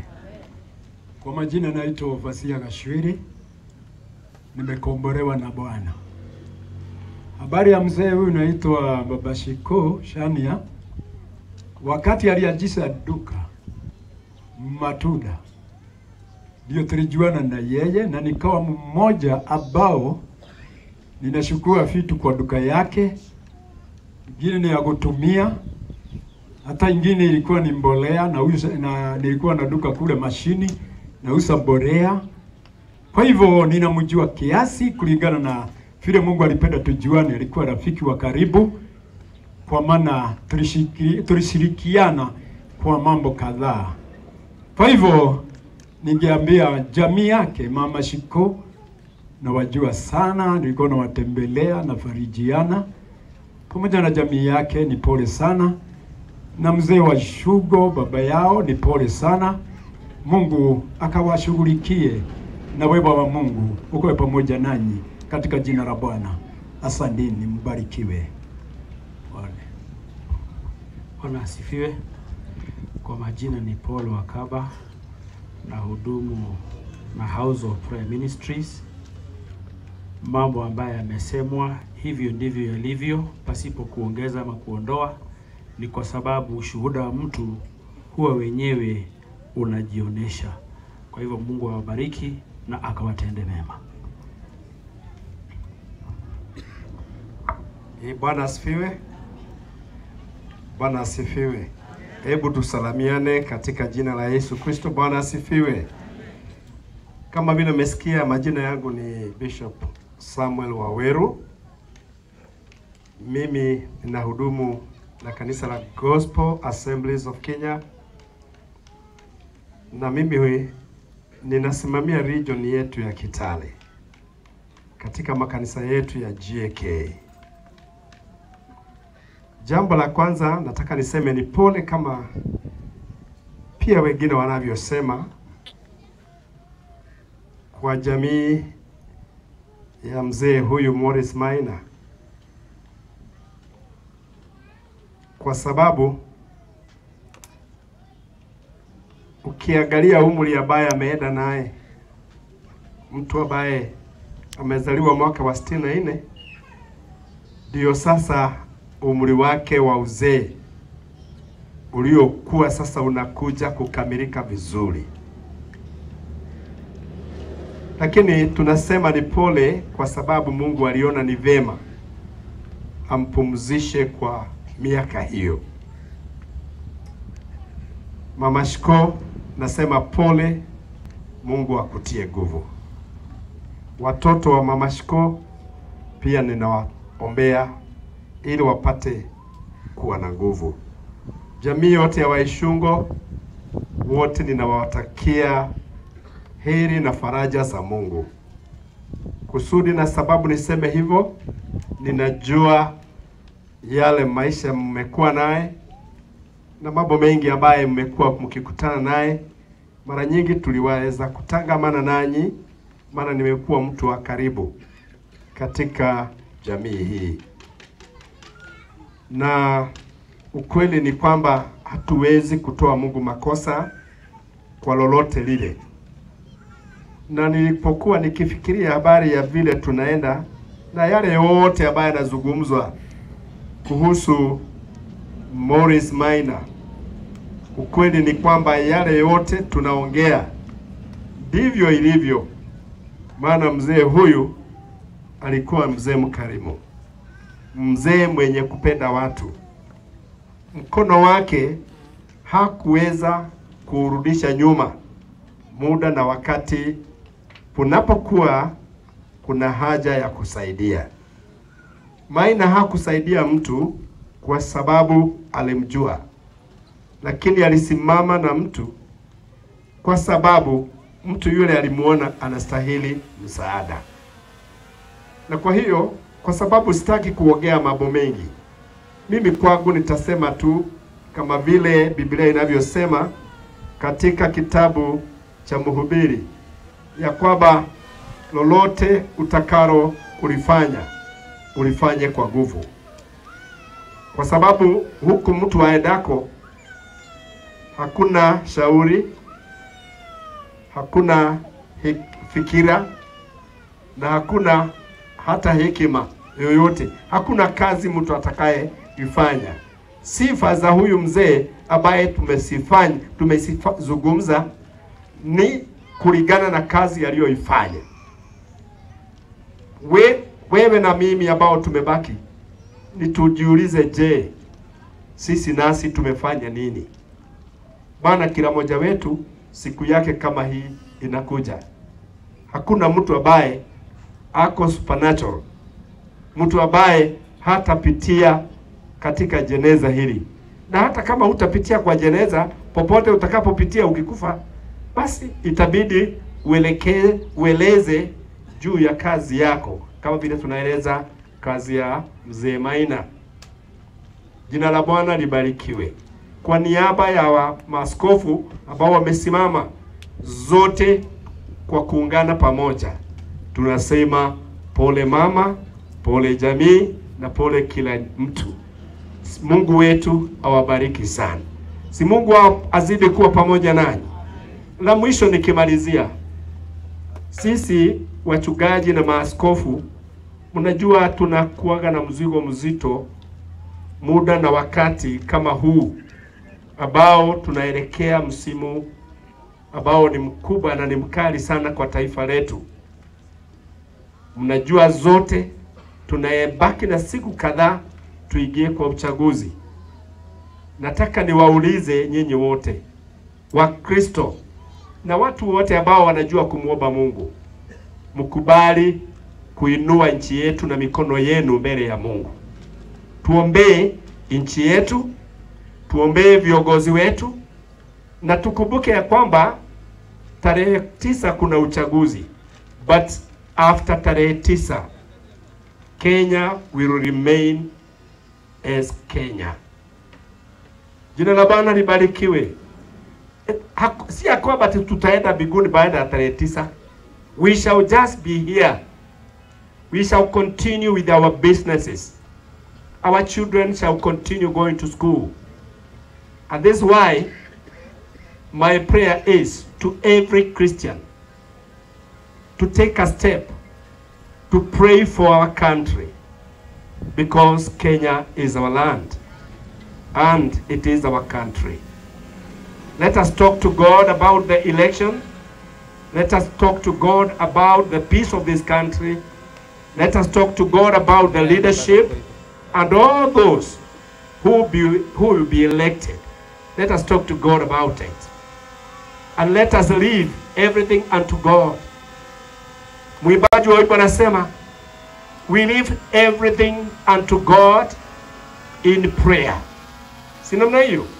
Kwa hivyo kwangu nitawatia pale na niwatakie heri na baraka, na kila mtu abebe mzigo huo wa kuombea nchi yetu. Poleni, Mungu awabariki sana. Okay, Bwana awabariki watumishi wa Mungu, bishops na wachungaji wengine wote. Uh, rabirabi zangu nitazipeleka kwa mhusika mkuu. Uh, maana ijapokuwa sisi zote tumeweza kufika mahali hapa na tunaomboleza pamoja na wale ambao wamefiwa, lakini nataka kusema ya kwamba kuna muhusika mkuu ambaye si mwingine ni mke wa marehemu ambaye ijapokuwa wengine wetu tuna maswali mengi, lakini yeye ndiye ambaye aliye na maswali zaidi ya sisi. Lakini nikuelekee dada wetu, nikwambie ya kwamba Mungu atasimama pamoja na wewe. Yawezekana wakati ambapo mume wako amekuwa hai, eh, wakati ambapo ulipopata mazito uliweza eh, kumkimbilia na kumjulisha.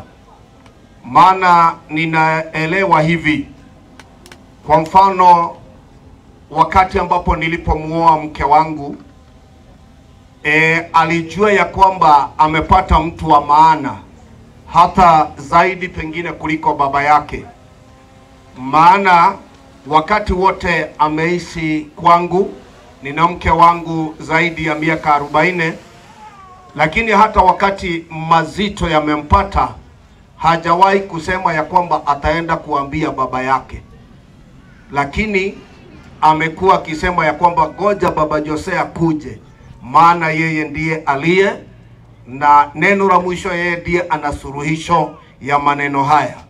Sasa dada wetu, mume wako ameondoka, yawezekana mengi uliweza kumpatia, lakini sasa geuza e, jicho lako, geuza mawazo yako na uweze kumwelekea Mungu maana yeye ndiye ambaye atakaye kusaidia.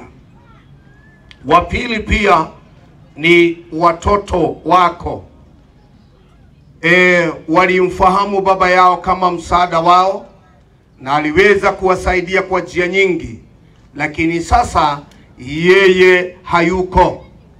Ila nataka kusema kwenu watoto ya kwamba e, baba ambaye ni Morris ame, ameweza kuondoka, lakini Baba Mungu hajaondoka na haondoki. Yeye atakuwa pamoja nanyi ili aweze kuwatia moyo na kusimama pamoja nanyi.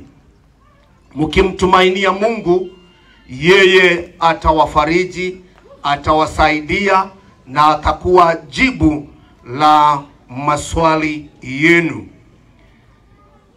Pia nigeuke kwa jamii, na nikisema jamii, mara nyingine e, kama vile nilivyosema, mke anapoondokewa na mume wake ana maswali mengi. Huyu mama inawezekana leo ana maswali anayojiuliza moyoni mwake na maswali haya yanaelekea kwa jamii, pengine yanatangulia kuelekea kwa mzee Waishungo. Mzee huyu ni limjua zamani, mimi nilikuwa mfanyikazi wake, nilifanya kazi ya ujenzi na nilijenga nyumba yake hiyo ambayo unasikia Uh, ilikuwa imeandikwa chupa na debe. Niliweza kufanya kazi mahali pale, na Hata nami pia ni mzee, si kijana vile unavyofikiri. Ni na vijana wameoa na wasichana wameolewa. Hata nilishangaa kusikia ya kwamba kumbe hii jamii ikiitwa, hata na mimi pia ninaweza kuingia mahali pale. Maana hawa unasikia wakisema kina Onesimus na ndugu zake wengine wanaposema ya kwamba huyu ni mjomba, pia nami kwao ni baba, maana msichana wangu yule mkubwa ameolewa huko. Sasa nataka kusema hivi, sisi wazazi, mara nyingine vijana wetu wanapoondoka, wake wa vijana wetu wana maswali, wanajiuliza ya kwamba kutakuwaje baadaye maana huyu mume yeye ndiye aliyekuwa security ya maisha yetu, lakini itakuwaje baadaye? Na kwa ajili ya familia ambaye e, mama huyu ameachwa mikononi mwenu, muniruhusu kabla neno la Mungu halijafika niweze kusoma neno kwenu, na si kwenu peke yake. Nataka nisome pia kwa ajili ya kila mmoja ambaye yupo mahali hapa. Aa, nauliza Onesimus, unatanisomea neno la Mungu katika kitabu cha Kutoka ishirini na na mstari wa ishirini na mbili hadi ishirini na nne. Kutoka ishirini na mbili mstari wa ishirini na mbili hadi ishirini na nne.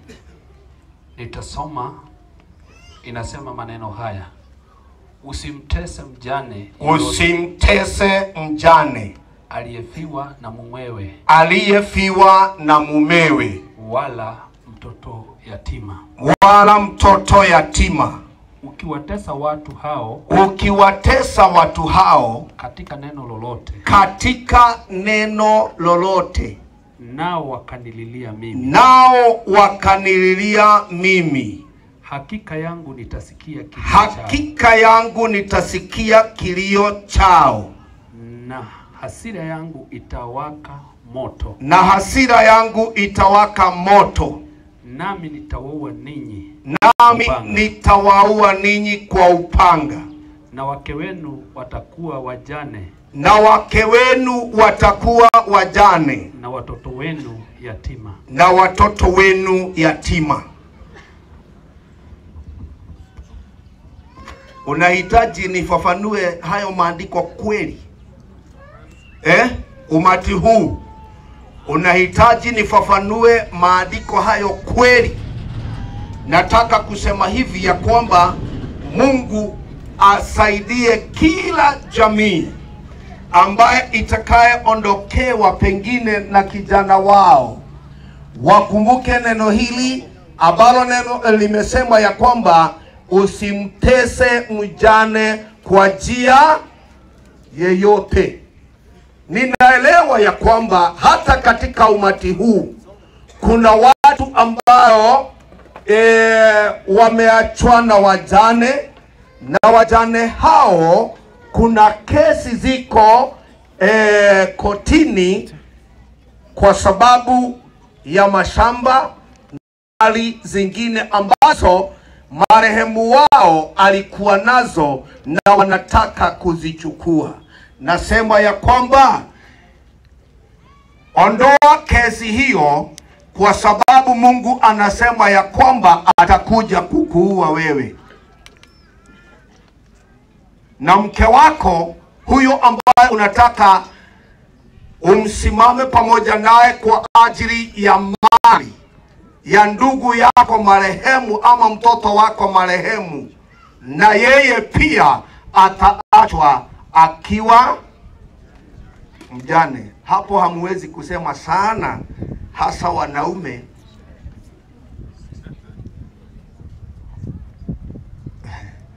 Mimi ni mmoja wao wa wale ambao ndugu yangu aliondoka, na ndugu yangu aliondoka akiwa na mashamba na mimi sikuwa na shamba, na ukiangalia kitambulisho changu kimeandikwa ya kwamba ndugu yangu ndiye baba yangu, kitambulisho changu. Kwa hivyo ningeliweza kwenda kunyag'anya hata watoto wa baba wa ndugu yangu shamba nikisimama na kitambulisho hicho, lakini nikisema, nikasema hivi sitafanya hivyo, maana hata nami pia ninaweza kuuawa na mke wangu naye pia abaki kuwa mjane kama mke wa ndugu yangu. Sasa ni onyo tu ninatoa, na ninatoa kwa kila mmoja ambaye ako mahali hapa, maana Mungu amekuleta ili usikie neno kama hilo, na uende ukikumbuka, hata ukariri, iwe ni aya kwa moyo, moyoni mwako. Haijalishi kana kwamba umeokoka au kana kwamba hujaokoka, lakini kumbuka kitabu cha Kutoka ishirini na mbili mstari wa ishirini na mbili hadi ishirini na nne e, neno hilo linakuonya. Kwa hivyo Mungu akusaidie sana na jamii yote kwa jumla katika jina la Yesu. Nataka kumaliza niseme hivi pia, kanisa ni vizuri kujifunza na mtu kama huyu ambaye ameacha legacy nzuri sana kwa jamii, kwa kanisa na hata pia kwa watoto wake na hata kwa mume uh, kwa kwa mke wake. Nasema pia nawe ujitahidi kuacha ujumbe mzuri wa nyumbani mwa Bwana ili pia maana hata mchungaji mmoja alishuhudia mahali akasema ya kwamba ijapokuwa mumesema mazuri ya huyu mtu, lakini mimi kama binafsi kama mchungaji nimepumzika, maana huyu marehemu alikuwa sumbua. Naomba ya kwamba hata kanisani, ndugu zangu na dada zangu, mnapoishi msiwe sumbua. Ati mchungaji aliage kwa ajili yako, anaomba maombi marefu kwa ajili yako, hata mara nyingine anaweza kusema utangulie.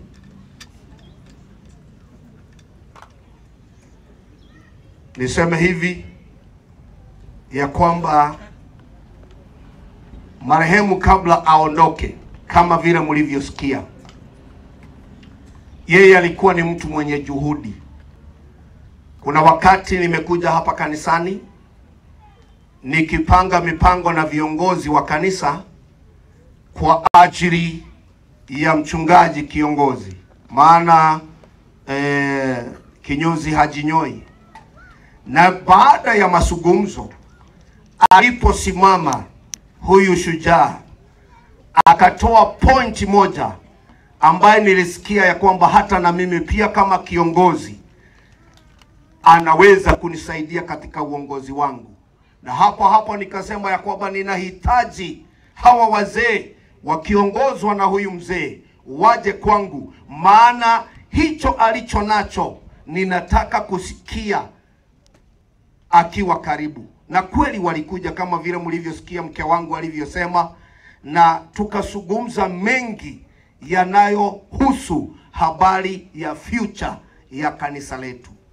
Na juzi kabla hajaondoka, kabla hajaaga, siku ya Jumamosi alinipigia simu akaniambia, ile kazi ambayo uliotupatia tumeifanya, na mwezi ujao tunatarajia tukamilishe hiyo kazi. Nami nikamwambia nitafurahi na nitashukuru kazi hiyo ikikamilika. Mchungaji Garang, hata na mimi pia ninauliza swali kama lako. Sasa nani ambaye atakayesimama katika nafasi hiyo? Lakini naamini ya kwamba Mungu atatenda mambo mazuri kwa ajili ya wale ambao pia huyu Morris amekuwa mentor wao. Si Bwana wa mbingu awabariki. Simama mahali ulipo, Nataka niombe pamoja na wewe sasa, nimlete mtumishi wa Mungu aweze kutuletea neno. Si hata umekaa sana eh? Ah, kuna jambo ambalo pia unaposimama pia nilitaje nisije nikasahau. Bishop Wawelo ameweza kutuambia ya kwamba tuombe kwa ajili ya uchaguzi, nami pia na kuunga mkono mchungaji ya kwamba tuombe kwa ajili ya uchaguzi, ila nikutume nikutume katika maeneo yenu ya kwamba ukiona mchungaji yeyote ambaye anayesema ya kwamba atatoka madhabahuni aende akachaguliwe kuwa MCA au mwingine, mwambie hutampatia kura. Yaani, mumeniangaliaje? Maana hatuwezi sisi kama wachungaji kutoka kwenye madhabahu na tuende tukasimame kwenye madhabahu mengine. Sasa tukiondoka, hao ambao wanaotaka uchaguzi wataombewa na nani? Sasa sisi tukae kwenye na tuwaambie kweli ya kwamba wakiondoka kwenye madhabahu wa, wasitudanganye ati wanaenda kubadilisha parliament, watabadilishwa. Maana ni wengi wameenda wakafanya nini, na wakisikia mbaya waseme ya kwamba Bishop Mwangi ndiye aliyesema hivyo, na waseme ni Bishop Mwangi wa Full Gospel. Siogopi kwani